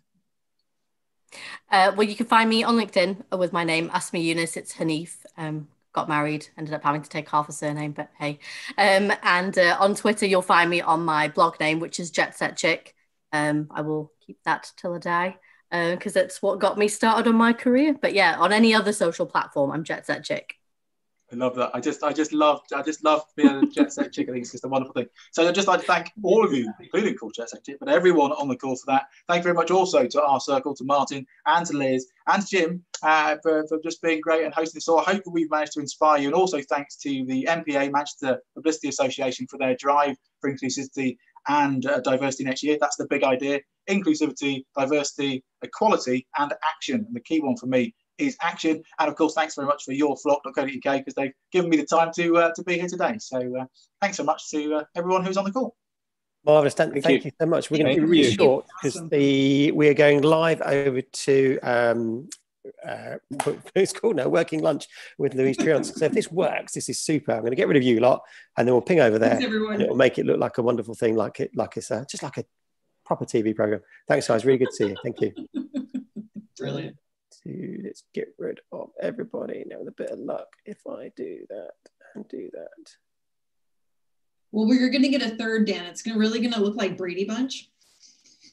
That's why I wear quite a lot of scarves. Is that either I've dripped yeah. on my scarf and I can remove my scarf, or I can cover it up. Um, normally we have. Um, yes. Actually, I did do a show the other day, and when I stood up, I found I had um, an unfortunate stain on my top but there you go. Um, cool. And Jim's going to stream us into YouTube. So if you're watching over on YouTube, um, hopefully Jim will also um, share the link where we are here um, because we do a ton of other shows on the Working Lunch channel. So uh, the, I guess the format for our shows often is a bit of a chat about what we're doing and then we talk about the topic. So um, I do want people to know we are going to get to the topic. Um, the topic is, find exactly what I called it. It's called uh, trans inclusivity in the hiring process. So that's the topic we will definitely talk about. And if anybody's got questions, please put them in the chat. Please put them in the ask a question. You know, I think that um, Joe and I probably pretty much happy to answer anything that you might have around that topic if you're um, in a hiring role yourself um, or as an employee or as a potential job seeker. Pop them in the chat.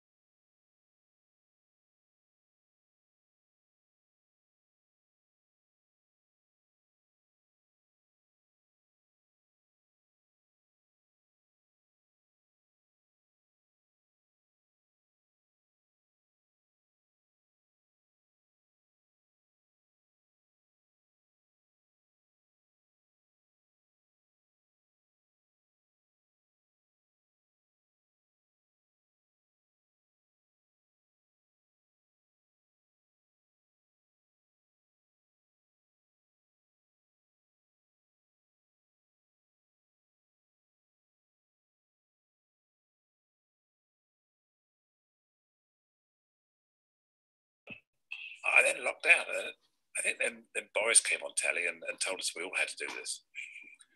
And at that point there, I think I, I kind of reflected and had a cry. Uh, yeah, I think many of us did. We went, OMG, everything's changed. And I started emailing all my all my customers, all the people I was going to do work with, and, and one by one, they said, "No, we appreciate that, Joe. Yeah, you're right. We, we, we, everything's on hold until we know it." And so I think we all went through that kind of pity party, that kind of what we're going to do next. And uh, I, I, I was no different, and I, I kind of just thought, well, hang on a minute. You've got a big experience about change. You know, I, I, I, trans- I transitioned three or four years ago, I built a new career and a new business. I thought, well, this is just another opportunity for change. And I, I was able to sort of bounce back quite quickly and, and kind of reinvent myself as a kind of an online remote speaker. But I mean, I, I don't claim any kind of foresight here, but I'd already decided at Christmas time that I was going to launch a podcast, I was going to write a book, I was going to do a lot more remote training because I, I'd already identified I was flying around the world doing mm. silly plane trips, making no money, having a great time, obviously, but not actually getting anywhere. So I thought, well, I'd already decided I was going to do some more online stuff. And so kind of coincidentally, I'd already bought microphones and cameras and stuff ready to do this. So I was coincidentally well prepared to for the online world. And my, I've got a background in IT. I used to run an IT company. Uh, I've always had an interest in videography and photography. So this whole all these skills kind of come together, and I thought, wow, okay. And what gave me a bit of passion at the beginning was actually helping other people set up their remote studios. So I helped people with their lighting, their cameras. So I actually ran a couple of YouTubes, a couple of webinars, and, and, I, have got a bit of sideline now in, in, training people how to set up their remote speaking and their tech and stuff. But in the meantime, all that top of mind personal brand stuff going on, the LinkedIn, the webinars, everything we do, suddenly that dovetailed with the, with the world change. The world was now more empathic, more empathetic. It, Black Lives Matter, D&I became top of the agenda. I mean, we, we've had more conversations this year about D&I and well-being, mental health, Black Lives Matter, trans inclusion, everything. We've had lots more conversations this year than we've ever done before. And there's a real demand by organizations. So all this kind of came together. And since June, I've been busier than I've ever been um, delivering online sessions. So my, my view of lockdown is actually I'm quite comfortable. I'm quite happy. I, I, I don't need to go out anymore. I've got I've got coffee. I've got food. I've got a bed. I've got my sofa, um, and I've got my great wife who uh, who we I live with, and uh, we have fun together. So yeah, I'm my experience of lockdown is very privileged. It's very very been very successful, and I'm uh, in fact sometimes I, I, I go to bed exhausted because I've been so busy during the day. Well, that's actually one of the things we might come on to is about when, we, when we're running it live events and, and how exhausting that can be um, and how, how that does feel for people. But it did dovetail amazingly well for you. I mean, that's quite the story, isn't it? How you were um, already moving towards that because in March and April when we started at Working Lunch, there was a lot of people who were really, really struggling and they were talk we talked about pivoting all the time. And that wasn't a pivot for you, it was just a kind of natural transition made speedier. Yeah, it was just turn left at the traffic lights rather than rather than go straight on. Yeah. literally just stay in the same car, just just take a different yeah. lane. Yeah, I didn't. Yeah. I, I started calling it pirouette. I think that's better than pivot. pirouette. it does sound rather glamorous as well. Um, yes, I think a, a, a, a, pivot feels like it's something like made as a jerky reaction, yeah. and, that, and, and, that to me doesn't always feel great. And, and that's one of the things I've seen actually in the hiring process is that, um, and, and this is kind of a sideline, but talking about recruitment is um, businesses who've taken people on who were furloughed um, and were looking for something else, a part-time gig, or people who've been made redundant, and they've been hired in a kind of pivoted role. And now, as the market for some areas starts to recover, these people are, do you know, that actually wasn't the right move for me. And that organisation yes. hadn't really done due diligence on that hiring. They'd said, Sally looks amazing. We'd never normally be able to get Sally. Let's have her. Mm. But you know, this wasn't the right long time, long term move for somebody. Mm. And I have seen I, a fair I, bit of that. I remember seeing a graph back in March. I think it was one of one of Boris's famous graphs. You know, one of his death by powerpoints that he was doing, or someone someone put on the internet that showed about this the lockdown, the release, the lockdown, the release, the lockdown, the release, and it almost like set the scene that we were going to have periods where we'd be really tight and when we'd be open, and we'd be tight. And they were projecting this as, as being early 2022 before it, eh, eh, before it really changed. And I thought, well, if we think about this as a, as a 24 month plan, from a business perspective, that's forever because every business changes itself every couple of years anyway. So I've got to think about this as being my world and my life forever, or until or until the change comes again. So I, I was trying. I deliberately set about trying not to hang on to what I had, and say, right, what do I do new, and not think of it as kind of reinvent myself using the old paradigm. Be different, given the fact that we're we're now in this new new world. You know, the old paradigm was PowerPoint slides, 16 by 9, stuck over, you know, stuck on a big screen. Why do we need to have 16 by 9 PowerPoint slides in the real world? Why can't we have words appear in different places on the screen? Why can't I bring my face and my words together? I don't have to be me in the corner and words up here. I can now be part of my words and bring them in front of me. So by using some of the tech and using some of the innovative ways of presenting, looking at how we can use tools such as Zoom, breakout rooms, online quizzes like Mentimeter and Slido, those kind of tools. And really maximizing the, the engagement as a speaker, because I, yeah, or an entertainer. I, I think myself as an entertainer as much as a speaker or a trainer, because I'm there to, to, to give people knowledge, but you have to make it fun. I mean, how many times do you think how many, I mean, how many people are watching this now with the, with the, the browser minimized in Outlook, eating their lunch, and just sort of kind of listening to us? How many people are really engaged? So I, I really do focus on this kind of engagement and making sure people stick with it and that mm. they're involved because we get really spoiled by sitting in front of the telly. We, we see high quality production, we see the evening news, the camera angles, the shots, the cuts, the, the clips, the interludes. Mm. And people, when they're sat in front of the screen, they need that same kind of, they need that diversity of, of content to keep them engaged and they, they need to see you they need i mean I, am very big on passion and leaning into the camera and, and, and, making people feel that i'm with them and having a conversation with them because i need to speak to you as an individual not you as a as a as a, as a mass because unless i'm connected with you i've got no attention. And so i i very much talked about this and focus on this in the way i train and, and engage.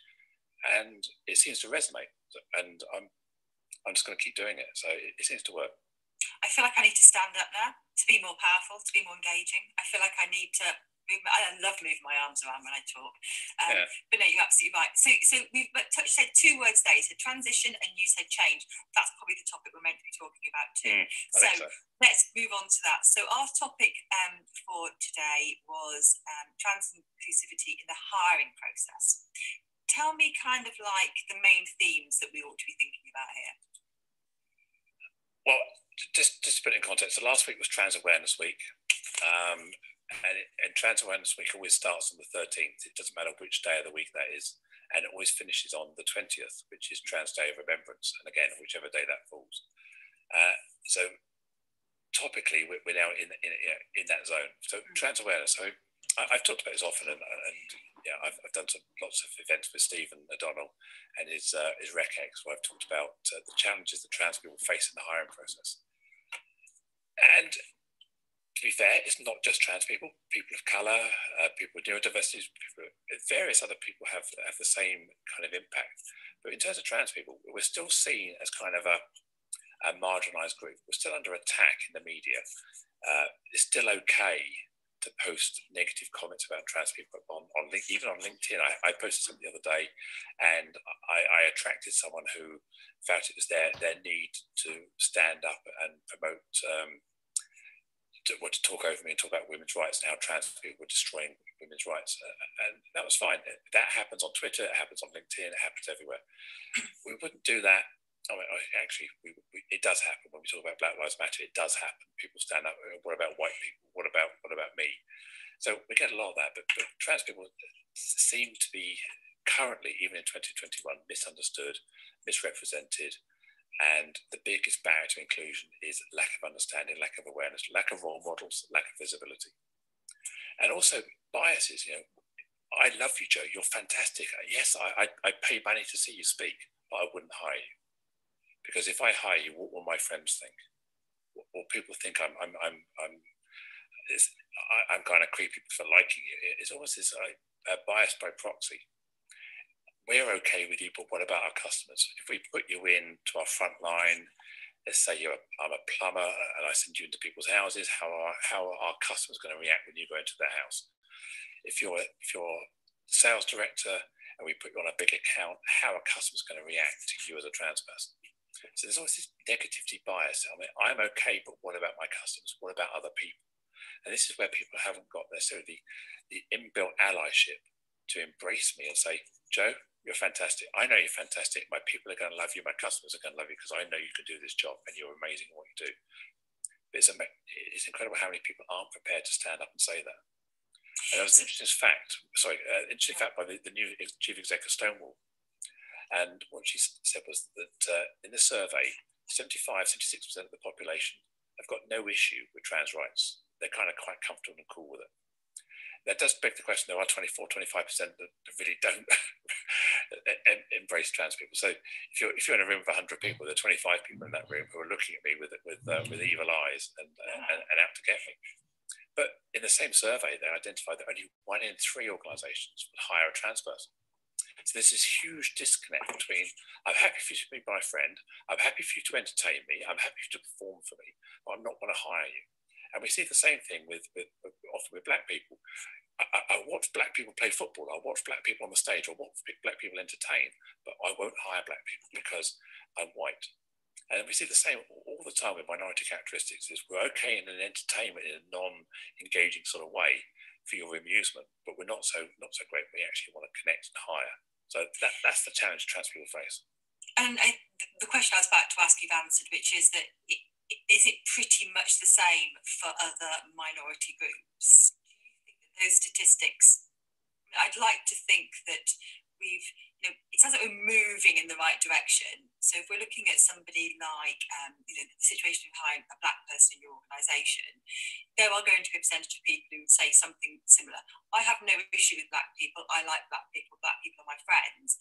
But our customer base, they're very white. Are we likely to hear that same sort of thing?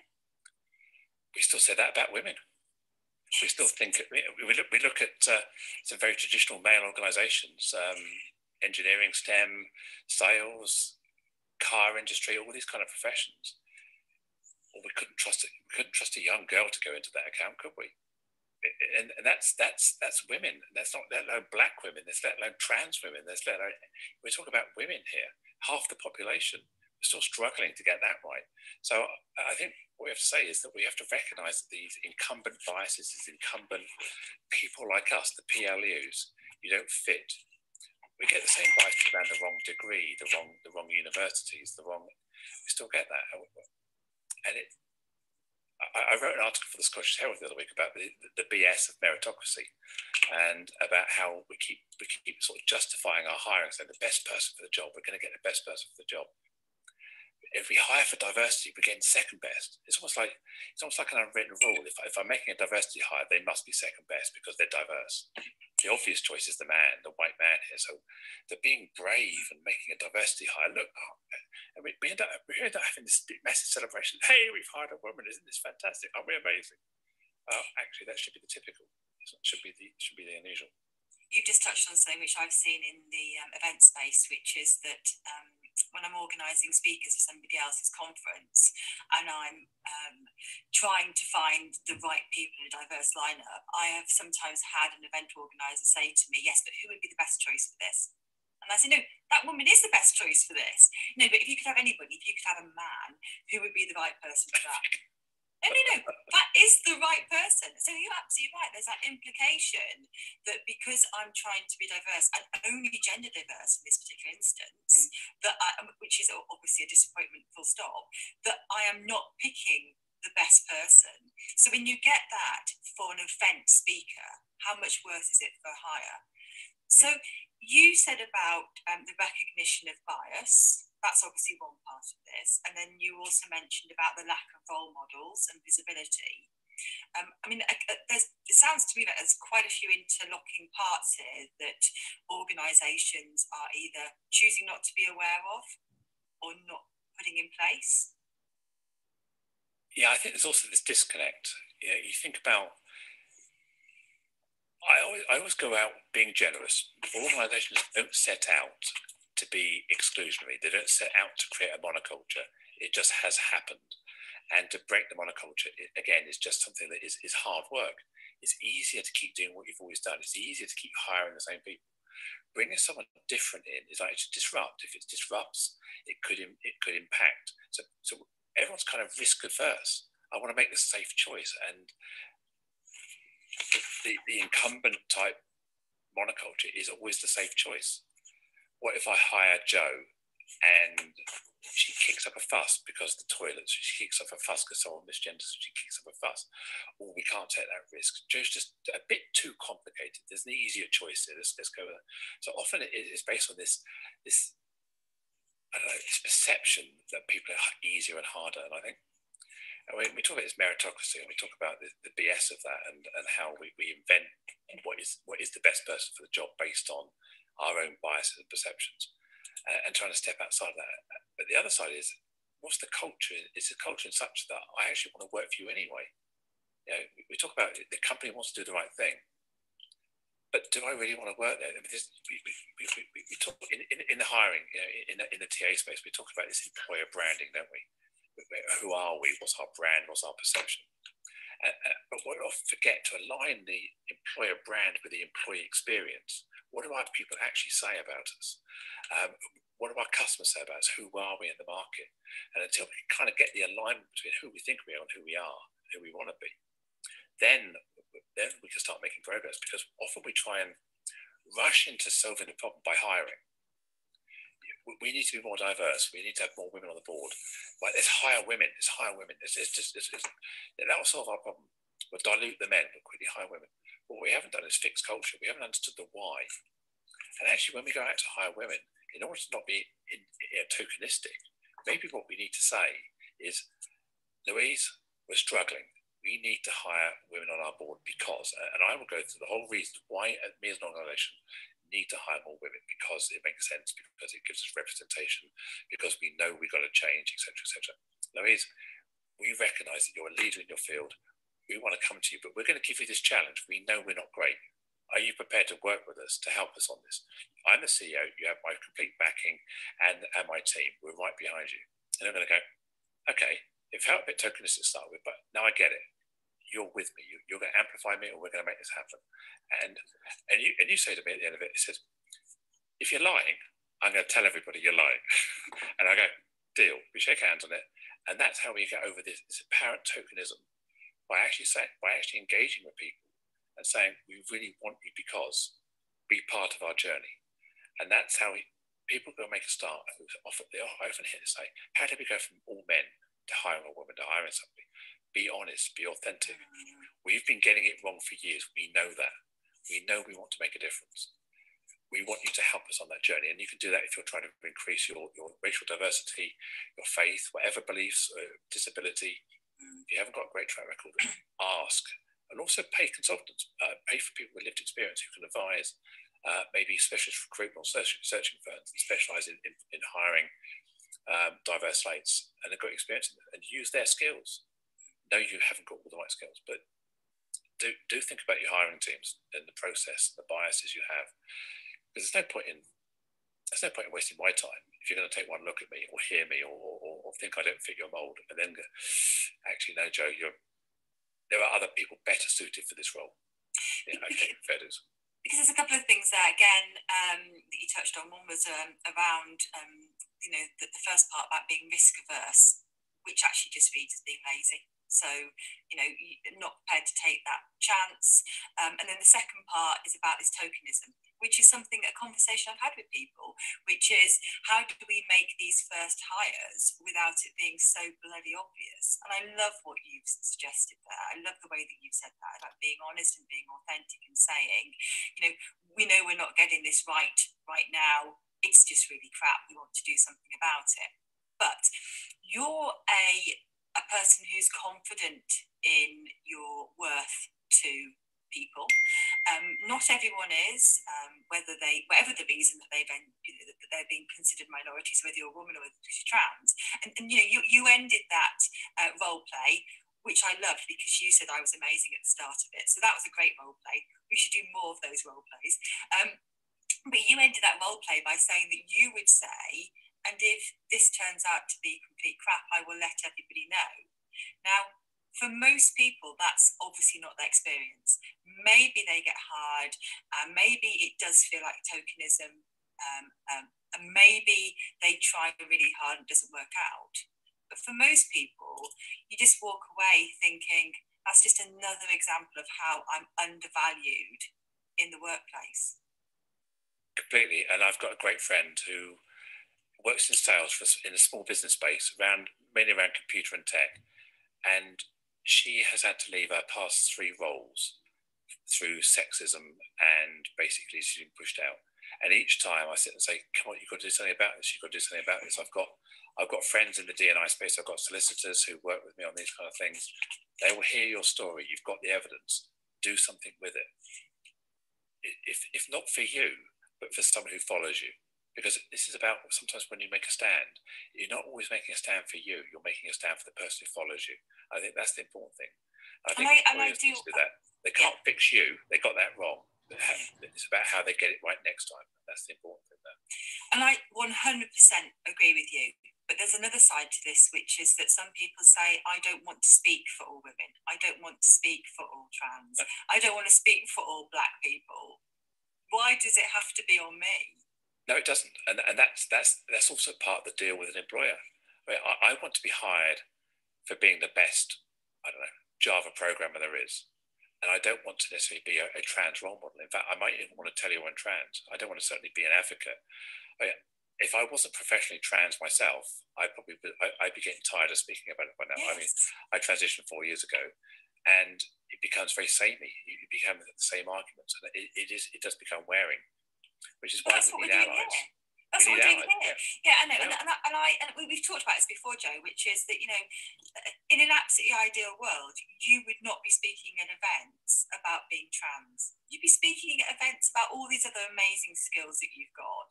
You know, and that's what you do do. You run a business where you help organisations get their events online and get their technology in place. But the fact you're trans is entirely irrelevant to that. Mm. But you are also, and I love that expression, you are also professionally trans. Yeah. So I guess you but, that, that's yeah. part of your business, isn't it? Yeah, my passion is around D and I, inclusion, belonging, um, challenging people on their hiring processes, working with some tech startups who are producing uh, inclusive hiring or unbiased processes, and, and, and, again, just sort of shining a light on them and saying, are you serious? Have you thought about this? Um, have you developed this in your own echo chamber, or have you actually actually spoke to people who are underrepresented and say, how do you find this? And you know, I mean, I see, uh, I think Jim Berrisford from Resume is on the call, and I, I've spent a lot of time talking to Jim and challenging on some of the design that Resume put in play around video interviewing, and I, I fully accept that there's no one size fits all. It benefits some, and I've also expressed my view on how it, it, it's a negative for other people. And there is no one size fits all. So I think it's how you use the tool. To, to, to, you buy an ATS, you buy a system that has video hiring in it. It's how you use that. If you use it in a way that creates bias, it, it, it creates mistrust. It means that I, as a trans person or someone as a black person, has a poorer experience by being on camera someone with a someone with a facial disfigurement, someone with, a, a, a, speech impairment, all those kind of things impact. And some people just don't want to go on camera; they're scared. Even even after nine months on Zoom, some people don't want to put their camera on. So, are we now introducing another bias? I'm now saying not only you've got not only have I got to have the, the capability, the credentials, the, the, expertise, I've now got to look good on camera, I've got to sound good on camera, I've got to have no dirty washing in the background, I've got to have this amazing environment, and, I, have got to have all this charisma to, to sell myself in, in a video. And if I haven't got that, who, who do we hire? The extrovert, the party person.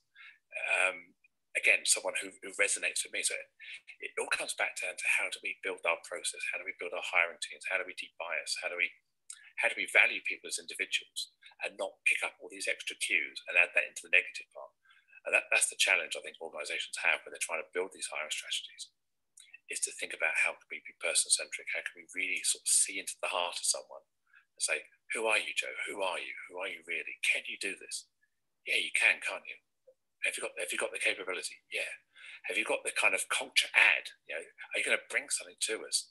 Are you going to are you going to bring ideas and passion? Yeah, that's what we want, isn't it? Yeah, so there's a, there's a few parts here again, which is that we've got the bias in the recruitment process internally, in the people in the organisation, in the way that they think, in the way that it's structured. Then you've got the bias in the technology that you potentially use in the process. And I think there'll be maybe some organisations who don't look so much at that and think, do you know what, we aren't biased, we are inclusive, we've got this all in place. And then they're putting in steps that they need to do so, so looking at why you're, ask, why you're asking people to jump through these hoops is really significant. Um, is this actually measuring what I need to measure?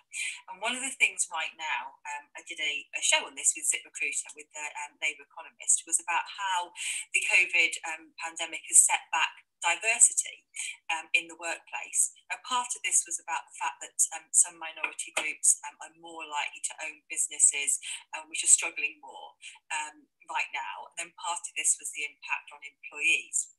Because I said this, I really early on, I, I, was talking to people and they were saying things like, um, you know, I've got a disability which makes it difficult for me to go into the office. So with remote working, that's great. I can get a job working from home. And there's a couple of other examples about that, or, or working mums. So, you know, the flexibility of working from home is great for me.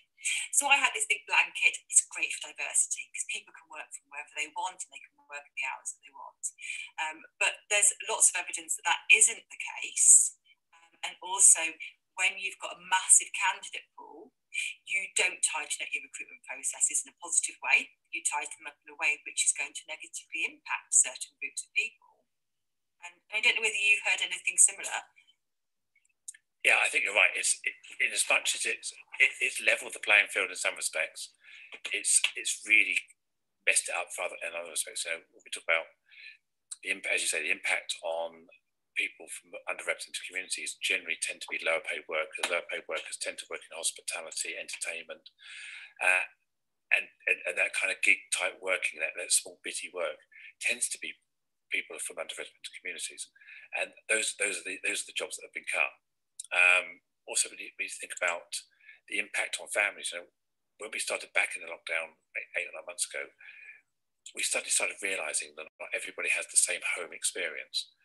Uh, home education, um, primary admin for, for, the family often is a woman's responsibility.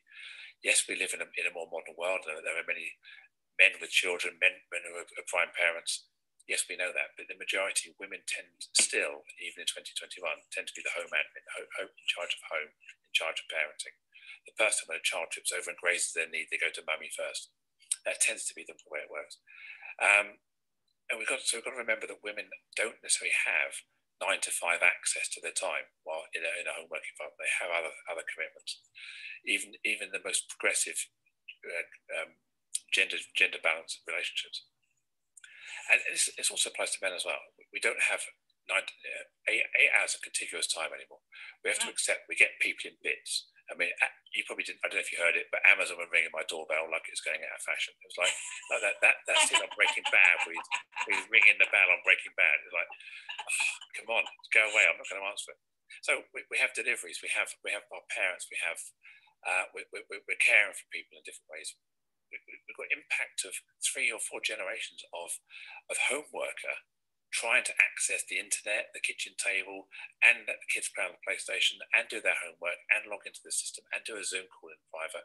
And we've got members of the family sitting on their beds in different rooms trying to get on with their life and their business. So we can't assume that everybody has the perfect home office as we do, as I do, or, or even, even a comfortable chair that is ergonomically safe for me to work on day in, day out. I sit on Zoom calls and still see people sat on the sofa with their laptop on their knees. And this is nine months later. So how, how are these people functioning day to day with their, their necks, their backs, their typing? Uh, and what are employers now doing to reach out and making making sure that their, their, their people, their teams, have got a safe home working environment as well? So I, I think we've still got a long way to go on this. And lockdowns and, and remote working and home working isn't going to, is never going to change that. I think we, I think we all agreed that some some hybrid merge of, of the old and the new will happen.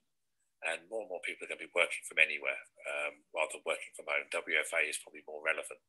And I, would I'd love more pubs and coffee shops to pivot and provide and provide sort of locale based co-working spaces and, and come together spaces. I've got a cafe over the road.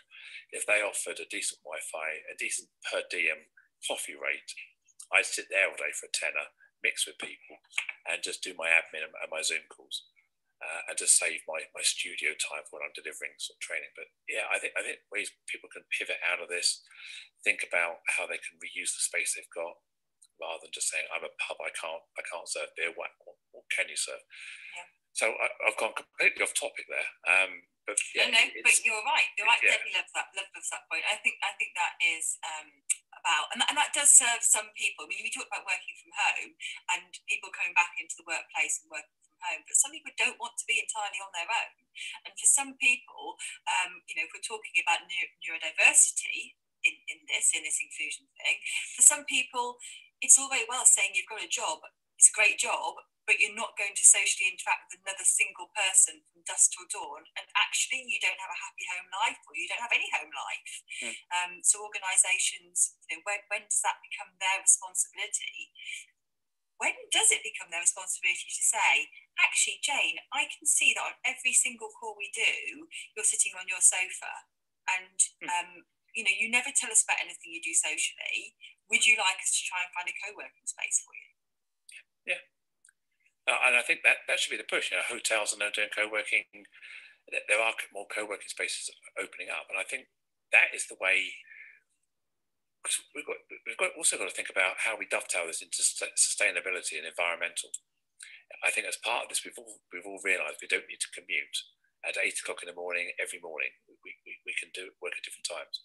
And by, by balancing out our commute, our travel, avoiding it where we can, we're not only we're not only saving ourselves money, we're saving ourselves time, giving ourselves better quality of life, but also not sitting in traffic, burning petrol. We're not crowding trains out. So the whole transport network has got to reevaluate itself as well. And I was talking to someone yesterday who's in the sustainability and environmental space, who the rail companies have already already recognised that they're going to be more focused on leisure in the future rather than rather than business travel.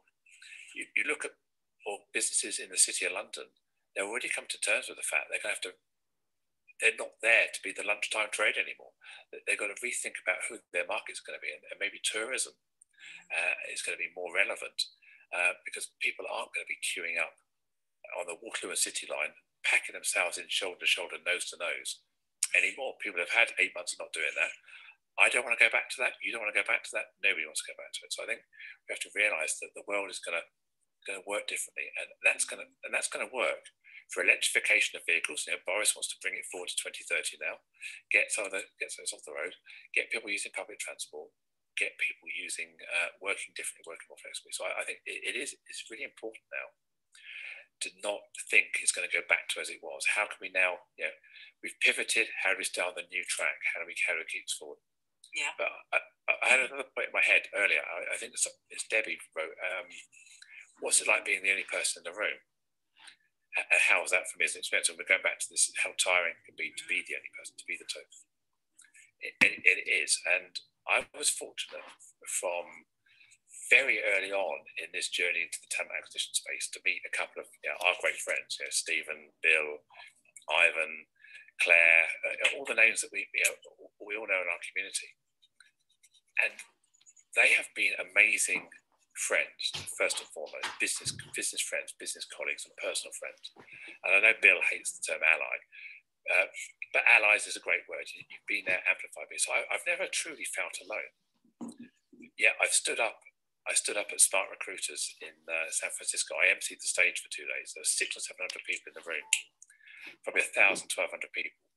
And i was probably one of the only if not a minority of open and out trans people in the room. I've, I've, I've spoken on the stage at Unleashed and other places like that. And I, I know Unleashed, some of the people who work for Marc are, are, are, trans themselves. I've actually met a couple of them. They come up to me after and go, Oh, Joe, it's fantastic to have a trans person here being visible. We're kind of stealth. We, we don't, we don't let on the trans. So, yes, it, sometimes it is a bit of a pressure because I don't represent women. I don't represent trans people. I don't represent anybody. I speak for myself. I, all I can say is this is how I feel but yeah, it is sometimes it is, it is it is difficult sometimes when you know that, as I said, the stat seventy six percent of people haven't got a problem with trans people, but that means twenty four percent of people do. So if I'm in a room of if I'm in a room of a thousand people, I know that 24, 240 of those people actually may be questioning who I am. Um, it's also this this sequential coming out. I don't come out once. I come out every time I meet somebody. So we've met before, but there are people on this call who maybe never met me before. So I've had to, I've now got to create a first impression to everybody. And, and when I go to conferences, you know, I, I emceed your stage once the, in the uh, UK Recruiter. So there's a whole, whole, whole room full of people there who probably never met me before. So I, I had to come out to them as well and be open about it. So there is that kind of pressure. The more I do it, the more I forget about it. Yeah. But it's still still kind of right back here somewhere where it's always it's always there. And that's no different to other people with neurodiversity or black people are black. Um, everyone has this, this kind of this double thinking this protection this safety. Am i going to get discriminated against? I think that um, the, the thought though as um, as an individual who knows that every time you meet um, a large group of people or people who you're going to have to interact with in a business nature that do, you know, do you actively do you have like certain terminology that you word into your conversation as kind of like this is my subtle way of, of saying who i am and this is my statement way of saying who i am and i'm going to make a judgment as to what i'm going to use? Um, yeah i think inevitably you you, you become adaptive. You, you we're, we're all slightly chameleons. And we, we talk about bringing a whole self to work but we bring different parts of ourselves to different situations. It's no different to being having a parent hat, having a, a, um, a sibling hat, or a, or a, daughter hat. We all wear different hats. So sometimes when we're in, in work, I, I, know that I have to behave in a certain way. You know, if I'm if I'm enjoying the after party with Claire and, and, and yourself and having friends, I'll, I'll, I'll maybe relax into myself um, but when I'm on stage, I'm, I'm being very businesslike, very proper. When I do my podcast, when I do my training, I, I, I bring down a screen, as we all would. And I'm not saying it's any more exhausting than anybody else trying to put a professional persona on, but yes, sometimes I am conscious that my, my characteristic of being trans adds another dimension. But the, as I, as I said to you, I'm professionally trans. I personally have the privilege and luxury of not hiding that fact is part of who I am. But there are many people out there who don't want to be trans first. They don't even want to be trans at all. They're, they're just, they're just, I'm a man, I'm a woman, uh, I'm non-binary. That's who I am, I, and I don't want to debate that. Whereas I, by the very nature of the fact I'm professionally trans, it almost invites people to want to ask me questions, and those questions can uh, can become tiresome. They can become repetitive, and sometimes they become they, they do overstep the mark. Uh, and it's random. You know, I've, I've sat on trains and I've, I've sparked up a conversation with somebody on the train, and you think, oh, that was a really pleasant conversation. Then the last thing they sort of say is, oh, by the way, what was your old name? I thought we were doing so well. We were doing really well, and you had to ask me that question at the end. Why? Why does it matter? Why did you need to know? Or I'm in the I'm in the in the queue at, at Sainsbury's checking out, and the lovely person in this instance was a was a woman, and she says, "Oh, hi, how you doing?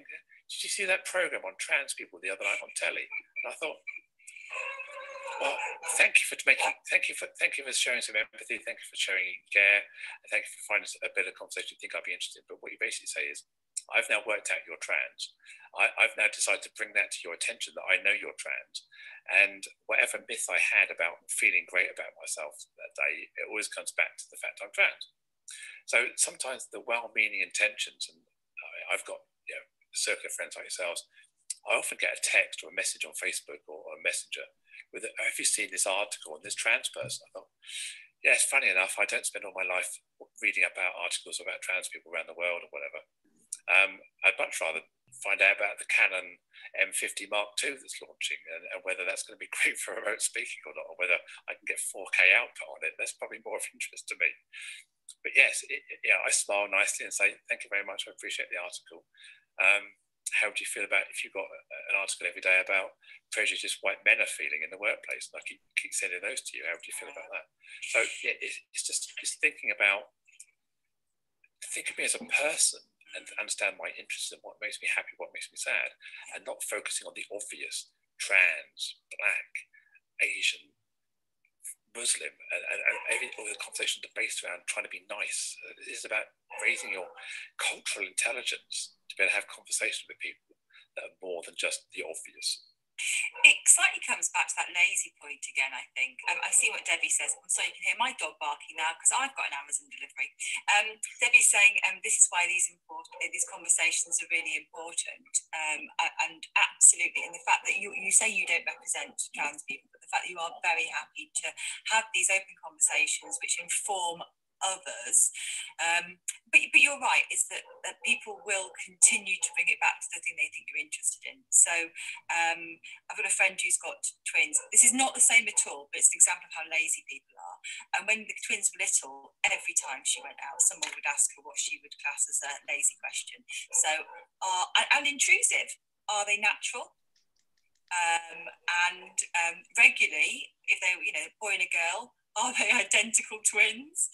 Um, so you know stuff which is um, you know and, and how big were when you when how big were when were you? What are your stretch marks like? Stuff which is uh, both lazy and intrusive. Um, and I think yes oh my god. That's a question I've had and I haven't even had twins.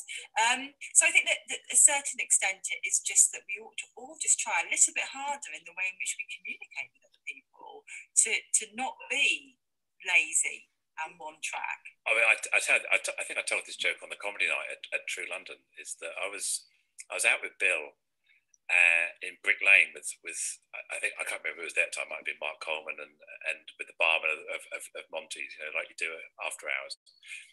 And uh, we're chatting away, and before long, Bill, bless him, started comparing his broken nose and how many stitches he'd had in his broken nose. And before long, the, the entire group around us were all comparing how many stitches they'd had in their broken noses, the fights they got into. And I thought, oh, boys, boys in their toys, sort of thing.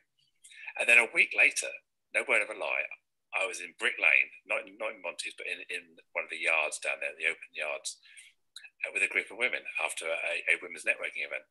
And we were sat around the table, and the subject got on to childbirth and number of stitches they'd had after childbirth. I thought, men talk about the stitches in their nose and women talk about the stitches after childbirth.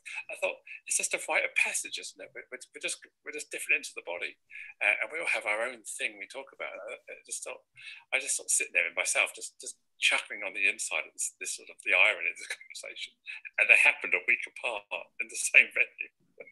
Thanks. Oh, I can't hear you.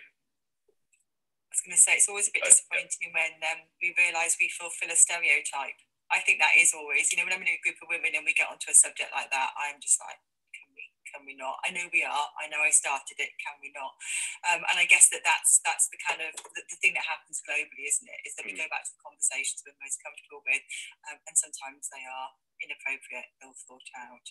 Um, so, yeah, but they're, familiar. I mean, I, I, think it's, it's, only when you're a fly on the wall where there's conversations to kind of, I suppose, in the, in the, in the men's case, I was kind of trying not to join in because I, have probably got my own conversations I could have had there. And, and no doubt you have, Louise. You probably, you could probably cite a time when you've uh, maybe got a bit angry than you should with somebody.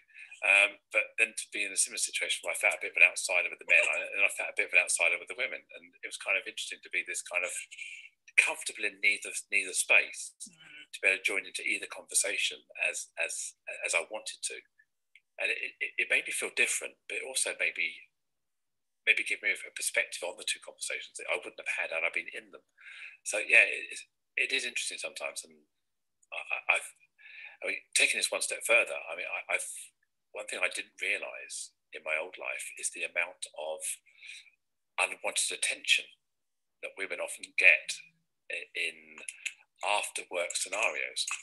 And it's only with my new awakening, my new wokeness about my gender and, and, and the world, did I really observe that behavior and how at a certain time of night a, a certain pattern emerges. And I started to understand why many women start drifting off at 9, 9.30 because by the time that by the time it gets to 10, 10.30, the behaviour changes and, and it's not as as fun and friendly as it was an hour before. So yeah, I, I think there's still this, this sexism, yeah, for whatever better word, it's, it's a good word, um, and the way that men treat women in those social situations after work. And I'm not saying all men, and I wouldn't dare to say it's all men, but the, the behaviour does, does does display itself in a crowd big enough. And, and you're nodding, so I'm guessing I'm not I'm not speaking.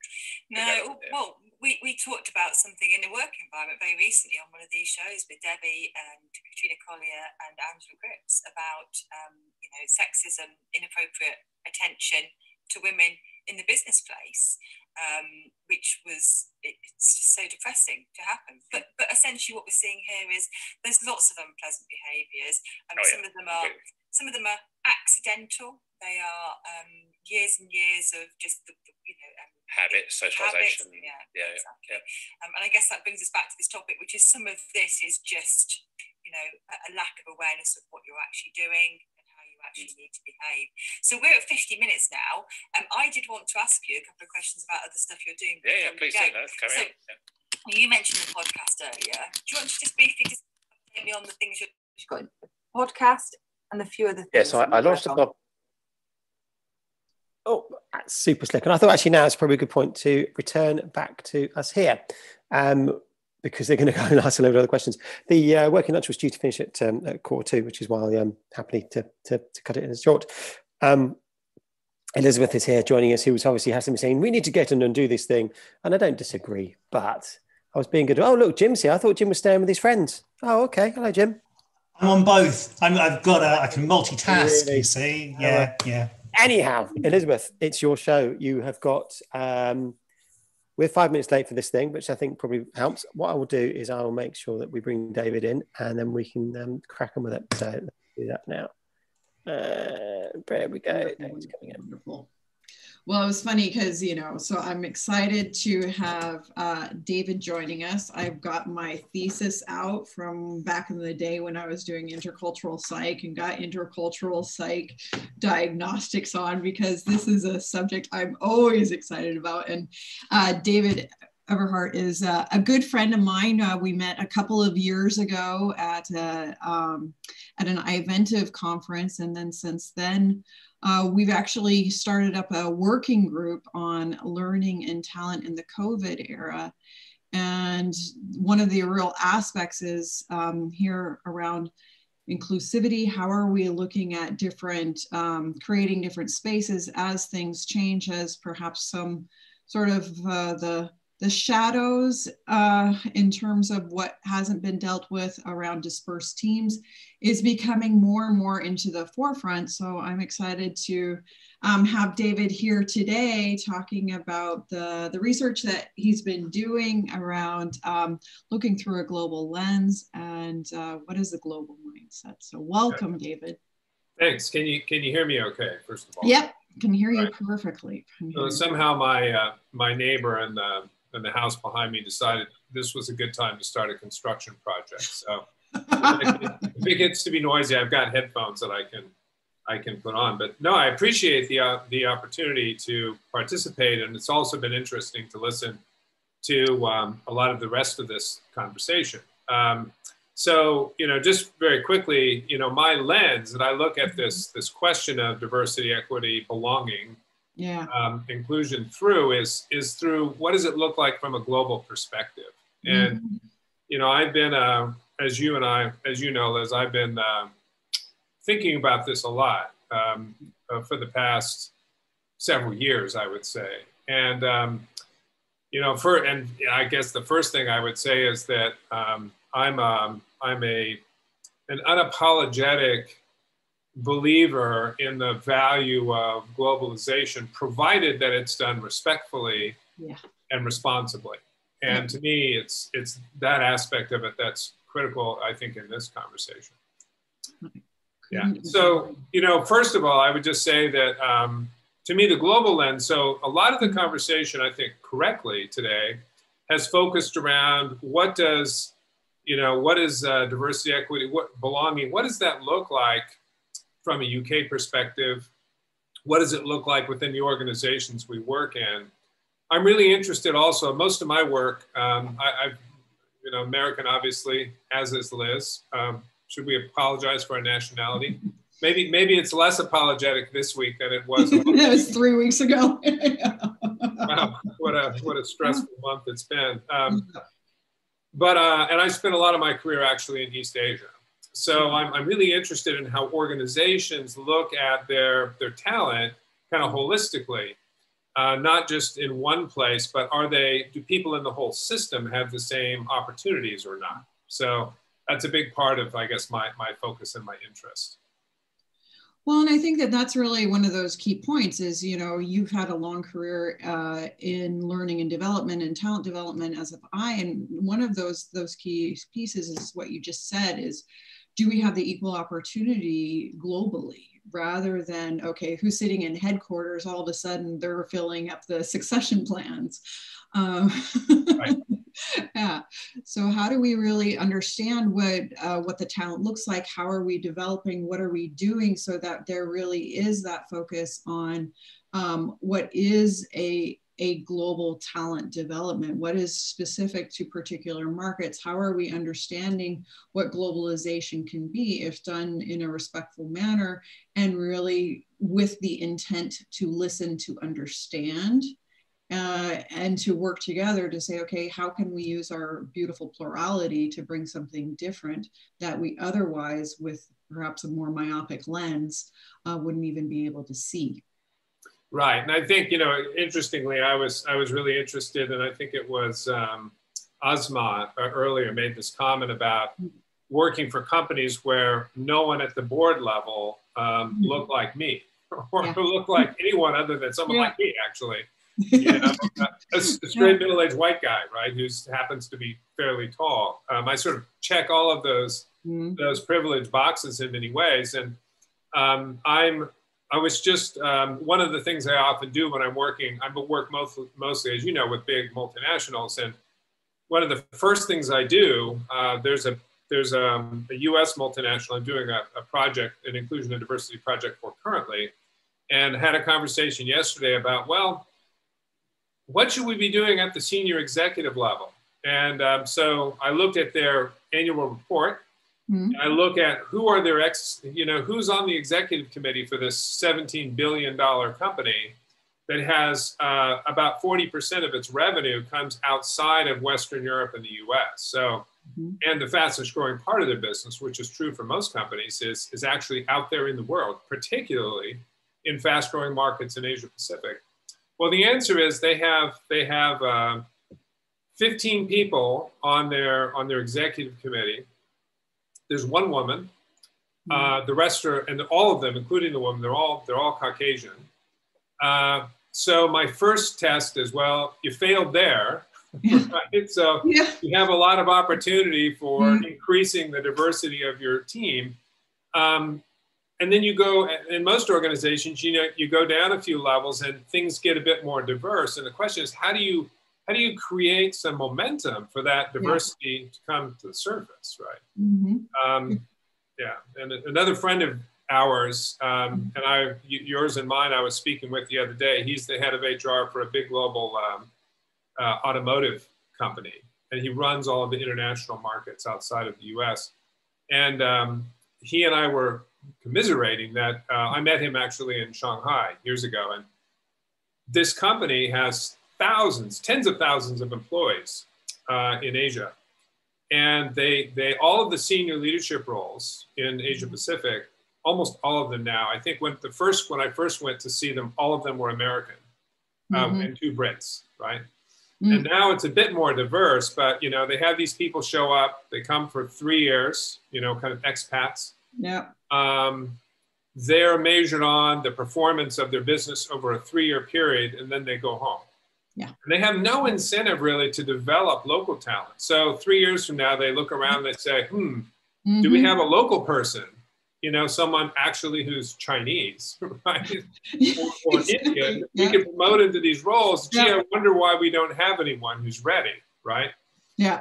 Right. So, and and he he and I were talking about the lack of the lack of, uh, of incentive often for people mm-hmm. to create successors who don't look like them in these roles. And so that to me is uh, kind of at a senior level is a big is a big part of the issue. And you kind of scratch your head and go, I think we're doing a lot around inclusion and diversity. Why don't we look more diverse? And um, yeah, you know, it's a complicated answer, mm-hmm. but, but, that's part of it anyway. Well, and it is truly part of it because it's that piece of um, how are we looking just beyond um, you know the you know how are we having an inclusive um, hiring process or these you know really the kind of the piecemeals to say are we looking at more systemically and what are the things that we reward? You know we, you know within three years how am i building up my successor unless that's part of my performance objective uh, it's not going to happen. So here how are we using it you know more systemically and systematically to say let's what is our approach to really truly empower and understand that it's not just the short, short term and what are our co-responsibilities to say if we want it to happen how do we help ensure that it actually does happen? Right and it's um, you know it, and i think another part of the problem is simply stated and this is a generalization but but i actually have a lot of there's a lot of evidence to back this up most most corporate leaders who in, who have global responsibilities from a global mindset perspective aren't qualified for their roles. Yeah. In other words, to me, they don't have. I, I have a pretty specific um, definition I, I, use for defining does a person have an inclusive mindset or not. And um, the, this particular instrument that I that I use and I've been doing over the past three months, uh, I probably I probably had 60 or 70 people that I've personally kind of debriefed on this assessment. And most of them are in the middle of this mm-hmm. developmental pathway. They're, they're neither uh, ex- super exclusionary nor are they uh, consistently inclusive in how they look at other people. That's a big problem. yeah, exactly. And, yeah. and one thing I can also tell mm-hmm. you is that level within organizations has almost no correlation. It has some, but not a very strong correlation with the level of inclusive mindset. So, you know, there's a lot of work there. And I think part of it is we have to redefine what we mean by inclusive. What do we mean when we say a, a person with a global mindset or a person who leads inclusively? Um, they're, they're, they're good in definitions for inclusion and diversity and equity, but, but there aren't necessarily um, consistent definitions for what's the mindset I need to have um, to be qualified for these sorts of roles to make sure that I'm actually creating belonging and, and psychological safety and all these things we know mm-hmm. Yeah, absolutely. And so um, I couldn't agree more. Like I said, I was looking at my old stuff from like 1993 as to what are those some of those definitions. And it's and like you said, you know, how am I creating psychological safety, a sense of belonging? What does that truly mean? How am I listening? All of those aspects. So what for you comes into that global mindset and being inclusive leader? What are the things that you've kind of captured within the definition that you've been working with? So to me, people go through, they actually go through, um, you know, we talk about, you know, there's values that I think mm-hmm. you know, really inclusive leaders must have. Uh, in the center, I would put respect. Hmm. To me, there's five core values that I think are mm-hmm. common mm-hmm. to executives I know who have a really de- well developed and inclusive way that they lead globally. And respect to me sits in the middle. Um, do I have the ability, even if I'm not fluent or familiar with somebody else's cultural background, I don't speak your language, but can I show up in a way that's open and respectful to you? And that also means I have to have humility, right? Yes. Mm-hmm. I heard one of the, you know, one of the Obama or the um, the Biden um, nominees yesterday say, you know, I think I, I need to have both humility and confidence. Those are 2 mm-hmm. of the other five yeah. values in my in my model, right? So respect, humility, and confidence are critical. So those, you know, there are some certain values that you have to you have to know what you don't know, and you mm-hmm. have to assume. When I was young, I, I, lived in Japan my early in my career, and, and I realized in the first day because I didn't speak Japanese and no one spoke English where, where I lived, and I realized the first day that I had no idea what was happening. Yeah. I would sit all day in these meetings um, literally like six hours a day, I was in meetings with only Japanese people, and it was all in Japanese. So I had to sit there and just observe people. And it was obvious that I had no clue what was going on. And that was actually, you know, both humbling, but it was also, it was so obvious that I didn't a lot of, lose a lot of sleep over it. And I had a lot of motivation to try to figure out how to communicate. Yes. So I, I, think those sorts of yeah. experiences actually are important, right? Have you been in a place where yeah. you were the total outsider? Exactly. you didn't yeah. know what was going on and had to figure out how to build respect and rapport in spite of that that deficit. Right. Completely agree. Yeah. I, yeah, it totally echoes. When I first went to Italy, I didn't speak any uh, Italian except for, you know, what I had to learn for my, my SATs, like the root words and, you know, just sitting there smiling. And then once you become more cognizant of the language, realizing, oh, that's completely inappropriate to be smiling now. So some of these, also these nervous gestures, etc. So, you know, gaining in that that humility and that humbleness to say okay i'm learning i'm in a dependence phase it's it's part of how i grow. And um, being welcomed in that you are a learner. And then also when you get to those different stages having the actualization once you become more adept and aware within that different cultural context as to what's appropriate what's not.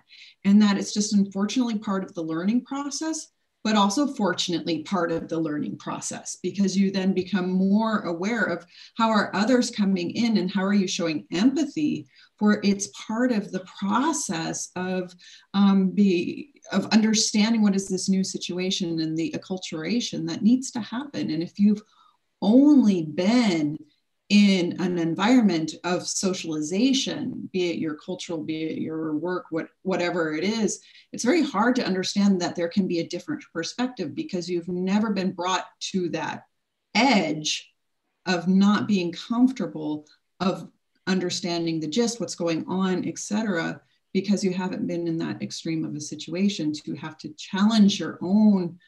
Is this the way I'm understanding it? Am I perhaps interpreting this out of a, a totally different lens, which within this context makes no sense and is not fit for purpose? Right. And, you know, I think it's, I've heard some of these stories, you know, from others today. Um, it, it's painful to be the mm-hmm. other, to be other. It is. Right? Yeah. Yeah. And I think for people who who have like me, who you know have all this privilege, mm-hmm. uh, it's actually important for us to have that experience at some level.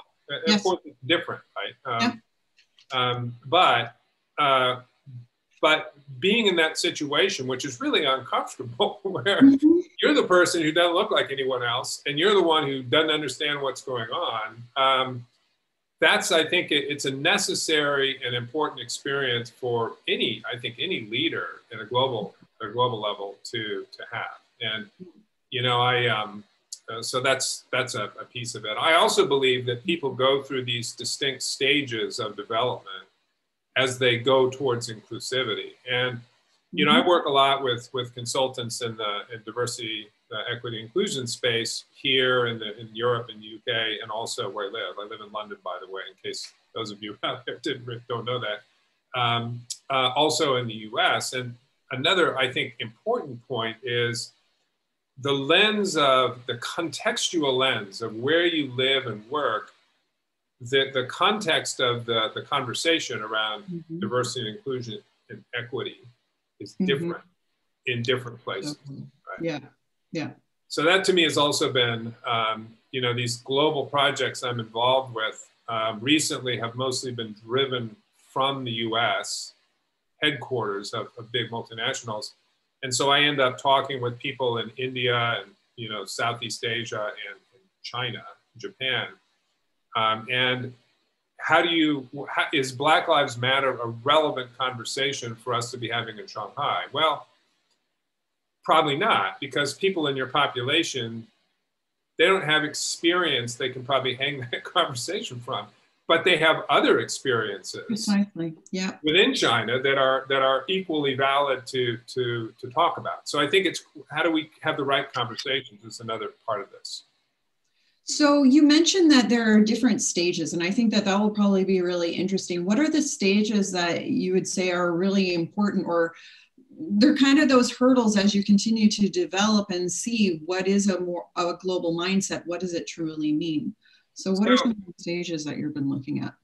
Yeah, so um, uh, if, um, so the first stage to me is what I will call a localist. And there are a lot of people who have leadership roles. You know, I, I could lead in Manchester a group of Brits, maybe a diverse group of Brits, but maybe we all have somewhat of a common cultural experience. Mm-hmm. Um, uh, or in Kansas City, right? My family, my extended family's from from the Midwest in the U.S. Um, that's you know that's uh, and that kind of leader is important. You know, I'm a mm-hmm. pillar of the local community, et cetera. Mm-hmm. I may not need, or I don't think I need to understand all this stuff about cultural difference or what's happening in the world. The second stage is is what I call a warrior. Um, our mutual friend calls us a colonist. Mm-hmm. So the colonialist who, who goes to another place, another part of the mm-hmm. world, and thinks, I'm going to run the business here in China just the way I ran it in London or in, in Detroit, Michigan, right? In the case of an auto industry. Mm-hmm. And we're mm-hmm. going to run our production systems, and I'm going to run my meetings just the way I know it works. And I know how to run a business. Don't tell me I don't, right? So um, he and I were joking about this. Um, you know, and and that person, him, his word is a colonialist or a colonist. I would maybe call him a warrior. So my it's a, it's a defensive posture where my way is better. I recognize yeah. cultural difference, uh, and my way is better than your way. And a lot of this happens subconsciously, right? Mm-hmm. And this happens in, in race relations and and mm-hmm. um, you know gen, in gender orientation and other areas as well, um, yeah. too. So the, the warrior. Uh, the third stage is a universalist. It's a person who realizes, well, at the end of the day, we're all people. There's a there's a humanity that's common to all of us. You know, I'm American. I have two kids. I have Japanese friends that have children. Mm-hmm. Um, we we want to take care of our families. We want to work hard. We want to be respectful to others. We must be more or less the same, mm-hmm. right? And that's way better than being you know the warrior but it also it it uh, oversimplifies very yeah. real differences we, you know this morning the conversation about neurodiversity our yeah. brains are literally wired differently right mm-hmm. yeah so we think differently so that's a third stage the fourth stage and these are to me the last two stages are what i would call inclusive and global mm-hmm. so the mm-hmm. fourth stage I, I, call a catalyst it's um, yeah. a person who has the ability to very accepting of cultural difference. Um, I know what I don't know. I'm consciously incompetent, right? Mm-hmm. Um, And I, I know to ask questions, and I'm really interested and curious about other people who are different from me, and I'm trying to understand them. And I have the ability to, to synthesize a group of people to all work, a diverse group, to work towards a common goal. That to me would be that's a, a, a strong, inclusive global leader yeah. to be that catalyst person. Mm-hmm. And then the final stage, and these these people, I call them integrators. Um, mm-hmm. A person who it's almost a transcendent leader who who who also recognizes that the whole system is interdependent, right? So yeah. a person who has a really strong sense of their own interdependence in and among other systems. So in order for me to, in order for us to I have a, a, friend, she's South African by birth, and she ran a big business in Asia for a long time for, for a global brand. And she told me, she said, I used to go in the room and say, here's where we need to go. I can see, I can, we can paint a picture of where we need to go. I have no idea how we're going to get there because you, you guys know. Uh, I don't know. How do we get there? And, and so yeah. this open question about how do we construct this future reality together? Exactly. And you know, my my belief is is that those integrator global inclusive global leaders are one percent. Mm. Five, you know, it's a very small percentage of all the executives I work with uh, in the last 30 years of my, my career. So it's, it's a rare skill set, and we need a lot more people like that, I would say. So anyway, those are my five stages. And if anyone's interested, I'm happy to talk to you about them. Um, they're, they're sort of a work in progress, but. And I think it's so well said. And I think, you know, if I certainly, you know, my old role, I used to be a, um, responsible for talent. And that was one of our biggest things is this, this ask, we called them cowboys, um, the warriors. um, and, and it was, okay, I'm doing this as part of my development step because I want to become X, Y, Z rather than, you know, here, how are you integrating? How are you understanding that the whole purpose behind this assignment is that you challenge your paradigms that you're you know how are you successful in a in completely different context? How will we support you? And so you know i won't say ringing in those cowboys but you know that was one of the big discussions that we had in succession planning is is this the right person that we want to be sending over? What are those messages that we're sending over when we're sending over these cowboys um, and to say here as we look to what is that global mindset it's it's not um, because this was also one of the discussions it's not get rid of your worst people it's get send your best. Right. Um, and um, particularly as you mentioned you know uh, where are you growing? What are those big markets? And how are you understanding that those needs are going to be different?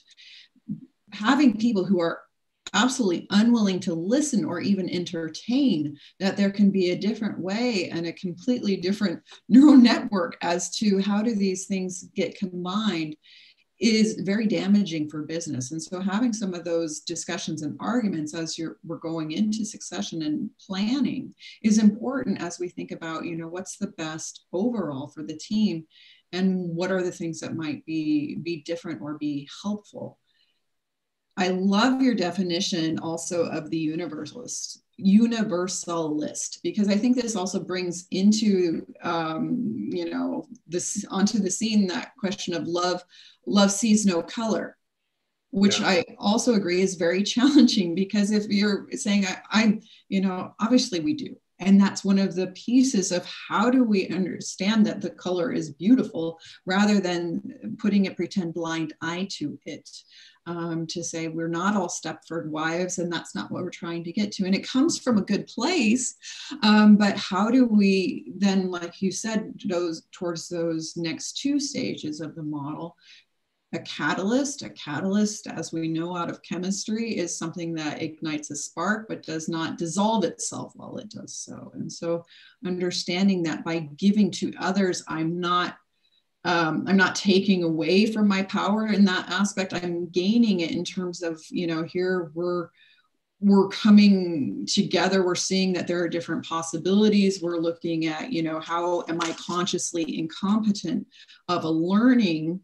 Um, and perhaps then to that fifth element of the integrate integrative the you know the transcendental leader uh, who understands I can't do this alone. Leadership is a group sport. How are we co creating and creating that atmosphere where there's psychological bravery also possible that that you know playing back into your your values of the the humility you know that confidence and humility these are not this is not a dichotomy it's not either or it's how are you able to oscillate and understand that that's part of you know how you show up so that people can find their voices particularly if they've had bad experiences before with people who are just there as a plug and play type of leadership role yeah i mean there's there's a lot to this and i think there's um, I, I still believe that we're you know there's sort of i've decided there are kind of these three different communities that i've been working mm-hmm. with mm-hmm. in my career and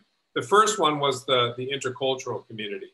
Um, mm-hmm. How do we, you know, and it started many many years ago for me. You know, the whole kiss, bow, and shake hands. How do I behave in a way mm, that's yeah. acceptable to someone else? And then I realized quickly that, well, that might make me feel better for five minutes, but then I have no idea what the person across the table is actually thinking, right? Which mm-hmm. is yeah. more important.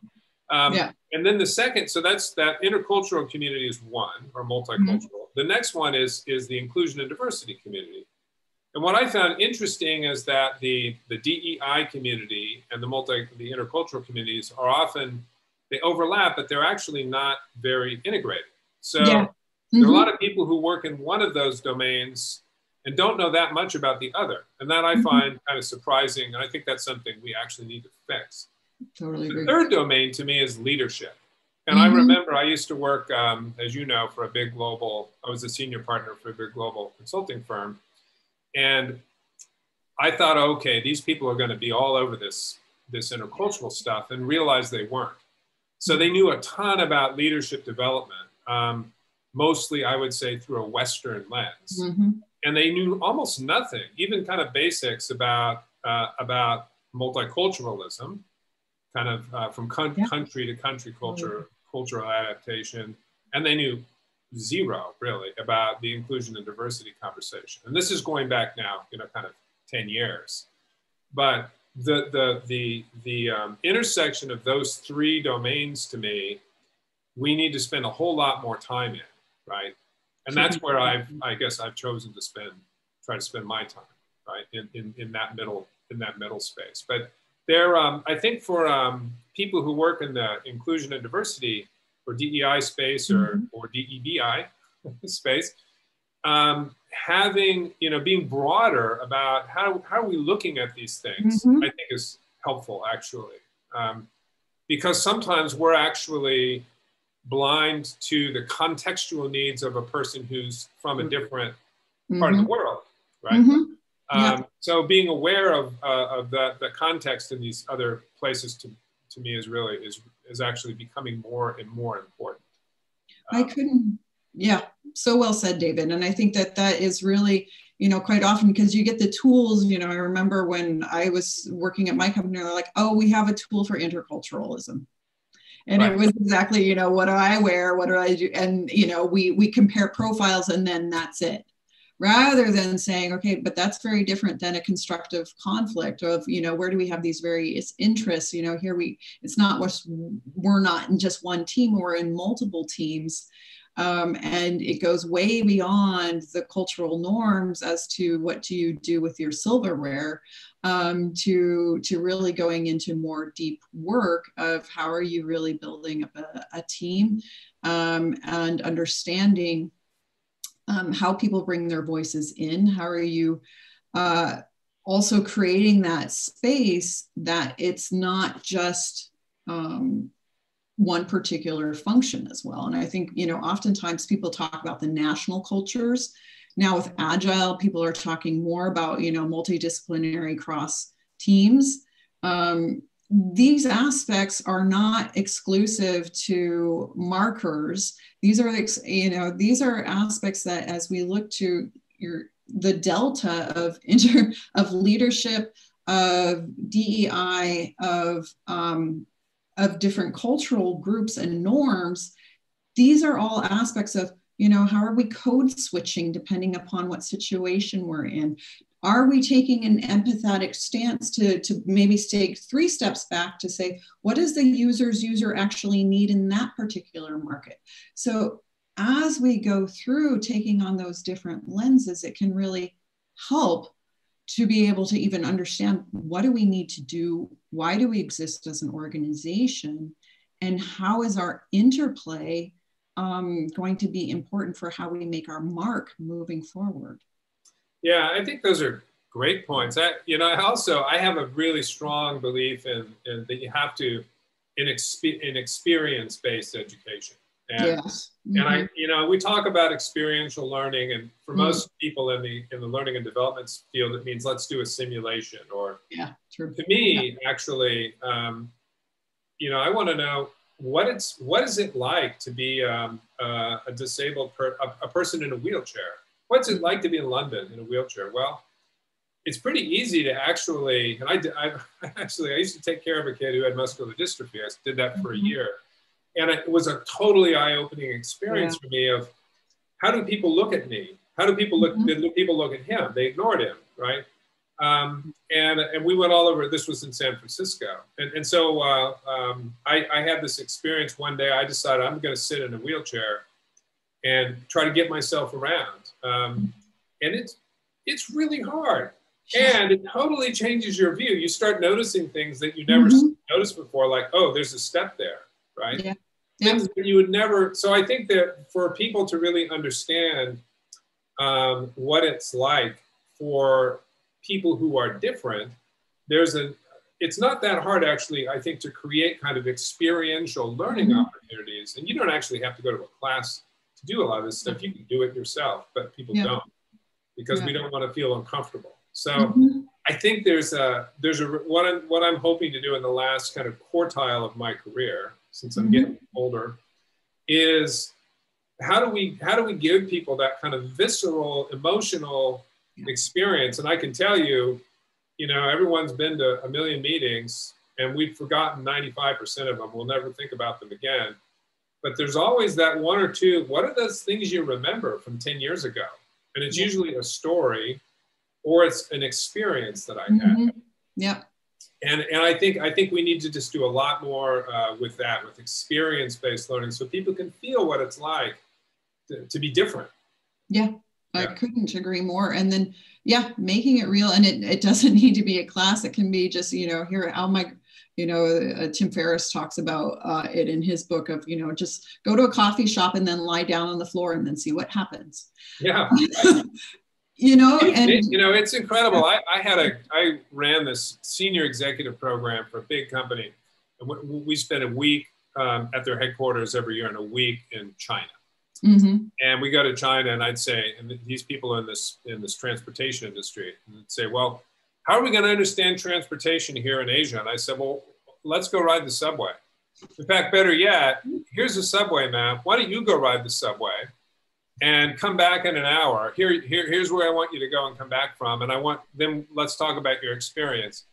And the corporate person said, no, it's not safe. Yeah.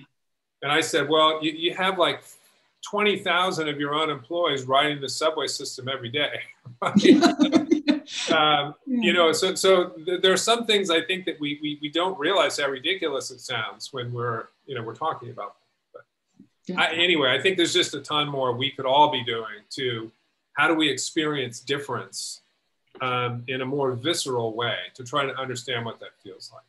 I couldn't agree more. And I think sometimes even just setting out the smallest markers. So, like you said, our our friend, you know, um, here, how are you setting meeting times? Is it everything according to what's going on with corporate within headquarters, or are you paying attention to, okay, we have most of our um, most of our employees in Asia. Let's try not to have a call at nine o'clock on a Friday night for them. So, you know, how are we shifting up the times? It can be as simple as that, and it can be as easy as that as to how are you showing respect or even just acknowledging the effort that has become quite often in multinational companies so self-explanatory that we forget that you know we have a diverse group of people. And so how can we you know just simple messaging how are we making sure it's also in local language? And and giving that that respect of understanding of we are one team different locations different functions different needs how and then what brings us together and, and paying attention and tuning to that. Right. And listening so i the last international trip i took before mm. the lockdown i was in japan. And um, i was having a meeting with a big pharma company and i was talking to their it's a global company and their their um, their their head of diversity inclusion for asia. And she said to me she said you know we have this really well-intentioned global initiative right now um, driven from our execs, chief executive that's about called speak it's called speak up mm-hmm. and the mm-hmm. purpose is to give people to encourage people to express their opinions and to mm-hmm. tell us what they think and she said you know and that's all well and good but in this market in japan what we really need them to do is listen up right yeah. so she had this whole view of you know help me david to uh, ha- help me drive that message into how we think, it's mm-hmm. because speak up is great. It's also a Western idea, right? Mm-hmm. Let's all be direct in our communication, mm-hmm. and that's the best way to be. And that's that's that's actually an unconscious bias. So how do we um, how do we uh, change the way we think about these things? So anyway, I thought that was a it was a great point that she made, um, and I have no idea how she's doing since I haven't seen her since uh, since February because of this silly lockdown. But um, I think it's a good point, right? About how are we looking at things from different cultural viewpoints as we're suggesting them. Yeah, couldn't agree more. As you know, leadership plays out very differently of what is that social context locally and that socialization and how are you working within that. I always say, you know, my old role to say, let's half standardize and say, okay, what are the principles we're trying to get across? But then how we do that locally, that has to fit to say, okay, are we, you know, how are we working towards that those same principles and goals? Because then you get that co that co-creation and you get different solutions which are beautiful that can be transferred elsewhere to say how are we inspiring different ideas? Um, because it's that plurality of opportunity around how can we look at this? If the principles are the same how you do it that's not something i want to dictate to you. But i think that that's a lot of that unlearning as to okay central office deployed and then implemented rather than saying okay how are we looking at what are we trying to accomplish and then how can we accomplish it together it's so true and and right now you know because we're all used to working remotely mm-hmm. another conversation i had recently was company said you know we got to find a new head of learning and development so i asked the question well where in the world is your do you have the most pain points in your talent mm-hmm. mm-hmm. they said oh it's in, in asia pacific and i said well where's the role going to be and they said oh it's going to be in cleveland you know mm-hmm. and i'm thinking and i said well okay, let, can we just back up a little bit? So, yeah. what, why can't you put the role? Maybe that whole function should be, you know, in in in, in Thailand or or in Shanghai or in Singapore or in India. Um, if that's where the most activity for that function is happening, why not just have the function be there? Yeah. And uh, the person kind of looked at me and they said, "Oh, we're we're not ready for that yet." You know, and I'm looking at the wall on all this stuff about inclusion and diversity and thinking, well, maybe you, maybe you need to challenge yourself a bit. Yeah. So I think I think especially now because we're this is a great mm-hmm. opportunity to redefine where we have roles. They don't really need to be any particular place anymore. I would argue, right? Yeah. So mm-hmm. anyway, it's um, I, am looking forward to to the next. Uh, well, I'm looking forward to the end of lockdown, but I'm also looking forward to seeing how our uh, newfound competence at working remotely will change the way we look at these roles, especially leadership roles. They don't need to be all in one place. Couldn't agree more. Couldn't agree more. I love it. Thank you, David. Um, so last thing, how can people contact you and what do you want, what are you going to be doing with your research? So, um, well, on LinkedIn, um, I don't know, you can, you can tell me, um, Liz, the best way to do this, but um, you can find me um, on LinkedIn, just David Everhart or Ionis International, that which is my little tiny company that I just um, just rebooted um, recently. And then I'm, I'm, my plan is I've started doing interviewing. I'm talking with um, global executives I know to try to round out and and get feedback on on my thinking about this. But it'll probably be a white paper and maybe some kind of a TED talk um, to start with. But but I'm hoping if I if I can get organized about it, it'll maybe be a book. I love it. It's great. It's needed, and I think, like you said, the delta between these three areas is so necessary as we continue to move forward, as we look to opening innovation, as we open up this thinking of it's not just where you sit, it's how you interact and how you show up. I'll just finally say it's been great to listen to all these stories today, mm-hmm. and I, I'm I'm I'm just constantly amazed at how much I still need to learn about this about this space, and uh, and that's actually pretty that's pretty exciting too. Couldn't agree more. Awesome. Well, thanks, David, and we will see each other at the latest at our group meeting. Indeed, we will. Thanks, Liz. Thanks, David. It was really cool. Thank Thanks, you. Uh, Thank That's cool. Marvelous. I'm gonna I'm gonna bump you into um, in a truly slick way. I'm gonna do that, and it makes you disappear from the screen. Now. Hi, David. There you go. Look at that. Now, people, people, you know the thing that happens sometimes where we just sit here now and just pause. I'm just going to do this faffing about technical phrase. Elizabeth, you're going to talk to me about. about uh, well, we haven't got. Oh, we haven't got our guest. We're a bit guest. Ah, uh huh. Okay, let me check my my guest list. Um, so she should be here. We've certainly got. Um, she's got the link. Yeah. Um, and she's accepted it. Which is also also a really good sign because it means people have seen it. And she is usually, I know her. She is extremely timely. So La la la. Da, da, da, da. Jim, um, fill the void.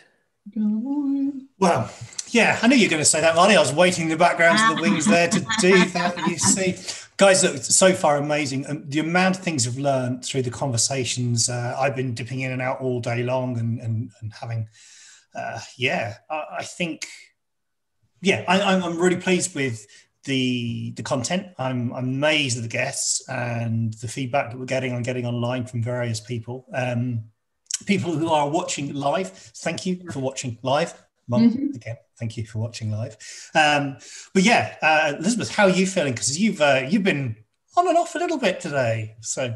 Uh, it's been awesome. No, it's been um, just the conversations. I think this this these aspects around how are we having a broader lens um, and thinking about these things differently, looking at how are we not only saying, Are you empowered and feel empowered, but how are we also seeing ourselves as empowered and taking our own voice and how that that has to grow in terms of our own maturity. And by seeing others by having different representation and having these different conversations and bringing the different groups together that that that is a real boon and a real gain um, and so i think as we continue down this path um, you know, from, you know, this R Circle, which was you, you, you and Martin had decided, hey, let's do a couch show sometime at the beginning of the year, um, has developed to say what is really needed is connection and real conversations. So, how are we taking the time just to get a diverse group of people into a room and having different types of conversations um, is absolutely brilliant. Yeah, and I think the for, for me the learning curve every time we jump on and listen to people from you know the chats first things with with Charlie, Toby, and Sam, right the way through to the chats with Theo and Dan and everyone else that have been on. Every element and point of the show today has had something where I've gone, ah, that's something else. That's an interesting point. I know Jan was talking at lunchtime about various things, and comments were going on the bar on the working lunch uh, side chat there. And you know, we we talk about. I think Stephen brought up something about privilege as well. You know, and I think there's so many things that that so demographics, certain people, you know, we don't even see the privilege that's right in front of our nose. You know, there's so many things that were just not obvious to us that we're privileged to be have to you know various elements and things. So today's been great. It's been great learning and i'm looking forward to uh, to the next guest. Wherever the no jim jim don't do that. don't do that. We haven't had the next guest. That's the whole point. We know she's not there at all. Not no, that's the whole point jim. That's why we're getting you to fill I'm filling, I'm filling, and I'm filling and running running out of energy because I wasn't prepared to fill this afternoon. You oh, see. God, oh, you said I was going to. Are you going to be Holly now? If I'm going to be Phil, Phil, Phil. So, oh, I just got her. Um, she will be. She had a slight uh, change, so she will be here within five minutes. So that's totally good. So, but, case, Jim, you've got to fill for five minutes. The good news is that means people don't get to hear you at three o'clock when you come to fill for a minute. Um, we can oh. do two things. We can we can chat and bore people or bore. I mean, what's your mum doing today? Is she all right? My mum's great. She's loving the show. Thumbs up. Great in the background. Yeah, trying to get well.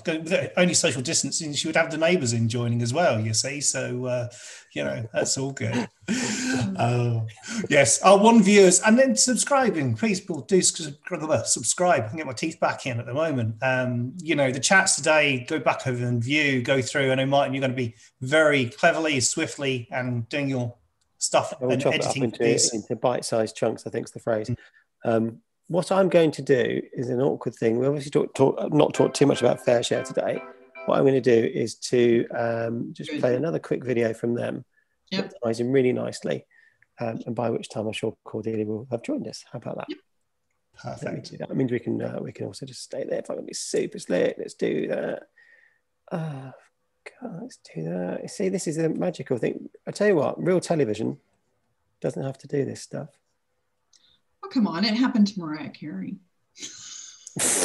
One of us is Mariah Carey and choose your words carefully. People get offended if it's not him. If I do that and I do that. and you have Mr. Bean on. I love it. Ah, there we go. FareShare is the largest redistributor of surplus food in the UK. We work with over 11,000 charities helping to feed an incredible million people all across the UK. It makes life much easier. On a day-to-day basis, FareShare receives food in from the food industry. We then package that up into orders for our charity members and then send it out on the road for them to turn it into meals. Without our volunteers, FareShare wouldn't exist. They really, really are the people that make us work. I've been volunteering at FareShare now for roughly two years. I'm a warehouse operative. That means picking orders for deliveries the next day and sorting food that comes in by trucks on a daily basis. I come from like an office environment and I find working here is, is much better than being stuck in an office all day. I decided to volunteer for FareShare because I've been unemployed for 15 years and I wanted to gain confidence and get to know what it's like to be in a workplace again. To do something like this, it's really rewarding, you know, and to see that where the food's going and the people that you meet and who they help, it feels great. It's a very friendly crowd here at FareShare. There's a lot of laughter, quite a bit of banter. You make a good detective. It's a really fun place to work. You're giving something back, and you get a tremendous sense of well-being in the process. We've got warehouse assistants, we've got drivers, we've got customer service and office-based people. No matter your skill set or your interests, come and volunteer for FareShare.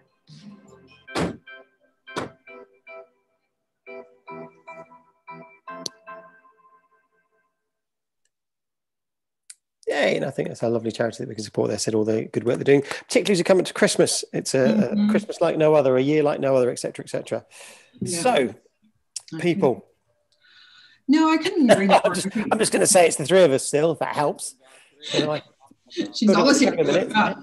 Well, and the the other thing I want, so I think FareShare, and as we continue to look at how are we volunteering, what are we doing with our time, I also wanted to take the opportunity because today is also I am wearing orange, um, and it's not without reason because today is, of course, the day as we look to. Um, violence against women and violence against women is not only physical it is also emotional social. So how are we looking to empowering different voices is part of um, what we're doing at R Circle is to say let's not get always the typical speakers. Like uh, you know we had a couple of first time speakers for example Adva.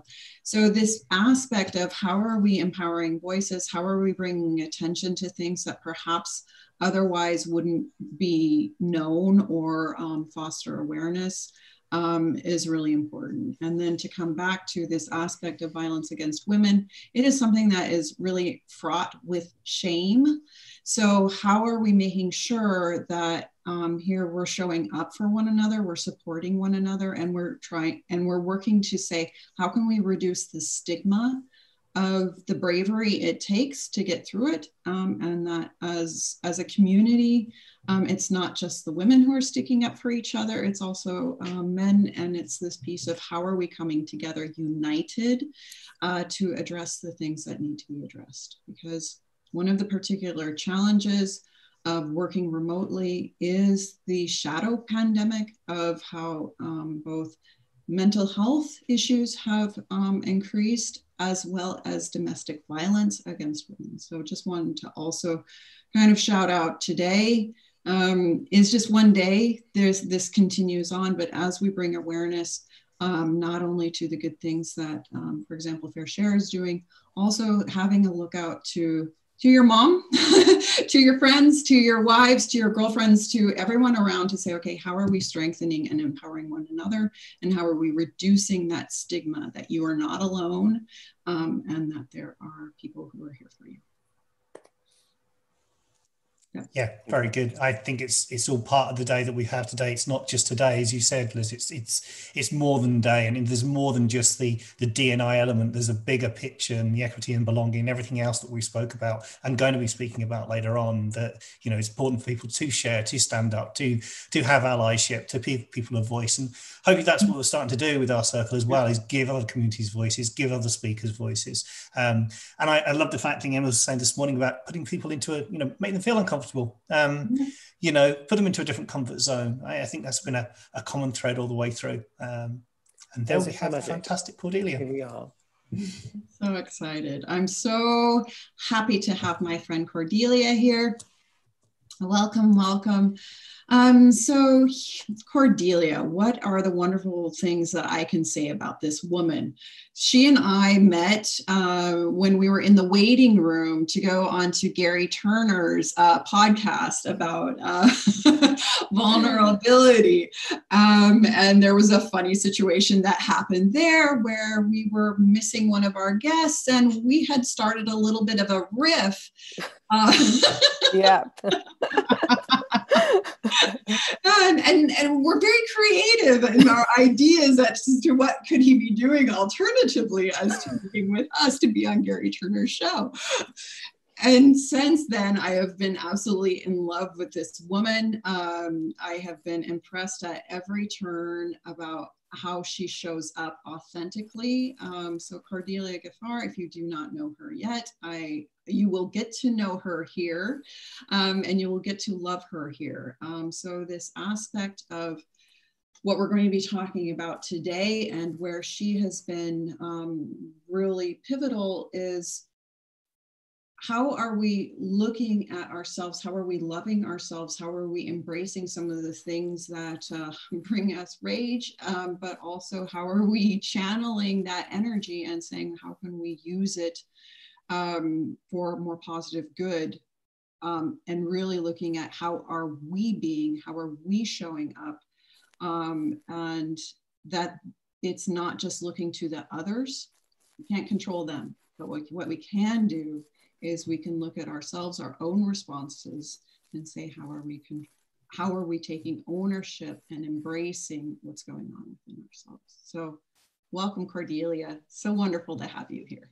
Thank you, Liz. What a beautiful introduction. And yeah, that's so that is so on point. It's like I that I love the work that I do because I, of course, I'll do events like this where it's very, you know, cerebral and intellectual and we can talk all the theory. But then I do events once a month where, you know, it's an embodiment of those things. So this past weekend, I had my embody joy retreat. And like one of the things that came up for women, I was like, so like we didn't talk most of the event, right? Because we were just mm-hmm. like in our bodies and so I was like, So what's come up for you today?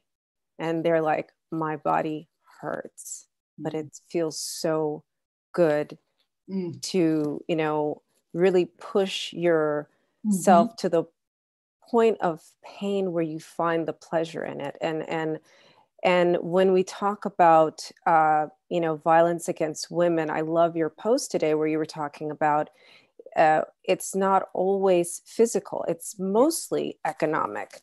Like mm-hmm. violence against most people who are being discriminated against, it's mostly economic because you're forced to make economic choices that you otherwise wouldn't, which put you in compromising situations that become violent.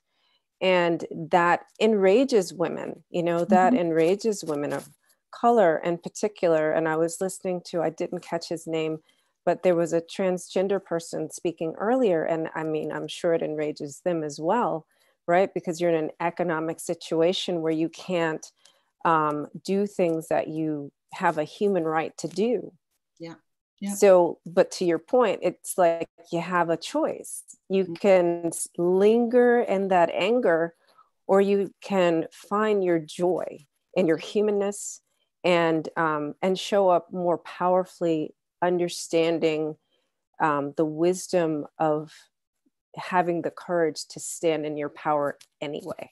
Yeah. Yeah. yeah.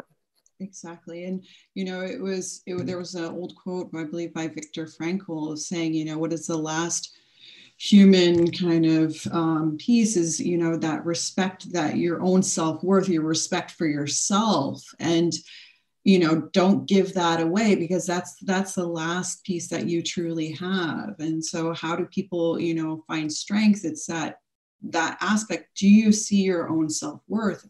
And quite often you know as we you know like you said mentioning about violence is not always physical. It's also that piece of also self-harm. Like how do you see yourself do you see yourself as worthy? Do you see yourself as someone who's bringing in your voice and that you have a valid voice? And oftentimes it is a learning to how do you blend out those critical voices from the outside or oftentimes also very much from the inside and yes. our self-defeating or also you know you're not being good enough whatever those stories are to say how are you respecting yourself and giving yourself value? is one of those most important first steps to be able to to broaden your own power.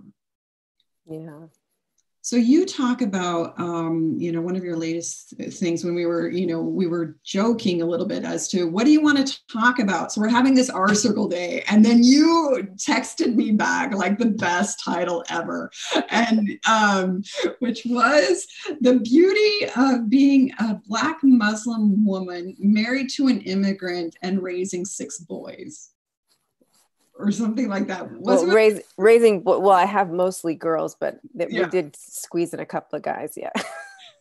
And I I think exactly. I'm like, wait a minute, you have a lot of, you have really, really cute girls. exactly. Well, and to that aspect of how are you um, owning up with your own people pieces of how do you choose to live your life? And so, can you perhaps talk to me a little bit about how you learned to, you know, call it the beauty because it is beautiful, um, and you know, going away from those little, uh, what are those shoe boxes of the schemata of, you know, I can put that in that category, in that category to say, hey, let's release that and say, how are we showing up and seeing the people for who they are? Yeah, I'm all about you know releasing what's expected and accepted. Mhm. And um, I learned during the pregnancy of my fifth child, who was a girl, uh, that you know it's really even though I had neatly uh, compartmentalized our life with the four children, two boys, two girls, you know, whatever. I had to embrace living in harmony as a mother and that that fifth child was gonna like offset the whole thing so i had to like embrace harmony for a change instead of this thing that we talk about balance. Mhm. and that's um you know so that's why i would say it's the beauty right? So i'm already a black woman in america right? Yeah. but just to make things interesting or not maybe just because i the, the truth of the matter is because i went on a spiritual journey i chose to become muslim. Mhm. and you know the other side of that was um, i happened to, to, to find a, a, a beautiful man who happened to be an immigrant. And um, and then we didn't really you know say we're going to have one or two kids. We were just like, let's just see what happens right? And so um, just living and loving life and as humans have the right to do. Precisely.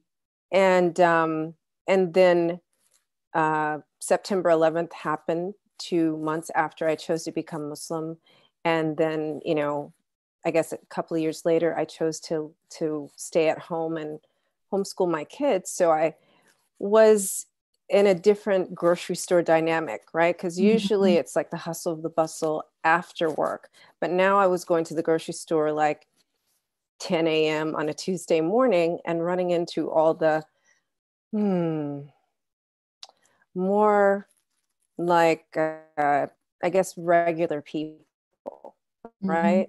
I, I'm not going to take anything away from them, but you know, I came into situations where on on one aisle, my three year old son would knock over a display, right? Clearly, Mhm. he's brown, and I have baby and baby carrier, and then my other um, daughter who's look just a little above being a toddler. And then maybe a couple of hour aisles before, there would have been a white woman, baby in a baby carrier, you know, her three year old blonde eye, yeah, blonde eyed, blonde haired, blue eyed child knocks over a display and everyone's rushing to help her. Right. Whereas on my aisle, everyone's just like those people. Right. And like everyone's kind of moving away and acting like they can't get down the aisle. And what do I do in that situation? Yeah. I have a choice, right? I can be enraged and that's going to negatively affect the energy of my baby attached to my body. Mm-hmm. It's going to negatively affect the way my son feels about what just happened. Yeah. And um and also it's going to, you know, the the negative energy that's already coming from the outside, right? It's going to match it and amplify it. Yeah. So what do I choose to do? Mm-hmm. First and foremost for myself and secondly for the baby who's yeah. attached to me, right? And then for my son, who I don't want to do anything to add to lowering his self esteem in that situation, I'm like, you're so silly. Get up from there. Here, let's go find someone that works at the store to clean that up for you. Yeah.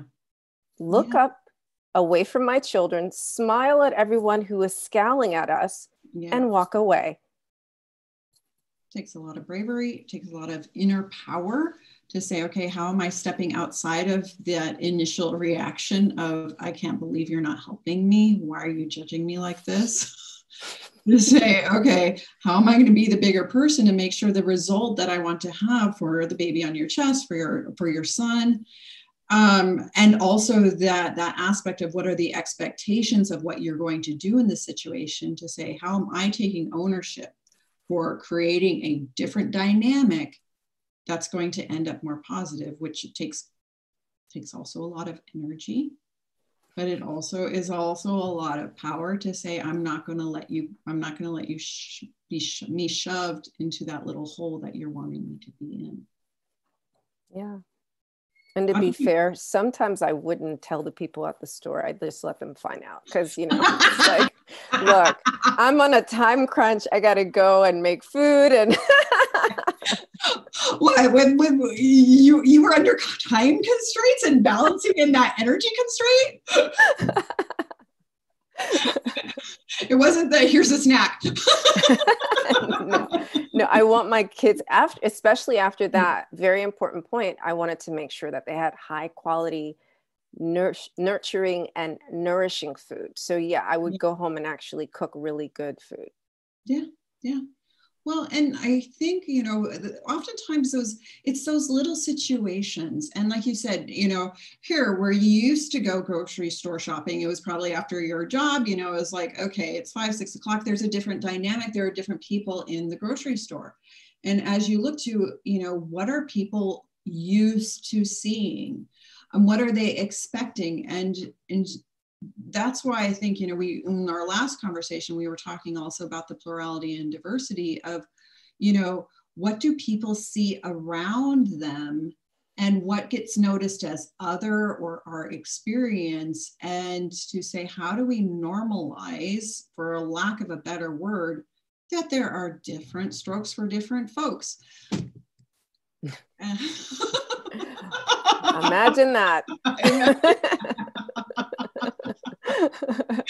I, I, just aged myself there. So everyone, you know, if you don't get that, no one noticed. Go back to some 80s television and then you're right there with me.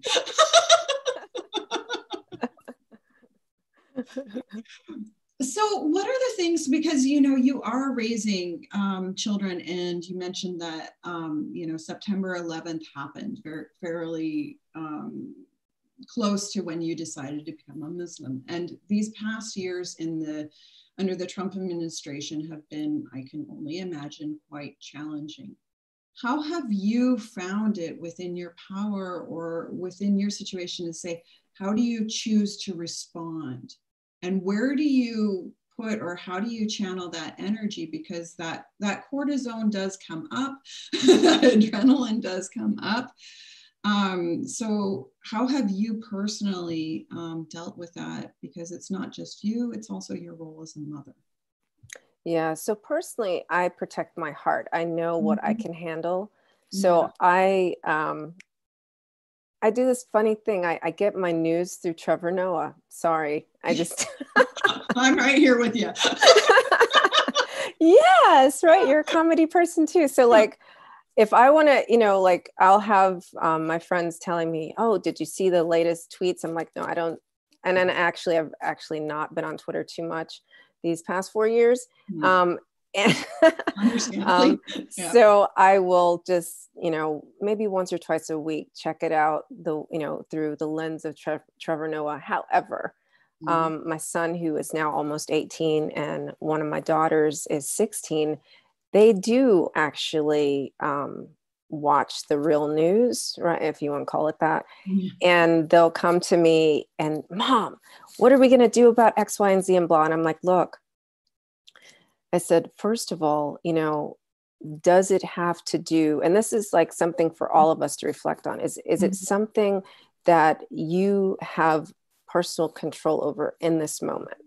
Is it affecting your life directly? And if it's not, your energy, you know, is not uh, needed for that. Mm-hmm. So, you know, protect your heart by what you're viewing and what you're reading, protect your energy by what it is that you can actually um, make a change with mm-hmm. and not spinning your wheels on stuff that just is frustrating right yeah. it's like in your realm of living mm-hmm. what can you do to change that and and i think the the third part of this is you know you introduced the concept of allyship right mm-hmm. so the third part is where do you have privilege and you can show up as an ally for somebody mm-hmm. and so that's that's my take on on how to uh, you know to show up more powerfully and and not stress myself out unnecessarily because mm-hmm. If it's it's if it's not in front of you it's not truly happening but when it is in front of you definitely don't ignore it yeah because that's a whole different kind of energy, right? Could not agree more. Yeah. Yeah. And it's and it's taking that when it is directly in front of you, how are you having the bravery to say, okay, how can I choose to find a way that will help bring this forward in terms of a positive impact? So looking at your your locus of control and your sphere of responsibility to say, okay, what would be a more positive outcome um, and at the end of the day, what are the things I need to speak to? Um, so that you do have that energy. I mean, I'll give you an example, and um, I try not to bring my kids too much into it. That's why I always tell that old story of my son, because like he's like pretty much an adult now. but I mean, just between me and you and all the millions of people watching. I use my privilege as a mom. Like, uh, you know, we'll go to the store, whatever, and he'll be like, "Mom, do you know, um, I'm gonna just run in here real quick and you know look at some stuff, but um, and and I'll be right back." Right? Well, he likes to wear hoodies, and mm-hmm. he's really tall, and he's really handsome. That's just a mom thing, and. and um, right, and then of course we share the same complexion. Yeah. So um, I kind of, he's like, you don't need to come. You can just stay in the car. It's like, oh no, no, I'm, you know, I might want something in that store.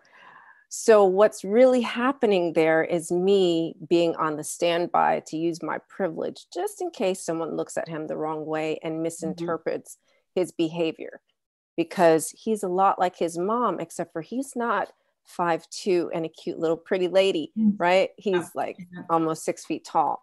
So um, when he does um, something similar to how dare you look at me like that he doesn't smile right i'll mm-hmm. be like mm-hmm. yeah. right and he's just like you understand what i'm saying yeah. so i use my privilege in this way and this happened recently when mm-hmm. we went to the store so he um he actually walked in and he wasn't paying attention and he kind of knocked into somebody who happened to be the security guard of the store. Mm-hmm. And the yeah. security guard happened to side eye him. And so I was right behind him. And, you know, before the guy, oh, like his mouth was starting to open, I was like, Hi, how are you? And he was like, um, Hello, ma'am. And then I was like, um, you know, and I called my son's name. I was like, you know, look, can you go over there and see if you can see if they have sweatshirts? And then the guy was just like, he just shut up and just mm-hmm. looked the other way. Yeah. You understand? I mean, like yeah. this close. Yeah, to a confrontation. Yeah, yeah. And I think you know it, it is very challenging the expectations of a of what are the associations of it's much harder and i talk about this with my with my sister is when does a cute young boy become a scary man and it's it's a horrible horrible horrible challenge and to and absolutely important like you said if you have to protect and we have to protect our boys and especially our boys of color because it is particularly right now in the US a very, very challenging time. And we are furthering and fostering the conversation that has been a long time coming. But it doesn't mean that it's improved. So, how are, yeah, you are absolutely right. How are we using our privilege to, to make the situation that it doesn't escalate um, because we know it can happen in a blink uh, because the aggression is heightened, the expectations are heightened, and we the dynamic and the social dynamic is very challenging. Yeah. Yeah. Yeah, I mean, my other son is, um, you know, so my kids are multicultural. So my other son is a lot closer to your complexion, mm-hmm. right? And he's he's not you know he's like 12 so he's not that tall yet and people are still kind of like double taking like oh he's kind of cute right yeah yeah so to answer your question like when does when do they become scary i don't know if he'll ever become scary mm-hmm. and sadly because of his complexion yeah yeah yeah yeah and and these are and this is where i think it's so important to say and we talk about it openly and honestly because it is a challenge and this is what um, as we've been throughout the day, is oftentimes these things are uncomfortable and people pretend that they don't exist. But pretending they don't exist doesn't mean that they won't happen. And so, particularly as we look to how are we showing up in allyship, and that, you know, I mentioned it before, how I find Love See No Color as being very problematic um, because if we're pretending it doesn't exist, we're also pretending the challenges that people of color, and particularly the darker you get, unfortunately, it, the harder it gets. Um, so, how are we showing up for one another and making sure that, you know, yeah, I'm like, I'm anemic white. Um, so you know and how you know how are we making sure of what can we do to diffuse situations, but also on the other hand, positively, proactively go into the conversation and say, hey, this is not okay. Are you aware of what you just did? You know, and that's do you see yourself? do you yeah. see yourself? Like seriously. But it's that opportunity to, you know, unless people are talking about it in a constructive manner, but also to say, it can't just be the hate speech on the one hand that that gets out it also has to be that piece of how are we showing up? How are we being brave towards one another and being allies where we need to be allies and using our privilege in a positive way? And so that people can see yeah people are sticking up for me. I have a value. I have a worth. And i am um, unfortunately being put into this box. These people are helping me see that i don't have to stay in that box. Yeah. Well, I mean, there are like like two things on that. Mm-hmm. Um, I said this the other day in a session on allyship. I was like, so first and foremost, you have to love yourself up, right? So that when you go out, you are um, really radiating like serious love. And it would take exceptionally miserable individuals to combat that energy, right? Because when you show up like just in pure love, for yourself and then for everybody else i mean you can't help but have it for everybody else then it's just like when i smile i mean and i think it's only happened maybe on two occasions people will like actually look away because it's like I don't know what's going on for them, but I'm like, I don't know who looks away from someone smiling. Like you could just smile back at the minimum. You don't have to say hi, but my goodness, you know. And then the other thing is just recognizing what is your privilege. And so that mm-hmm. was a, a, session I did the other day and um, letting people see you know what layers of privilege do you have and mm-hmm. and you know even for the white people in the room uh, white men they were just like oh i didn't even realize i've got this other layer of privilege you know mm-hmm. and um, it's pretty obvious they've, they've pretty got a, a monopoly on privilege but i mean like um, like in this case, like a lot of their friend, their family members are Trump supporters, so they could actually show up yeah. in a Trump rally and just like collect lots of data. Let's just say that. Yeah.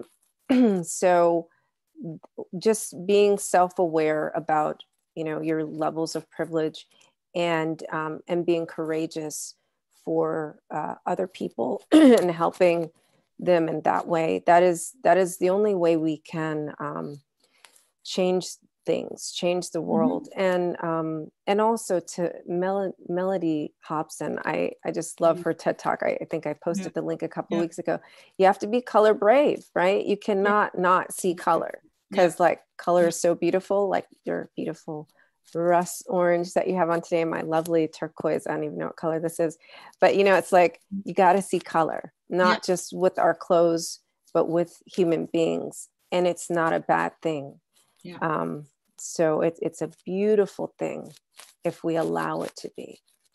I couldn't agree more. And that reminds me so much of what Lerato was saying of you know it's like my you know how did i grow up? What were what were my stories? What was i exposed to? What was my experience? And my experience and my purview doesn't take away from your experience or your point of view. And how are we allowing that and i'm sorry i use that word allowing how are we seeing that that's completely valid and and and celebrating the fact that we do have these different perspectives, that we do have these different experiences, and how can we build upon each other to gain a different perspective as to what can be.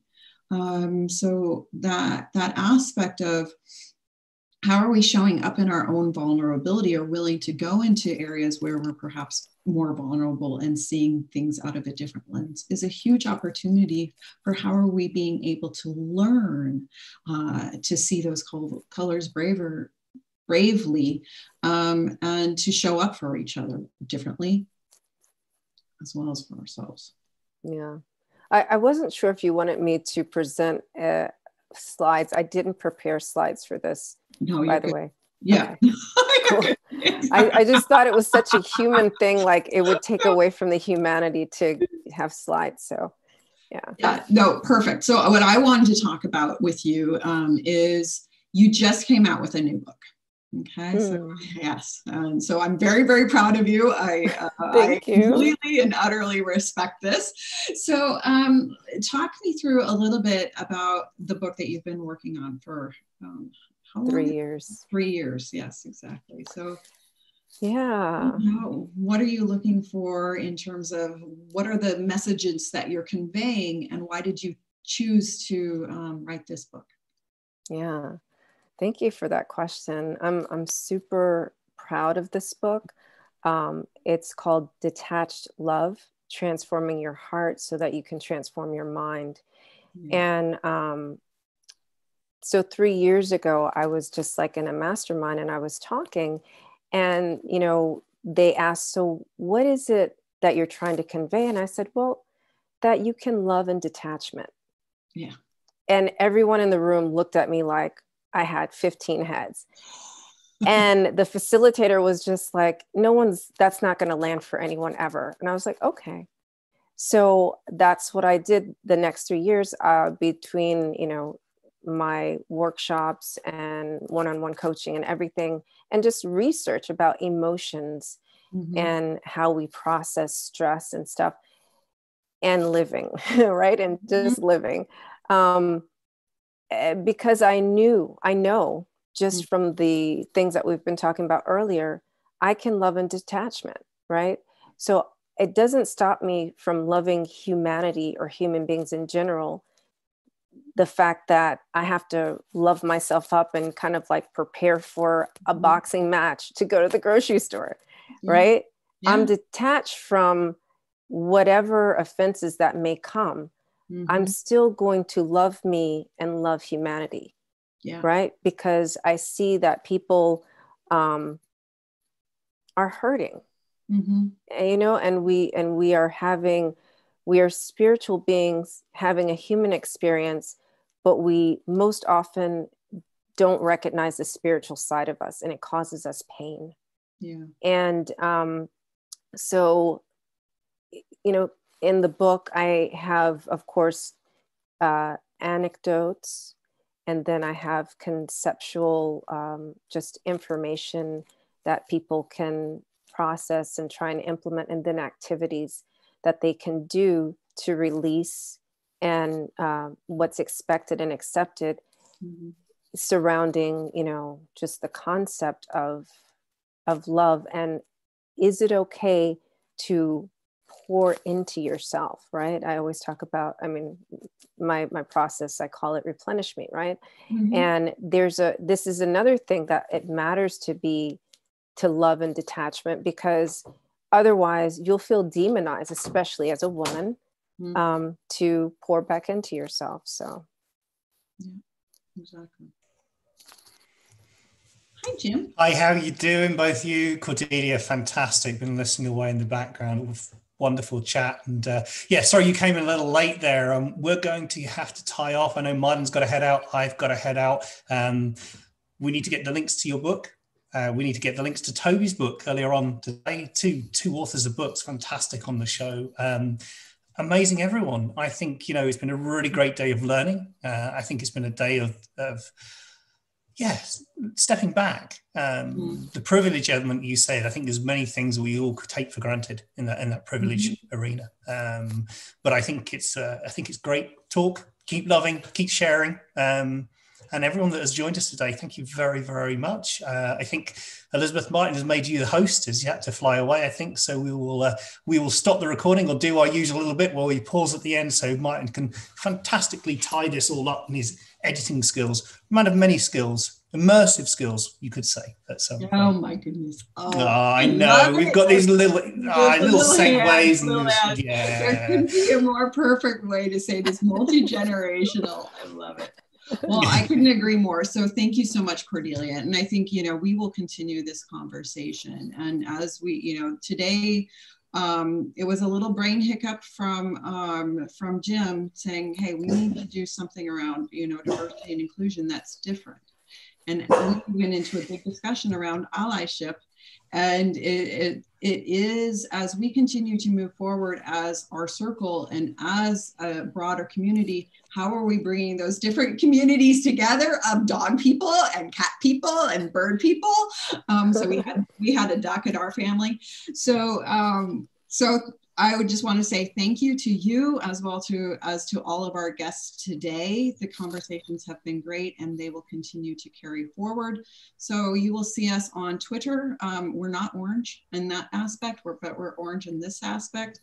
Um, and we can't wait to see you as we continue in our circle. Thank you, everybody. Thank you so much. Thanks, everyone. Ollie says bye as well. bye. and the doggy says bye. I love it. Hey. All right. Then I will stop the recording because I have the power.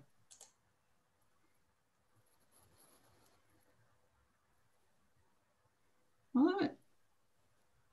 Okay. All but right. we're still live on YouTube, I think. Yeah, there's a 20, 20 second delay, so we normally just uh, just sit here play with dogs. So one thing that you may not know about um, about Jim is he was on Game of Thrones. Oh. not with not with not with a dog. not with the dog. Okay, not with that's the, dog, the no. difference. Okay.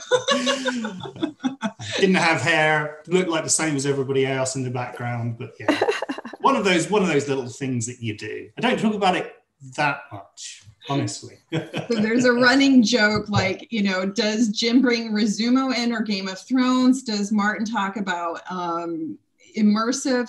And I, for some reason, really am terrible about talking about transforming talent. I have to figure out how I, I remember to do those bombs. So yeah. So if anyone wants to talk about total talent, universes, etc., how do we develop people? That's me. So yeah. Yeah. So we still got still a, a thing that says live here on oh, YouTube.